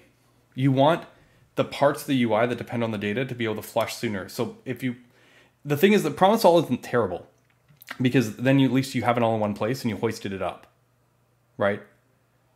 But then you, you don't get that. You can fetch anywhere you want in your components thing that people are digging for right now. But but the big thing is you don't streaming um, and it can happen at a component level which is probably fine but like you don't want the top of a hoisting to be completely blocking either you you want it to basically pass the promises through and then where you use them or require the value that's where you get it and that's what triggers the suspense but react's got a component model so that that's as granular as they get so that's as granular as they care about um, but I still have a hard time with like async await on the components. Yeah, yeah, that's that's perfectly fair. Yeah, ideally we would want to create the whole tree of, uh, up front, and that's why I'm saying like a preload function is would be cool. But I mean, on the other hand, with these non-blocking patterns, I think you have a better chance of success. Like you can even picture what the UI would be like situations where you have that kind of nesting. If people aren't doing guards, but they, they like they often the reason people do guards often is because of the the no data problem. So it's more like I don't know if it's avoidable, but this is something that I'm kind of thinking about. Like it's like the situation where you have a list, right? So essentially, you know, I'm, I'm just using solids syntax here, but like for each users, right?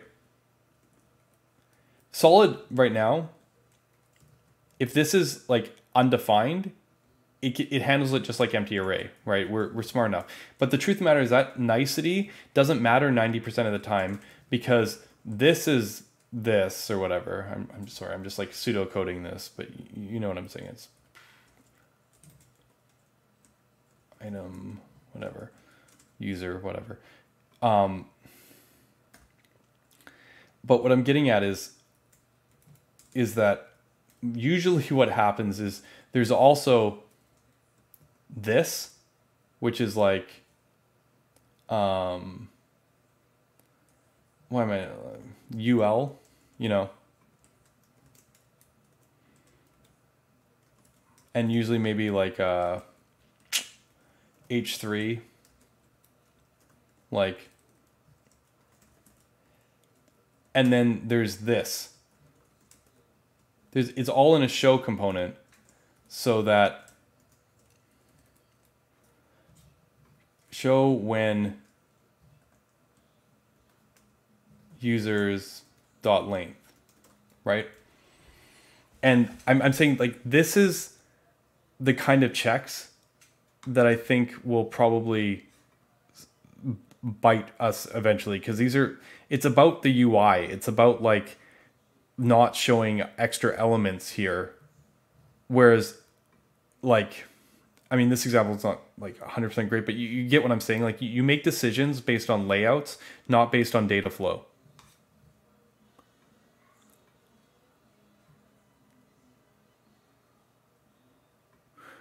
Right yeah, I understand people use React Query this way. Um, so, the, but the biggest difference with React Query is um, it's not blocking. It's not async components. That, that that's that's the thing. So yes, I think if you combine the non-blockingness with um, you know this cache thing, you probably get the the 90% case. And for the things that aren't, le- leverage that preload function.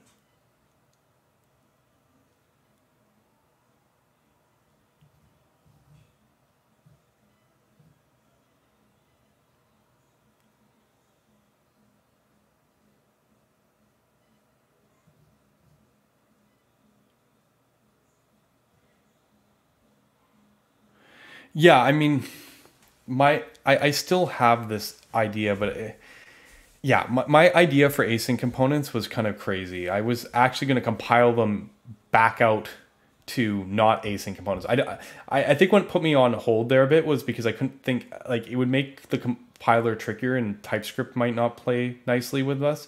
But yes, there if if people really wanted that DX, I think it's achievable. It's just um, you know, so that instead of writing create resource create async, they could just write await. But I'm just syntax sugar thing. Mechanically, it's working the way that I'm explaining. yes, that that's that's sort of where I was where I was getting at. Uh, but it, it, it's the semantics that are weird, right? Um, because I it's it my component. I talked about this before, but like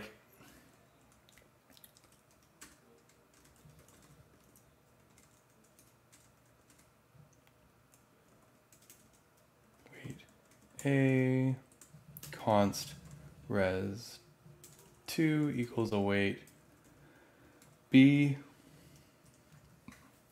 like you kind of expecting them to be se- sequential here or maybe you promise all of these which is fine but I, i'm like i you'd be you'd probably be surprised if console log high ran right away and that's what i'm suggesting. I'm saying i would suggest like compiling away the await and then this actually running. So i think visually semantically it doesn't align. We could definitely do this because what's beautiful about async await is it's completely analyzable at the local scope.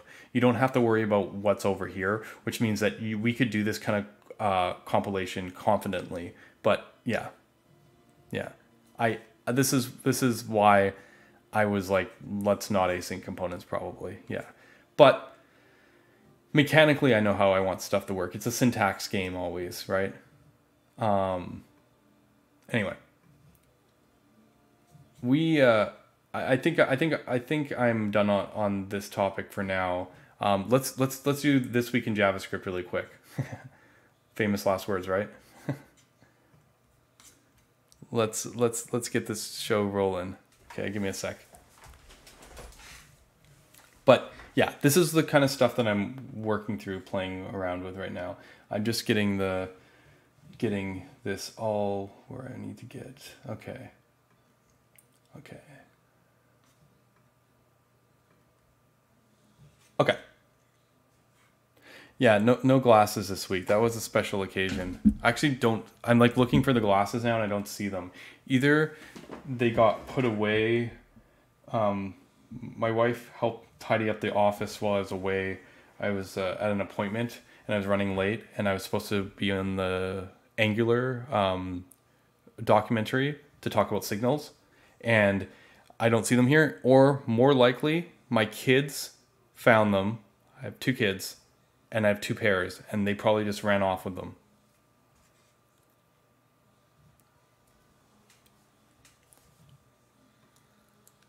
Yeah, yeah. I, I have plastic meme glasses that I bought off uh, Amazon for a couple bucks. Yeah, there's there's a there's an Angular uh, document uh, documentary coming out um, the, um, by the same guys who made the TypeScript documentary, so that should be pretty exciting. Yeah. I guess that was a leak. Oops. be excited for it. I'm sure they'll do a big official announcement.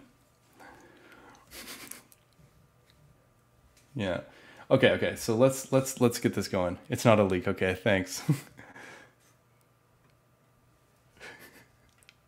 you heard it here first. No. not doing that.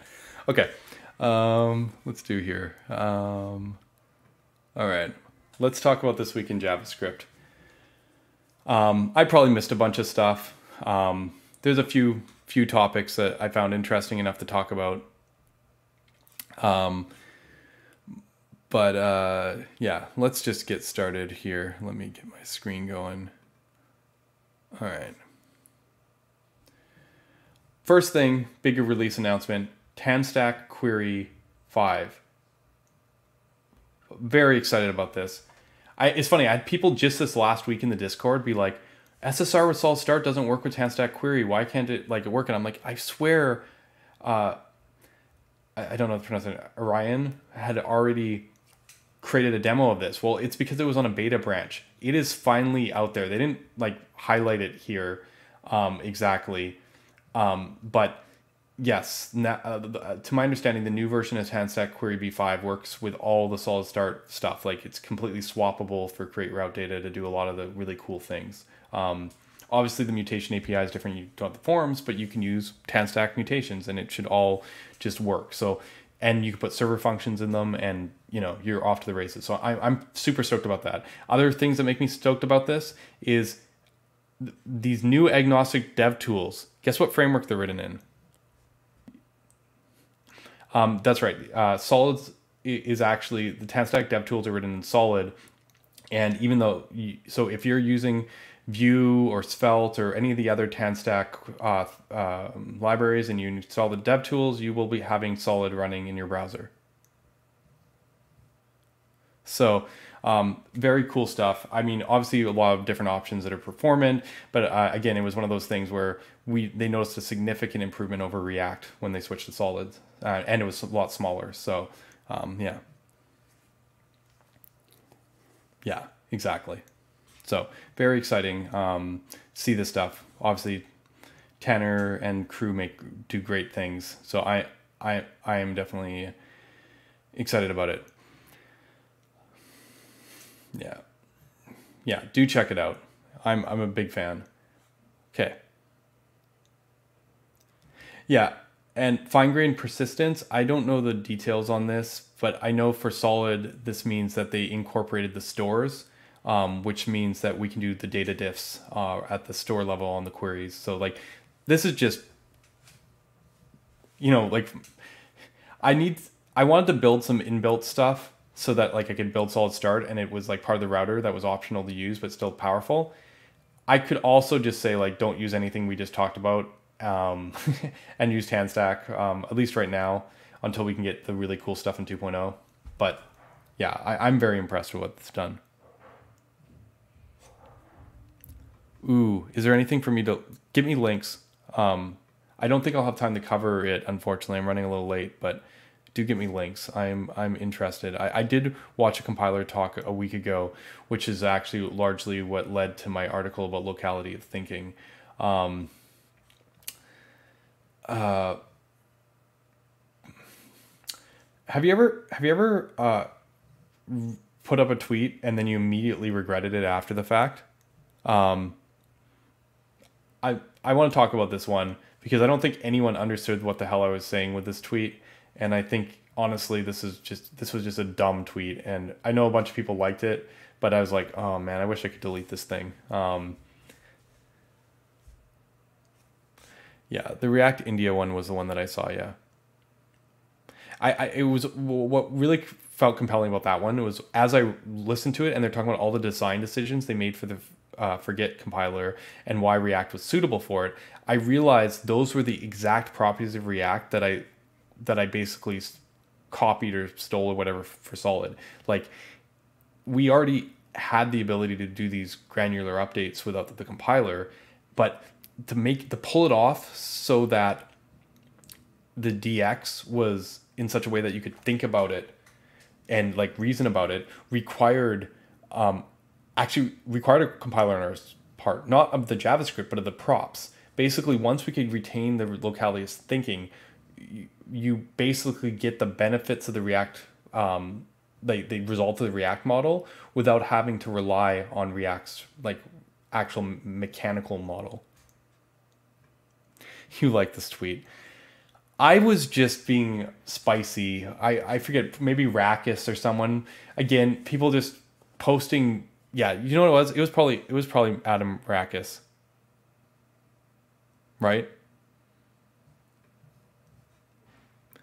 He he also spawned another tweet that um that that that I'll be talking about, but it was something about like uh, you know the only every no other other frameworks can't compete with React because of they don't offer value or something you know uh, oh, compared to the side of the ecosystem. And I was like, eh, I mean, okay, the ecosystem, yes, no one can compete that. So ultimately, if you're if you're if you're weighing the check marks, I I, I think you're right. But it's like this whole enough value thing you know like oh i you know, this this started like a while ago. People like oh i'll ch- choose the next framework when it's 10x better. I i'm convinced that the people who say that wouldn't wouldn't know what 10x better looked like if it hit them in the face. Like um like obviously we're incentivized to keep, stay with the you know what we're familiar with and the current norms and whatnot. So like it's no big surprise. But it's it's like it's it's one of those things where like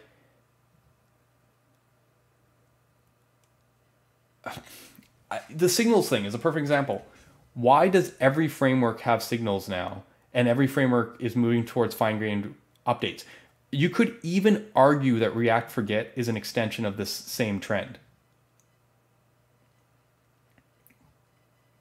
At a certain level, and and like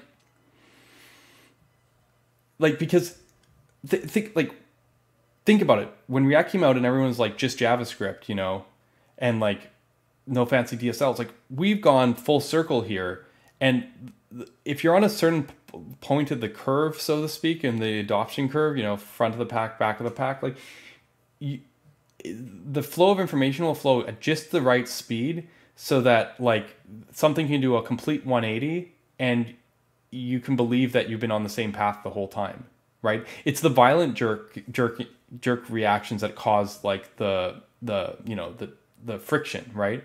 So if React goes from React to if it takes 10 no 12 years for React to go from original 2013 Pete Hunt talk style React to like basically the thing that it, it was absolutely against th- you know 12 years later.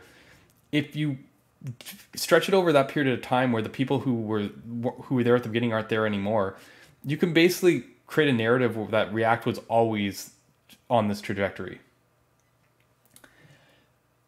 so like i'm not i'm not convinced you know people will even notice this stuff right?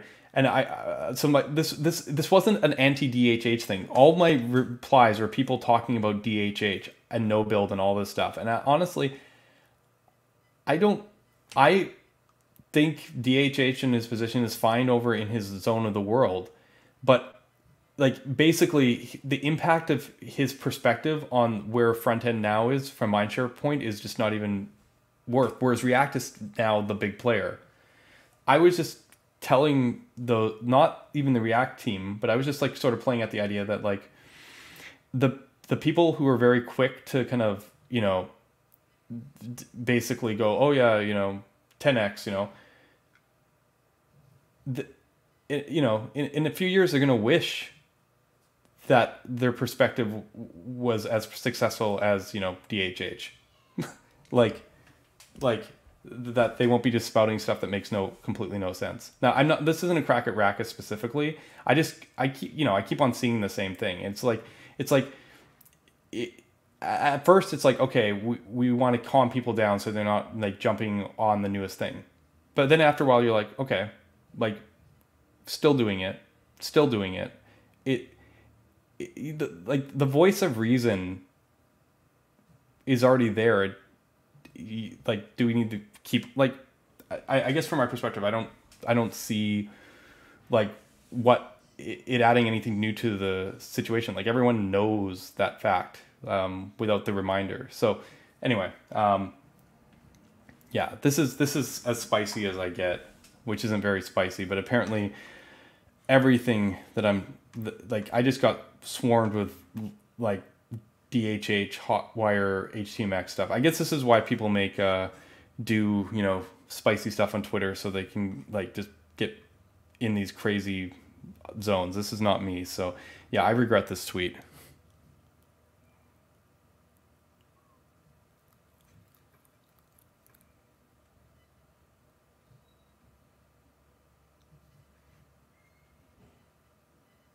Let me see if, if this is the right one.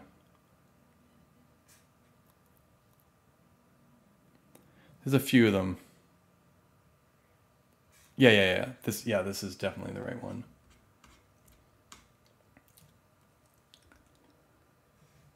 The thing is, the React is fast enough is not controversial. React is fast enough for a lot of things. I, I don't, I mean, would I trust my e-commerce site on it? I can think of better solutions, but even then, eh, right? I, if I could afford not to use React for that situation, I'd probably avoid it. But I think other than that, most people can do it. I, I the reason bespoke frameworks, the more sophisticated app models haven't caught on, is because they don't add value in practice, especially with React's ecosystem and Labelful. Yes, the this is the real thing. I it's just interesting to me because like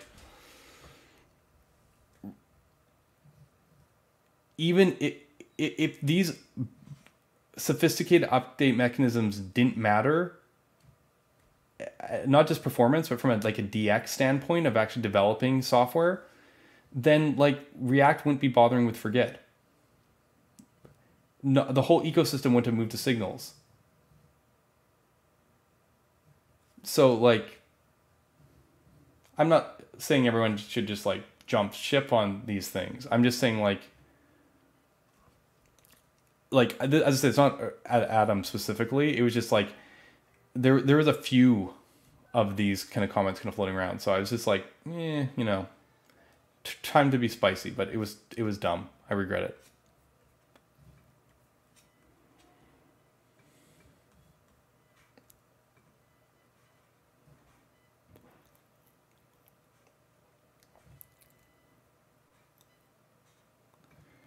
Forget is it just JavaScript with Svelte 4 is, yeah. Actually, or maybe, yeah, actually it's very similar. Or Svelte 3, yeah.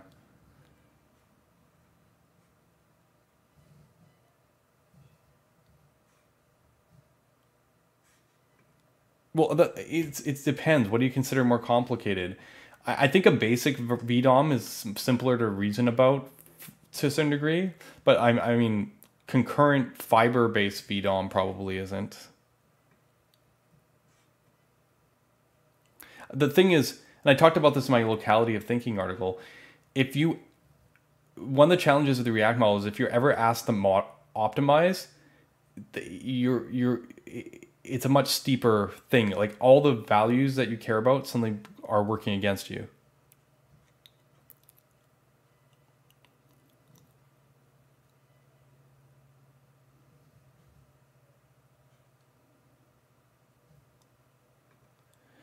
Yeah, I mean, uh, someone showed something. I, I think you could build a, a basic VDOM. Um, I think you could do it in less than 100 lines of code. So you just have to know what you're doing. You write you write a hyperscript function essentially.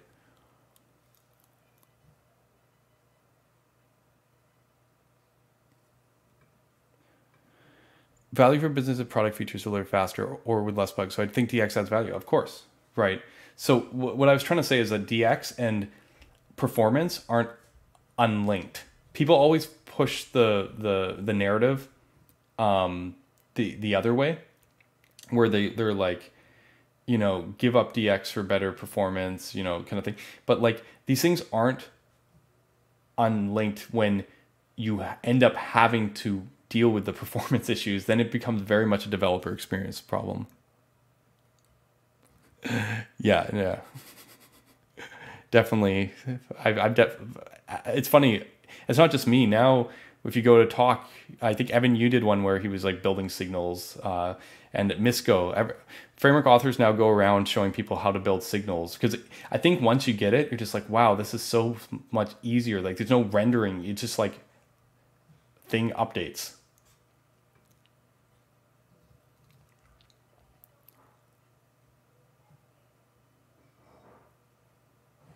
Yeah, swyx did a great talk on that. Yeah, that's true too. Uh, for like React level, but like I think a simple VDOM is is um, like even like super even e- like it isn't that hard. Um, I know I, I'm saying it, but yeah, it's. Um, is this the old Svelte uh, or swyx talk? Yeah, yeah. Let's share that around. Yeah, yeah, that's awesome. Um, What is real problems after their optimal and model? Things like long tables or e-commerce. Yeah, I mean it's it's it's interesting because I my the the e-commerce would be fine for the React model if it weren't for um, Like e-commerce is actually fine for React's model. It's that the implementation doesn't live up to like some other more performant things. Like I don't think e-commerce isn't doing a lot of updates. So the the issue, the reason I don't select e-com uh, React for e-commerce is around bundle size classically and uh, hydration cost and just stuff server rendering speed and like stuff that could actually all be solved um you know with a, a like marko is a virtual dom we had we had um uh michael on today marko 6 isn't but marko 5 and 4 is a virtual dom great in e-commerce they don't use a virtual dom on the server but like it's not hard to picture like com- compiling strings. I think I can't. I don't know if it's official with Preact, but they definitely have a like a, a mode where you can do this kind of thing. So like like e-commerce is actually fine. The only reason that I I pick out React is because specifically I don't think it's historically been good for the way that it's been built. That being said, like uh, technology wise, I could picture an e-commerce that worked with something like React perfectly fine. Um, I think it's not as good as like resu- like it's not optimal for like subcomponent hydration and resumability, but like I would never pick React apart because of that for e-commerce side. I think on the interactive side, React is also perfectly fine. Other solutions are slightly faster. The only reason I give React grief is um, is I personally don't find the model as like intuitive but I, technology wise, React is generally fast enough. So like even with your dashboard, again, I, if it was a big, large table, big dashboard, I think fine grained reactivity is a better fit for like Nozzle or AG Grid or any of that stuff. Um, things with really interactive multi touch points, all that stuff. So that that's on that extreme, yeah, I could say you get to a point eventually where Signals is probably better than React model. But everything before that, React would be good at if it weren't for the page load scenarios around it.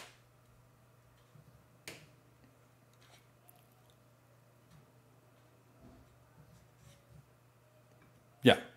Yeah. I, I mean, and the problem is there's legacy there. So everyone is doomed to this kind of thing eventually. Especially when you have customers and all around the world and big companies and stuff.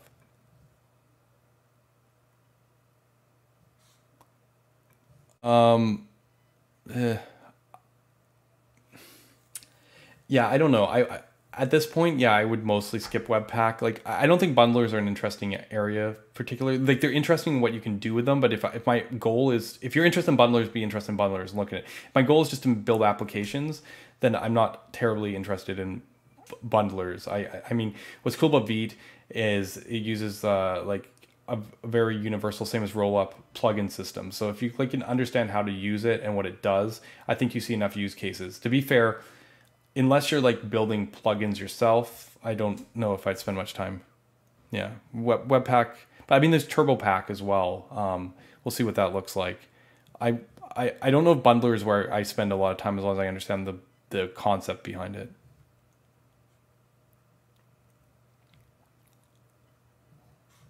Yeah, yeah. This, this is fair, right? Like if you if your company uses Webpack and you need to understand how the configs work, then there there's value there. I'm more talking from like uh, I'm building something new. But yes, if, if again if you have a reason to learn about it, then you probably you learn about it. That's fine. You learn on the job though. That's the situation. You always learn on the job. I mean, you could hedge, I guess, but I mean that's speculative. Okay. So we talked about why this was a mistake. Let's keep on going. Um, we talked about TanStack. Okay, yeah. Last stream, I kind of went off on about how you need to know about the serialization boundaries, and I had a whole proposal on how to improve React and uh, server components, and people were generally receptive of what my proposal. And I actually think it's kind of beautiful in a way. It's symmetrical. It makes sense. Um, but I'm going to I'm going to backtrack.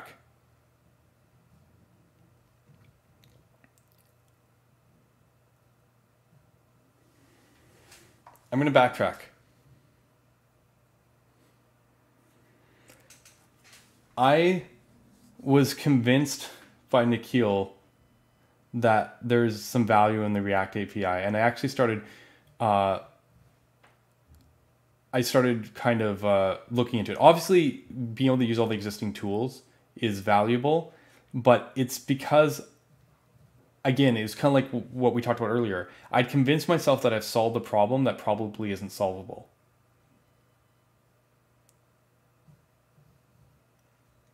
And he he told me the the solution for knowing, you know, the, all you need is an indicator. He actually literally said to me even before this tweet came out, he was like, "Yeah, I just think that the IDE should highlight the different colors of the components."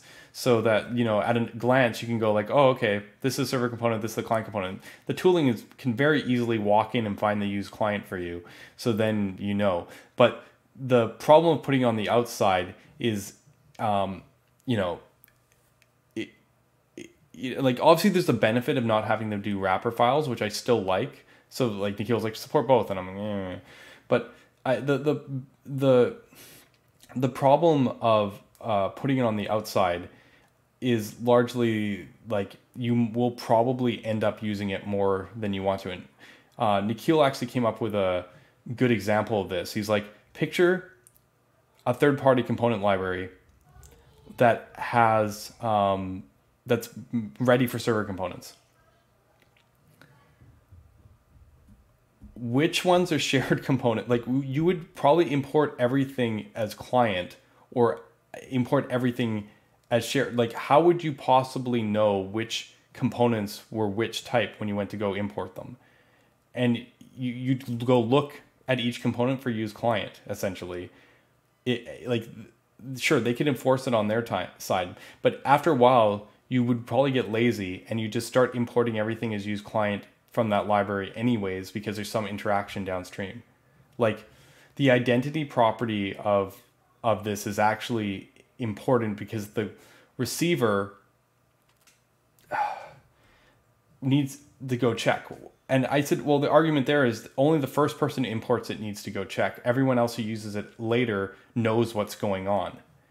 And and Nikhil's like, well, look, this can tell you what's going on essentially. He didn't show me this. This hadn't come out, but he shared this with me yesterday because he, he was like, they should do this. And then, then like two days later, someone's like doing this. Um, but yeah, I want to talk about a bit about serialization and the locality of thinking because I, I, I, we focused a lot about on this, eh, but serialization is a completely different beast because with read write segregation, like immutability, you know the, that the from data flow simply like what you pass out of your components, nothing terribly bad can happen because you control what gets written to. You control both sides.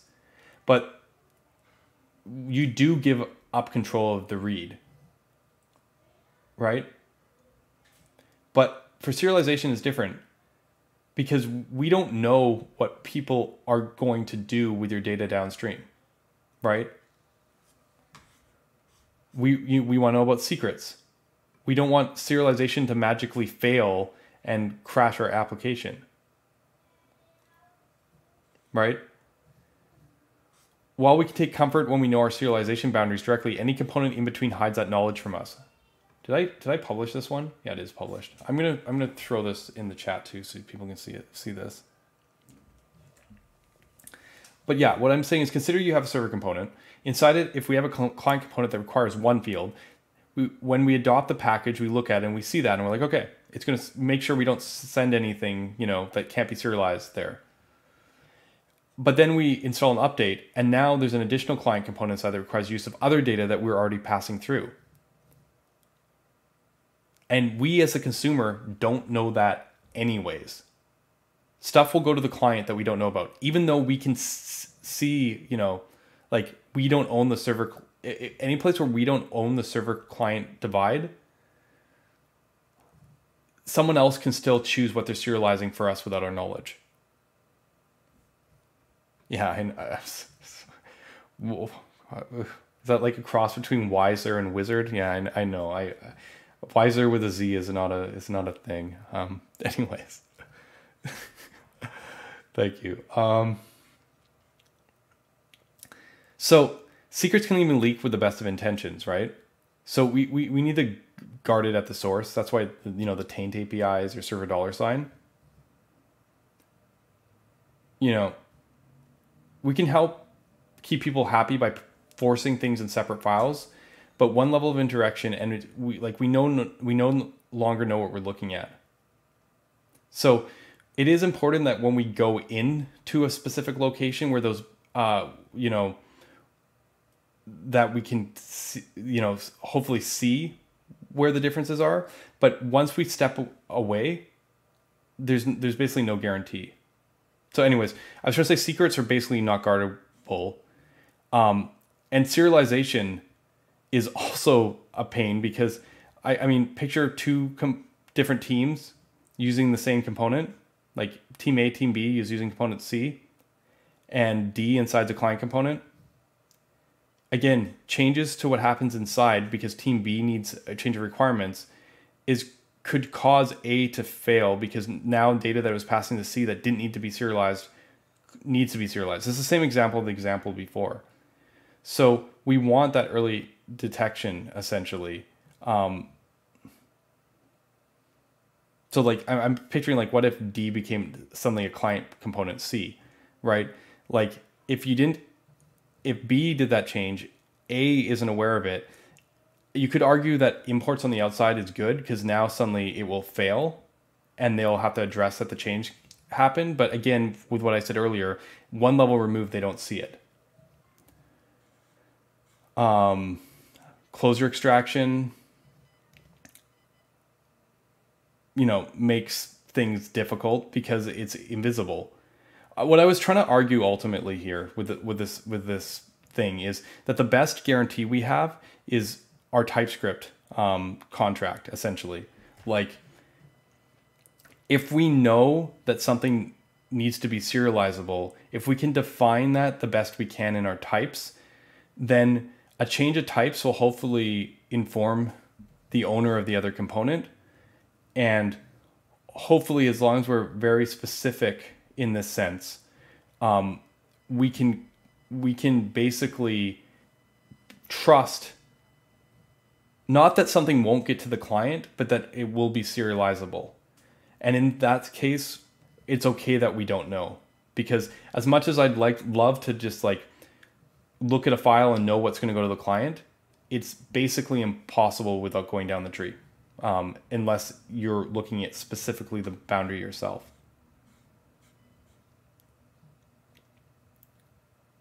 So yeah, I, I, I feel like I was probably a little bit overzealous last week. Like we need we can't stop we can't know absolutely what gets sent to the client. We can only really make sure things that shouldn't be definitely aren't. So locality of thinking can't apply to serialization. So it's questionable the value of adding friction here when um, you know it's it, it basically just isn't solvable right like and i don't mean in the way that like when you have like uh like react someone can go mutate even though it's supposed to be immutable someone can go mutate that data and cause bad things. And you just because that's the case doesn't mean it's not solvable because you can set a convention and perfect instructions and say don't do that as a pattern and if you employ that pattern you won't get in trouble. Whereas with this serialization problem you could try and give people the perfect instructions and it can still leak out because there's no way when you're dealing multiple people that like you know someone without inspecting it themselves can take responsibility. There's there is the contract is not as um, you know strict as we're used to with like our local thinking with unidirectional flow. So basically, I'm arguing that the way you know what's serializable has to be through the types of the props. So this is a large justification for React server components API, essentially. Like,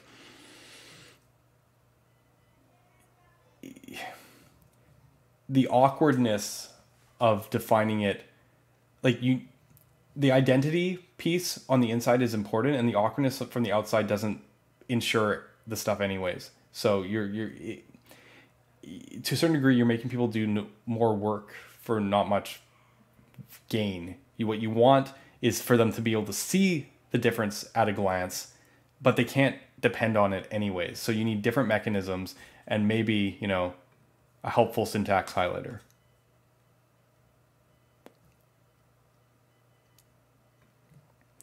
So th- that's just where I'm, I'm at on this. I'm this is why when I've shown the examples earlier, I was using use server. There might be other way. We need to think about how to solve some of the missing pieces that we have in Bling, but I'm probably there. There's benefits to adopting React's APIs from a tooling standpoint, instead of trying to fight them on it.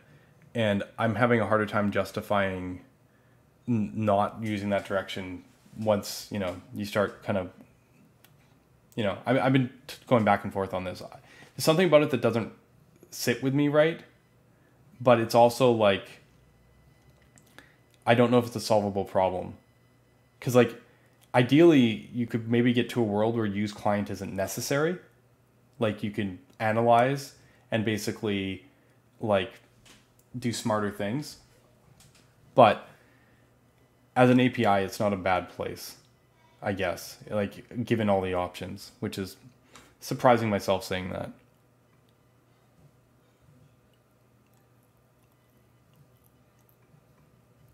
I mean, we can't guarantee that. That's the pr- problem. Like some things aren't serializable, and while I would love to have an interface um, where we know these things, um, and props do give us that to a certain degree. It's it's when when there are boundaries or components. I mean, Marko and Qwik have a different problem because it's much more sub level. At a certain point, um, this really gets in our way of just writing code that does stuff. So, no, I don't. I don't. Some things just aren't serializable a lot of things are. We continue to work on making things serializable, but when you get in, into like references of functions, like so functions that return functions, you get into a zone where it's like can be solvable, but it's it's very complicated. I mean, I suppose if you get to a place where everything was serializable, I don't even know if you'd want to serialize it. Um, but yeah, that's this puts more context on what Michael was talking a lot of bit a bit on serialization earlier in the stream.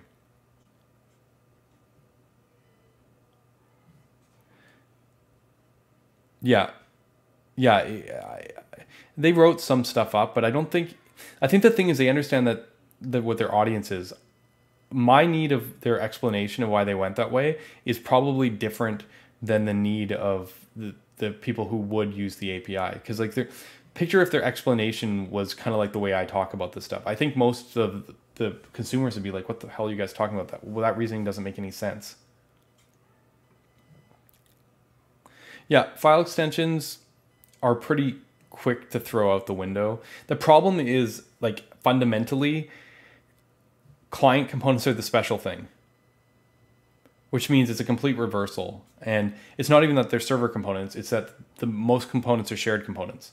You know, this even goes with that uh, HackMD I showed earlier, where I was like, I can't tell if this is a client component or a shared component or whatever. Because my point is data fetching if data fetching shouldn't be the criteria for whether something be, is a client component, um, it's it's the use of uh, and I know this looks a lot like a like a hook or something, so it's hard to come to come come up with heuristically with a clean um, thing. That's another reason for using a different convention or a different name for for these kind of these pieces, but data fetching shouldn't be the determining whether it's a client or server component.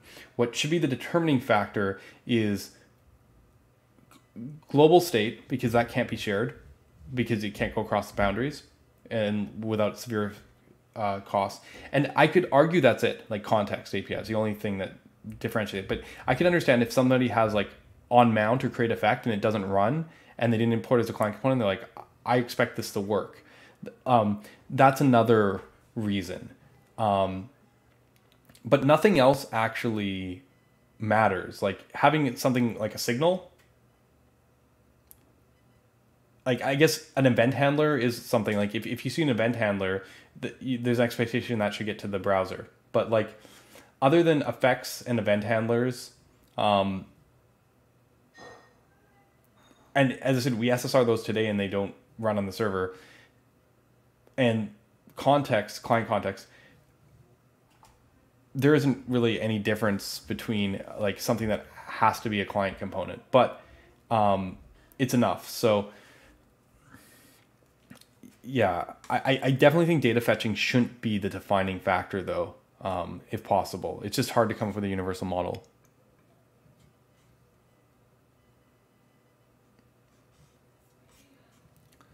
Um, anyway, let's go here. Yeah, okay. Do, do, do, do, do. So that's my talk on that. V conference talks up. Okay, last few here. Okay, RCs. This is an interesting one. I've been watching Ryan Florence a lot recently on his tweets because he's been he's been hitting a lot of this. Like I've been trying to design an idealized, what I consider an idealized server component like solution, and thinking about things that I think are foot guns, and then working through those and figuring out what to do. And Ryan in real time seems to be hitting all the like at almost the same time maybe like a you know a couple days behind keeps on hitting the foot guns that i imagine that the react system would have like, so I'm like, hmm, I think this is a problem. I want to design around it. And then Ryan the next day is like, this is a problem. And I'm like, okay, you know. So I've been watching a lot and they've been talking about it a lot, bringing a lot of attention. But finally, the other day, he's like, RC is farther from production ready than I thought. Time to get back to work on the current remix APIs. I'm generally excited about RCs though, giving us a clear view to build migration, blah, blah, blah. So they're actually stepping back a little bit. So I don't know. I think this is news. I think it's newsworthy. So um, I just wanted to throw that out there as something a little bit interesting.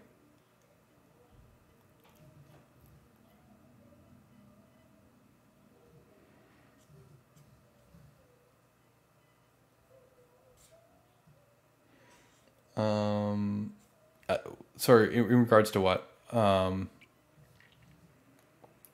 like the, the I think what this is saying is that Remix 3 won't have server components remix 4 will. But I think they're pushing it back and they're going to do the rest of the remix 3 stuff that they want.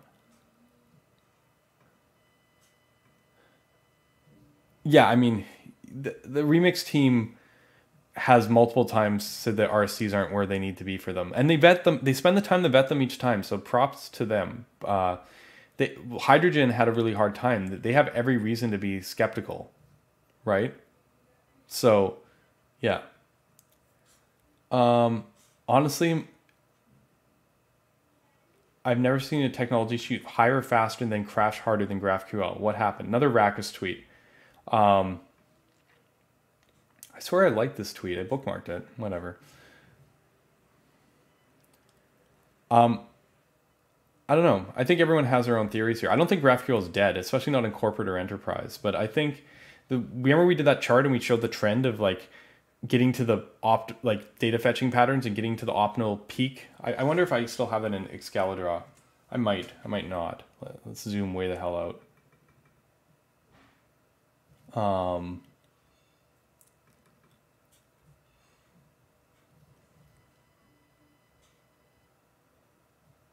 yeah, I don't. I don't know if I. I don't know if I. I guess it's not in here. I guess that stream was long. Oh no, it was, it was right here. It's like well, that stream was long long longer ago than I thought.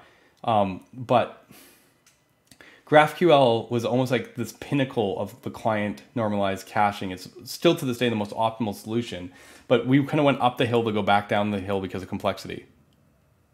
Right? So, um, GraphQL is dead. You're making me look. This is this is too much. Okay, yeah, okay. This is this is a joke, right? Twitter versus reality. Yeah.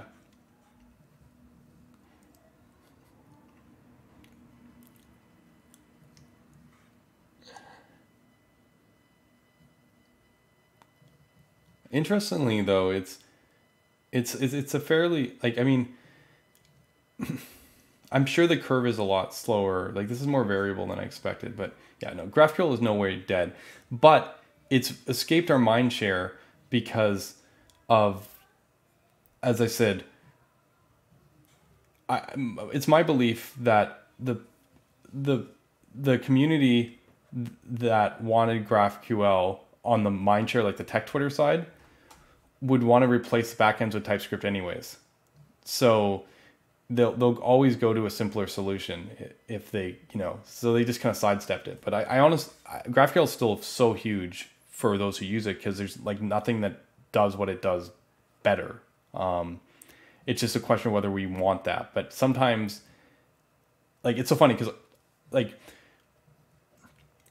GraphQL is all over the place. Like th- there's a reason why, like again, I'm talking about Netlify. Netlify Connect is like basically a GraphQL layer over your data layer, but it's even more than that. Like eBay was adopting GraphQL uh, a couple years ago as, as I was walking out the door. I, I, told you I was building a GraphQL client for them to work to Marko that could leverage like the different modes of like being fetching server only, server and client, and make sure that it's efficiently partially hydrated. So like like uh, where it's used, it's it's irreplaceable. So yeah, I don't know. It's interesting though. As like in the startup culture, it, we've definitely gotten away from it. But yeah, I don't know. I think the return to monoliths um, for authoring, like all these meta frameworks, has actually decreased it um, significantly. Uh, RSCs, these kind of patterns, it's like the benefit of the was the cache, you know, um, and without it, you know, I still think GraphQL is amazing. Like everything we we we we want um, to do, it can do. It's just more often than not we can do a lot with less.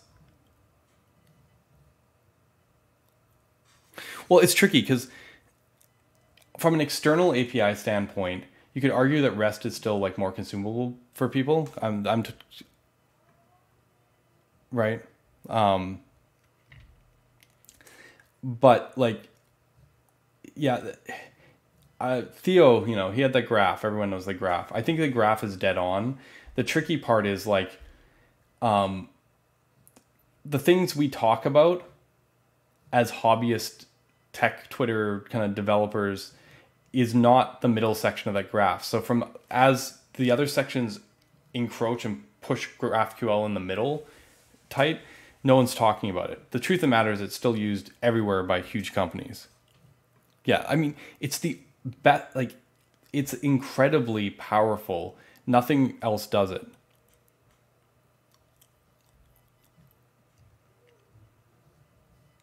Yeah. Yeah, I mean, yeah, that's a great use case for it. Um, yeah, it's just we're we're not going to be talking about. We're going to be talking about these data action loader things because we're trying to simplify.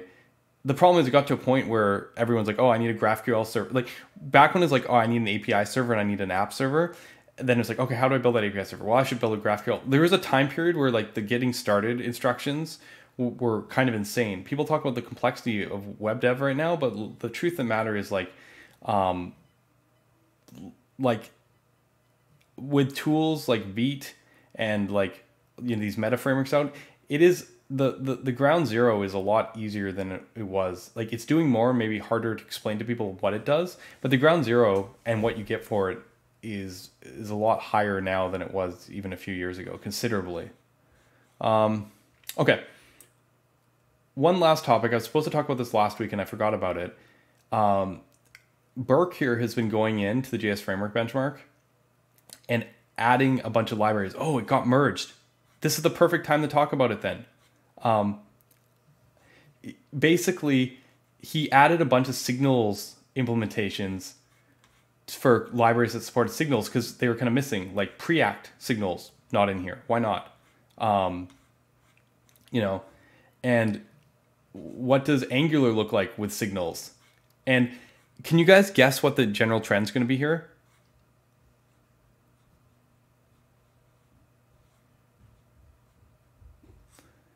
Dropping signals version now, we're still working. And the frameworks, a lot of them are like, kind of like, I don't want to talk about signals yet because they're not ready, you know. But can you, I, I just, I just want to throw it out there. Can you guess? All right. Okay, so here's the update. Wasm BindGen 108. Solid 1.8. They got it already right behind it. I don't know what Silicon Web is. Lit 3. Oh, nicely done, Lit. It looks like Lit 3 has actually Im- um, improved the performance uh, considerably. Uh, Lit was always around 1.2. Now they're about 1.8 it's it's like a couple percentage, but like you don't ex- expect to see this often. Is this is this official results? This this this seems these these these numbers seem wow i wasn't ember 5 okay at 2 yeah so these are official results owl this is the block dom framework um, that that uh built on block dom so this is the full framework version sitting there in the mid. Okay, let's let's let's look at the actual full results here instead of just the one snapshot. I, I the, the trend that I want you to kind of notice here, and I, it's so you always trying to explain this to people is adding signals to a library makes it slower. Yeah. okay, I will zoom in. Yeah, that's that's a problem. 720p is bad for this. Okay, I will I will zoom in. Give me a second. Okay, let's look at the current results and we will zoom in. See, the actual results are much bigger. I'll, I'll give one more zoom level just for you at all. But um, the there's too many frameworks now. Um, look how many React. React Signalless.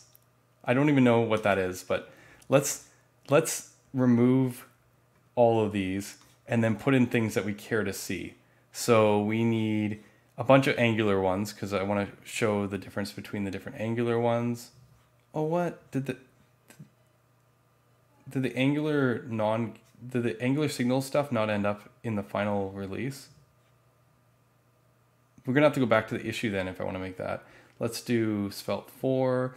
Let's put React in there. Um, not that one. I want React hooks. Um, let's put in Inferno. Um, let's put in solid. Okay, so yeah, the, this damn it, this hasn't been updated. I'm gonna have to go back to the other one because these are all. Uh, okay, never mind. I have to go back here. We we will. Uh,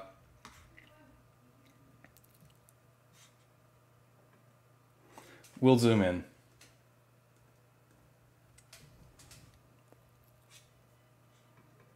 Yeah, yeah. This is what I this is what I wanted to to see though. Just kind of get a, an idea here because Angular no zone is pretty freaking fast. And this is no zone I gathering with or this control flow. People don't realize that like if you kind of avoid Angular's update cycle completely and manually wire it, that like the performance of it is actually considerable. Right? Um, but Angular, Angular Signals is you know a little bit behind there. Um, Vue Pinia is in here, but Vue by itself is a little bit faster, so it's about 125.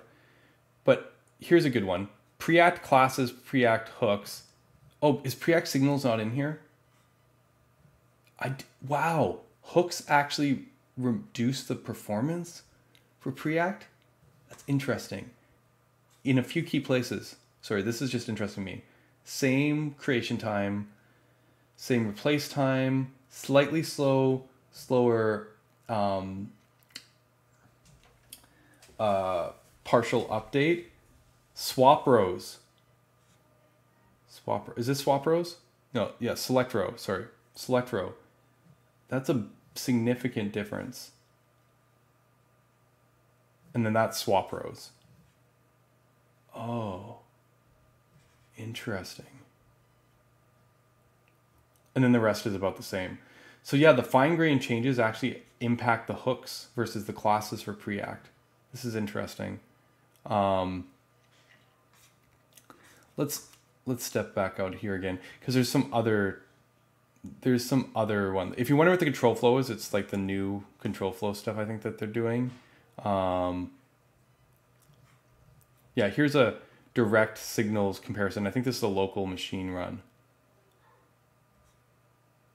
Yeah, so NG4 is I guess they never had the optimal swap rows in Angular, which is why it was always back there with React, which also doesn't have the optimal swap rows. So the new swap rows puts Angular considerably further up in the table. And again, signals drop it considerably because of the over select row. Interesting. This tells me a lot about Angular's implementation signals because this is what Vue problem used to be. You'd think that select row would be optimized for signals, but this is where it's paying the price of being both top down and fine grained. Um, Vue used to have this problem for the longest time, where, yeah, okay, this is this is cool to see. Anyways, the I, the point of my story is, if you look at anything here, uh, let's see if I can find the PR for the Preact. Uh, let's go pull request. Is Preact signals in here? Close. Because I, I could have sworn that I saw add Preact signals and hooks. Yeah, so it kind of splits the difference. I guess because signals uses hooks, it's actually much slower. That's interesting my point is add signals to any. actually what's does Marvin actually have a thing? This is expected here. The benchmark cases is only measure how quickly an update reflected in the DOM. They only measure raw rendering performance. Yes. They don't measure 90%. The reason why now might be slow. Yeah, sure. Signal score is written for the other 90% when reflected in the process for you. Benchmark for tuning parts of the firmware that exclusively deal with updating the DOM, but not much of that. Many apps for this reasons bypass blah blah blah blah blah blah blah blah blah blah blah blah. Okay, yeah. So basically, they're not adding signals for DOM performance. They're adding signals because it's more changes are more isolated, which means that it's possible that you can update a lot, bypass a lot of the virtual DOM cycles when you get more large and complex applications. Um, yeah, so I mean, to be fair, the, yeah, signals are just good in general, but adding signals to a framework at a raw level does not make it faster, it makes it slower.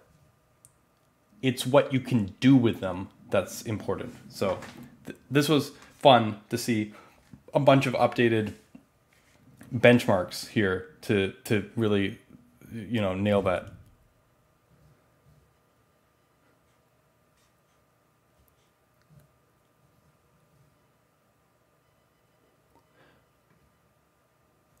Why keyed? Um, because uh, keyed means you keep the references to the DOM with the data, and you're not like. You, there, there's a whole article about this, but the same reason why you use key props in React. Being keyed is very good. It should be the default. Any frameworks that don't make it the default, I'm always call a little bit sus. But like, you know, Re- React might like tells you that you should be keying all the time because of how important it is, and it, it's because the DOM inherently has state, whether it's from CSS or whatever. So like at a certain point, you do want to replace the elements and not try and hijack the ones that are there because it bleeds, it leaks, weird stuff happens. This benchmark was one of the places where people first understood that because they were getting better performance in this benchmark by using non-keyed because it it would just like update text nodes rather than swap DOM elements in a table. But this led to us really like almost all the framework authors deciding that keyed was an important thing. If you go to his blog, uh, Stefan, early days, he wrote an article. Oh, I got to go way back. Uh, let's say like January. It was.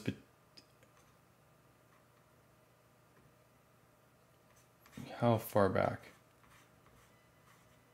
Benchmarking. Round one, round two. Okay, maybe it's. Let's go. July. Round three. He wrote an article um, about this. September? Four? Why am I not finding it?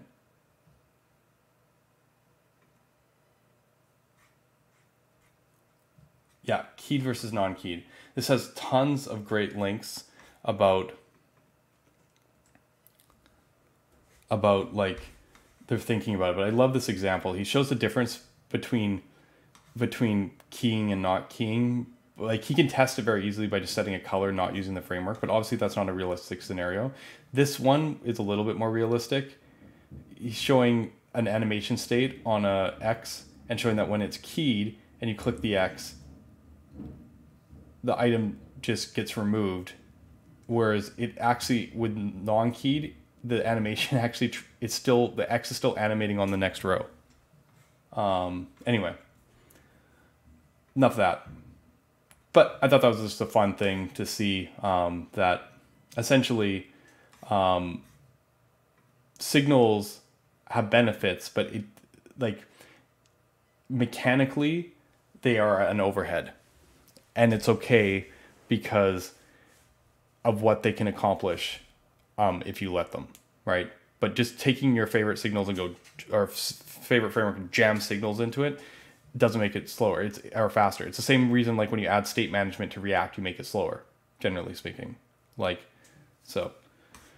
All good. this this one, yeah. Four separate meta framework implementations later, I think I found the correct abstraction for building JavaScript server apps. yeah.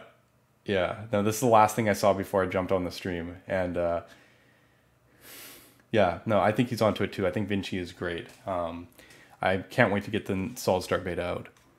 But I ran way over time, so I blame Michael.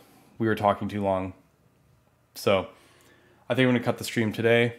Um, still figuring out stuff for next week, so have nothing to say about that but I will advertise them mid next week. So until then, have a good one. Have a great weekend.